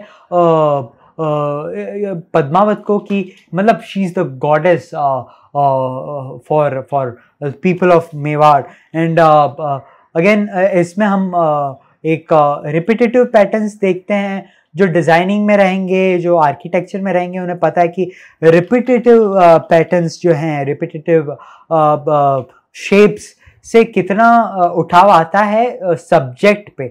तो आपने देखा होगा पिलर्स रहते हैं आर्किटेक्चर में। ये चलो चित्तौड़गढ़ का ही ले लें। तो चित्तौड़गढ़ में प्लेस है ये विजय स्तंभ विजय स्तंभ जो है ना तो वो उसका उठा लाने के लिए ना आजू बाजू जो है ना थोड़े पिलर्स जैसे बनाए हैं। तो मैंने आई थिंक शूट किया है आई थिंक वो मैंशनड है तराना जो मेरा वीडियो है, वो ज़रूर देखिए आप और उस पर आपको पता चलेगा विजय स्तंभ मैंने कैप्चर किया और बहुत ही मतलब आर्किटेक्चर कितना ब्यूटीफुल है, कितना सटल है वो आर्ट और कितना ब्यूटीफाई कर देता है अगर हम उसमें सब्जेक्ट ऐड कर दे तो। तो विजय स्तंभ एक सब्जेक्ट है पिलर्स तो इसी तरह इसमें स्टेप्स जो है स्टेप्स धीरे धीरे जोहर की ओर जा रहे हैं। और इसमें देखिए तो यहाँ पर वॉर्म लाइट इंटेंसिफाई नहीं हुई है और वहाँ पर इंटेंसिफाई होती जा रही है, जैसे जैसे नीचे उतर रही है पद्मावती। और बहुत ही गुस्से में, बहुत ही आक्रोश में और बहुत ही अलग लेवल का ये सीन है और बहुत ही मेहनत की है ये लोगों ने। उल्टियाँ हो गई है एक्ट्रेस को। ये ये आसान नहीं है। लोग कहते हैं कि, अरे बस, अब सुंदर दिखते हो, अब स्क्रीन पर चले जाओ एक्ट्रेस बन जाओ। ये लोग इतना रिसर्च करते हैं, इतना पागल हो जाते हैं कैरेक्टर्स को लेकर। मतलब कोई कोई लोग रिकवर नहीं हो पाते एक्टर्स लोग पर। ये ये कमांड उनके ऊपर रहता है कि ये रिकवर हो जाते हैं और ये ये बहुत मेहनत करते हैं। मुझे किसी ने कहा था मैरी कॉम जो है उसमें प्रियंका चोपड़ा ने, अरे, वो सब कंप्यूटर जनरेटेड है, वो जो एक्सरसाइज करती है। अरे मतलब मतलब बोलने का ढंग रखिए मैरी कॉम मतलब किसी के ऊपर आप, ये प्रियंका चोपड़ा ने बायोपिक बनाया तो बहुत मेहनत की है, बहुत एक्सरसाइज की है। तो ये ये ये सारी चीज़ें और ये बहुत धूप में पसीने से लथपथ होकर ये ये सारे सीन शूट किए गए ये। और ये बहुत ही अच्छा एक रिपीटेटिव शेप्स जो मैंने कहा पिलर्स और ये सारा सेट उन्होंने बिल्ड किया और अब जाकर देखिए चित्तौड़ बहुत ही ब्यूटीफुल है। मेरे कुछ फ्रेंड्स हैं चित्तौड़ से वो आ, देख के बहुत खुश होने वाले हैं ये वीडियो आई थिंक मैंने बहुत तारीफ़ की है चित्तौड़ की राजस्थान की तो चित्तौड़ में ये ये जो पिलर्स है वो पहले थर्टीन सेंचुरी में मार्बल्स इतना मार्बल इतना वो नहीं था तो सैंड स्टोन जो है वो यूज़ होता था। तो राजस्थान में आप घर भी देखेंगे नॉर्मल घर जो बंगलोज बांधते हैं या घर बांधते हैं नॉर्मल सेंट स्टोन्स बड़े बड़े स्टोन्स रहते हैं, बहुत हैवी रहते हैं। मैं ऐसा यूँ ठोकूँगा मेरे घर की तो दीवार गिर जाएगी। इतना कमज़ोर पीओपी रहता है पर राजस्थान का आर्किटेक्चर इतना ब्यूटीफुल है और और आ, इतना सॉलिड है इतना रिजिड है इतना मतलब ये ये इतना पुराना है और सेंट स्टोन्स के बने पिलर्स है लीडिंग लाइंस है और ये जो है ये जो है ये जो है ये सारी औरतें जो है वो एक डायरेक्शन में दौड़ रही हैं और ये औरतें वो दूसरी डायरेक्शन में दौड़ रही हैं। तो ये औरतें लीड करती हैं हमें पद्मावती की ओर और, और बहुत ही ब्यूटीफुल मैंने आपको कहा था थर्ड पे रखिए वो वाला ये कंपोजिशन यहाँ पर वापस यूज़ हुआ है। और ये टॉप शॉट ये आग बहुत नकली लगती है। अगर आप बड़े स्क्रीन पे देखोगे तो टीवी मोबाइल पे इतनी हँसी लगती है। आ, मतलब बहुत फ़र्क पड़ता है। और आ, आ, ये सारी चीज़ें वीएफएक्स में बहुत हार्ड है। मतलब ये आ, मैं कह दूँगा इतना आसान है अरे हँसी नहीं, नहीं लग रहा। पर बहुत महीने जाते हैं बहुत मतलब वीक्स ये लोग कंप्यूटर्स पर बैठे रहते हैं ये ये आउटपुट लाने के लिए। और आप देखो ये ये कितना कंट्रास्ट है, यहाँ पर सेपरेट हो कर दिया गया है ये मतलब एक विजुअली विजुअल सेपरेशन है मतलब ओके शिप्स अगर अब डूब, डूबती हैं तो पहले कैप्टन साथ में डूब, डूबते हैं। तो ये चित्तौड़ अब डूब रहा है, आग में डूब रहा है वो। पहले पद्मावती जाएगी, उसके पीछे सब जाएँगे। बहुत ही दर्दनाक सीन है, बहुत बहुत नेगेटिव है बट कितना पॉजिटिवली कितना एनकरेज मतलब मैं ये नहीं कहूँगा एनकरेज किया गया है सती या या उसको जौहर को या मास सुसाइड को। नहीं ऐसा नहीं किया गया है। बहुत ही ब, ये एनकरेजमेंट ये एक एक एक एक एक औरत के डिसीज़न के ऊपर है कि आप आप डिसीज़न कितने क्लियरली और आ, कितने नीटली लेते हैं और वो वो ये जो डिसीज़न है आप आप कितने अडग रहते हैं उन पर। भले उसमें उसमें मरना लिखा हो वो डिसीज़न में। मतलब ये ये बहुत ब्यूटीफुल एक सीक्वेंस है सीन्स का। आ, हम आ, ये बात करेंगे ये बीस्ट मैंने जैसे कहा तो ये ये ऐसा दिखा है कि ये अलाउद्दीन का एक ट्रांजिशन है जो उसमें ये अगली से अगलियर अगलीएस्ट होते रहता है इसमें अगलीएस्ट चेहरा इसका दिखाया गया है और अब आई थिंक ये या कोई तो सीन में ये कहा है इंटरव्यू में कि कोई सीन करते वक्त उल्टी या हो जाती थी, इतना मतलब अगलीनेस वो रणवीर सिंह को क्रिएट करना था। और ये लोग पागल हो जाते हैं, ये लोग ऐसे ही नहीं जीतते मतलब Filmfare award for best actor और मतलब बहुत मेहनत लगती है, बहुत स्टडी करते हैं ये लोग। और अलाउद्दीन जो था वो वो साइकोपैथ था। आ, माना कि वो था साइकोपैथ और बहुत क्रूर था। पर आ, क्या है कि आ, हिस्ट्री जो है वो वो आ, वो बहुत ही सब्जेक्टिव है। वो फैक्चुअल तभी हो पाएगी जब हम हम कोई हम कोई हिस्टोरियन के लिखे हिस्ट्री को पढ़ेंगे। और हिस्टोरियंस जो हैं वो बहुत कम है। जो है वो वो सारी हिस्ट्री जो है वो पुराने लोगों ने लिखी है, वो वो परंपरागत चलती आई है। और और क्या है कि कुछ लोग जो खिलाफ थे अलाउद्दीन के, वो अलाउद्दीन के खिलाफ लिखेंगे। जो जो लोग राजपूतों के खिलाफ थे, वो राजपूतों के खिलाफ लिखेंगे। और और इस तरफ़ से क्या होता है कि हम फैक्ट्स जान नहीं पाते कि असलियत क्या थी? कौन कौन अच्छा था? कौन बुरा था? सब बुरे थे, सब अच्छे थे। ये क्या है कि ये ये ये इंसान का नेचर है, बुरा होना अच्छा होना, क्योंकि जब बात अपने पर आ जाती है तो हम बहुत सेल्फिश हो जाते हैं और ये ह्यूमन नेचर है। और और इसमें ये जो अलाउद्दीन का रूप दिखाया है मतलब ये एक जंग हुस्न के ना मतलब ये ये कितना एक एक कितनी नीची सोच हो गई उसकी। जब वो बोल रहा था हम मंगोलों से लड़ेंगे हम हिंदुस्तान फतेह करेंगे हम हम खिलजो का परचम बुलंद बुलंद है एंड ऑल तो वो, वो एक सोच कैसी थी और यहाँ पर एक सोच कैसी है? मुझे पद्मावती चाहिए। और तो ये एक कॉन्ट्रास्ट फील एक हम देख हम देख पाते हैं। और हिस्ट्री में देखें तो अलाउद्दीन और अफगानी रूलर्स ने बहुत कुछ नुकसान किया है इंडियन ओरिजिनल आर्किटेक्चर जो था उसका।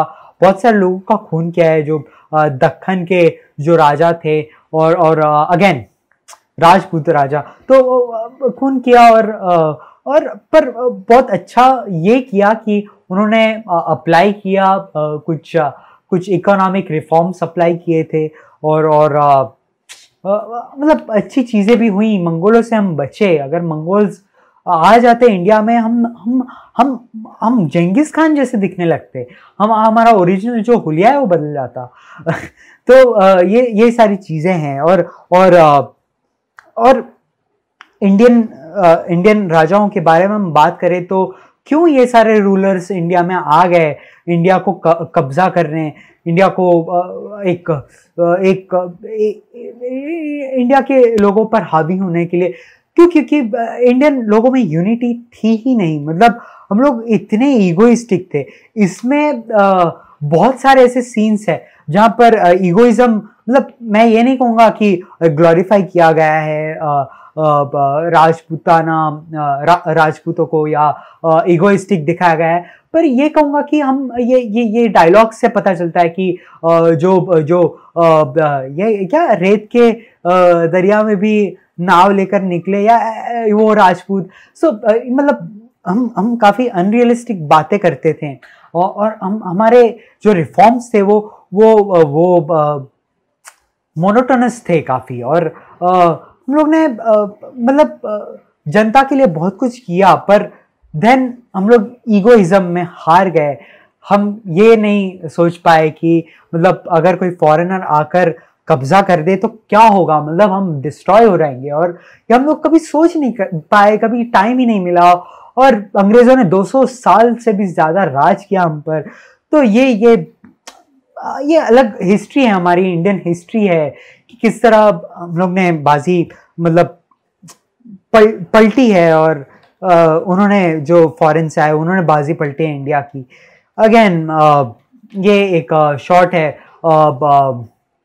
हिस्ट्री के बारे में बहुत बातें की शिट तो ये जो है वो ये, ये इसको थोड़ा एक्सपोजर कम किया गया है और इस पर एक्सपोजर बहुत बढ़ाया गया है क्योंकि ये पद्मावती काफ़ी पास है आग के ऐसा दिखाना है। तो क्या करेंगे? इसको हाई की लो कॉन्ट्रास्ट दे दीजिए और थोड़ा सा कॉन्ट्रास्ट आप बैकग्राउंड में बढ़ा दीजिए।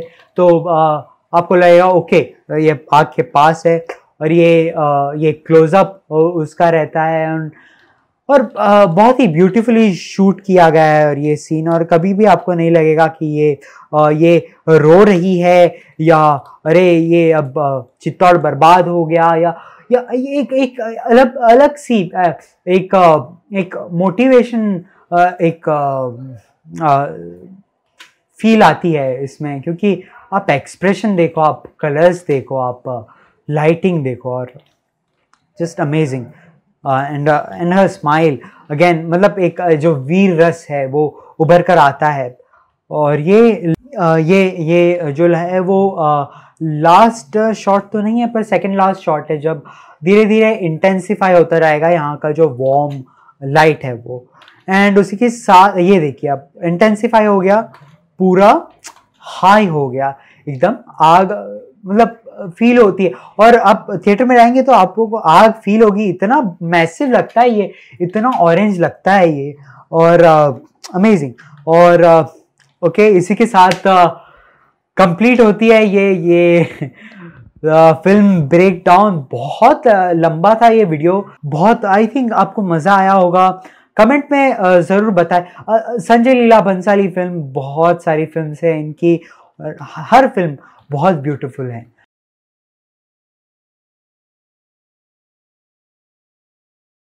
हाय गाइस अब हम बात करेंगे कि ये कैंडल लाइट जो है, वो ओपन फ्लेम है। मैं इसको कितना भी पास लेकर आऊँ, फिर भी मुझ पर रोशनी नहीं गिर रही है। मेरी कैमरा की सेटिंग्स परफेक्ट है वेल लिट है। पर हम देखते हैं कि मैं पास भी लाऊं तो भी इतनी रोशनी नहीं आ रही है मेरे चेहरे पे।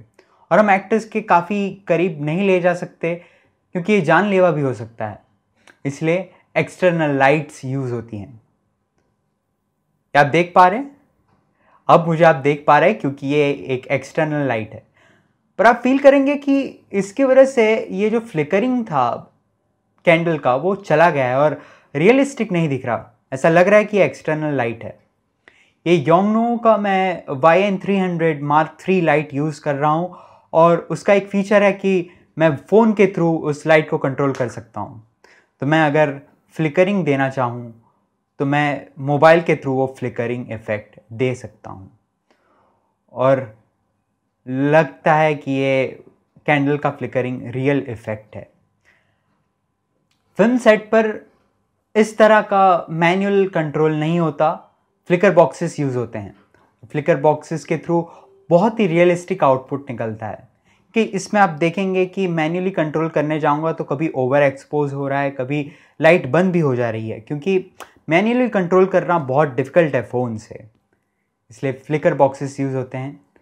बस यही था एक बोनस कंटेंट आपको दिखाने के लिए कि कैंडल लाइट्स जो यूज़ होती है, वो असली में कैंडल लाइट का लाइट नहीं रहता है चेहरे पर पर ये एक्सटर्नल लाइट रहती है। थैंक यू बस इसी के साथ कंप्लीट होता है ये फ़िल्म का ब्रेक डाउन मुझे पता है आपको थोड़ा बोर हुआ रहेगा, मैं बहुत स्लो हूँ।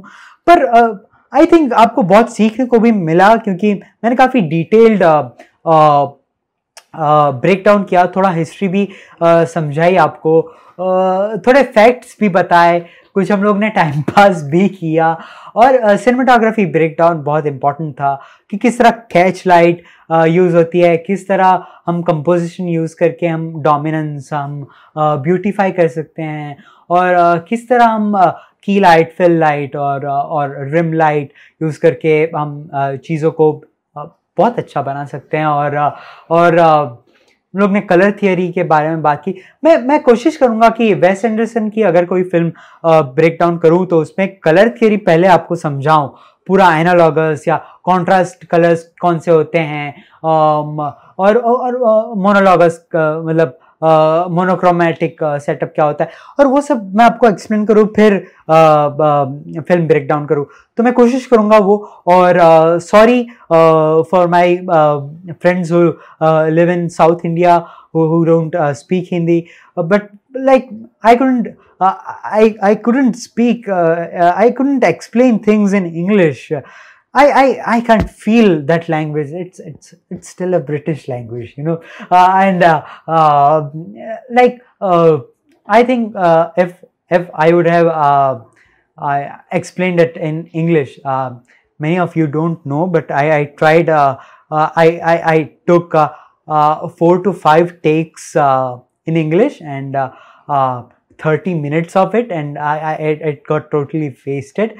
So I, I, I then started uh, narrating in Hindi. So uh, because uh, what happens then? Uh, what happens is uh, sometimes you don't get the exact exact word of, of something like mashal. Uh, okay, I, I, it it it doesn't immediately strike in my mind. So so ऐसी बहुत सारी चीज़ें हैं तो इसलिए मैंने कोशिश की कि हिंदी में एक्सप्लेन करें और इंग्लिश में अगर आप आप चाहिए there are so many video ऐसे makers who have done such film essays on on great film in English so you can you can watch that they talk about similar things about catch lights on all and there is another person Matt Matt Workman, who, who does similar thing, a, cin- a similar cinematography breakdown, but of Hollywood films. And he same same approach है मतलब screen and मैं बोल रहा हूँ वो same approach है English में if if you want to if you want to learn something in English if you don't understand Hindi go check out Matt Workman's work at cinematography database so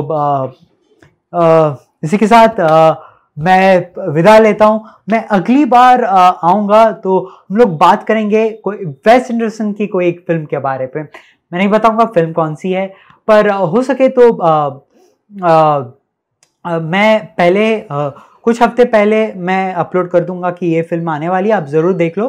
फिर फिर आप मेरी मेरा ये video देखो तो और आपको समझ में आएगा और मज़ा आएगा। तो इसी के साथ आ, मैं विदा लेता हूँ। गुड बाय और थैंक यू सो मच आप ज़रूर सब्सक्राइब कीजिए। बेल आइकॉन भी दबाइए, क्योंकि हर संडे मैं कुछ ना कुछ ऐसे ऐसा इंफॉर्मेटिव लेते आऊँगा, क्योंकि बहुत ज़रूरी है ऐसा करना। Thank you thank you so much और आपको पसंद आया तो ज़रूर लाइक कीजिए कमेंट कीजिए कि मुझे ऐसी कौन सी फिल्म्स का ब्रेकडाउन करना चाहिए। और इसी के साथ goodbye thank you thank you so much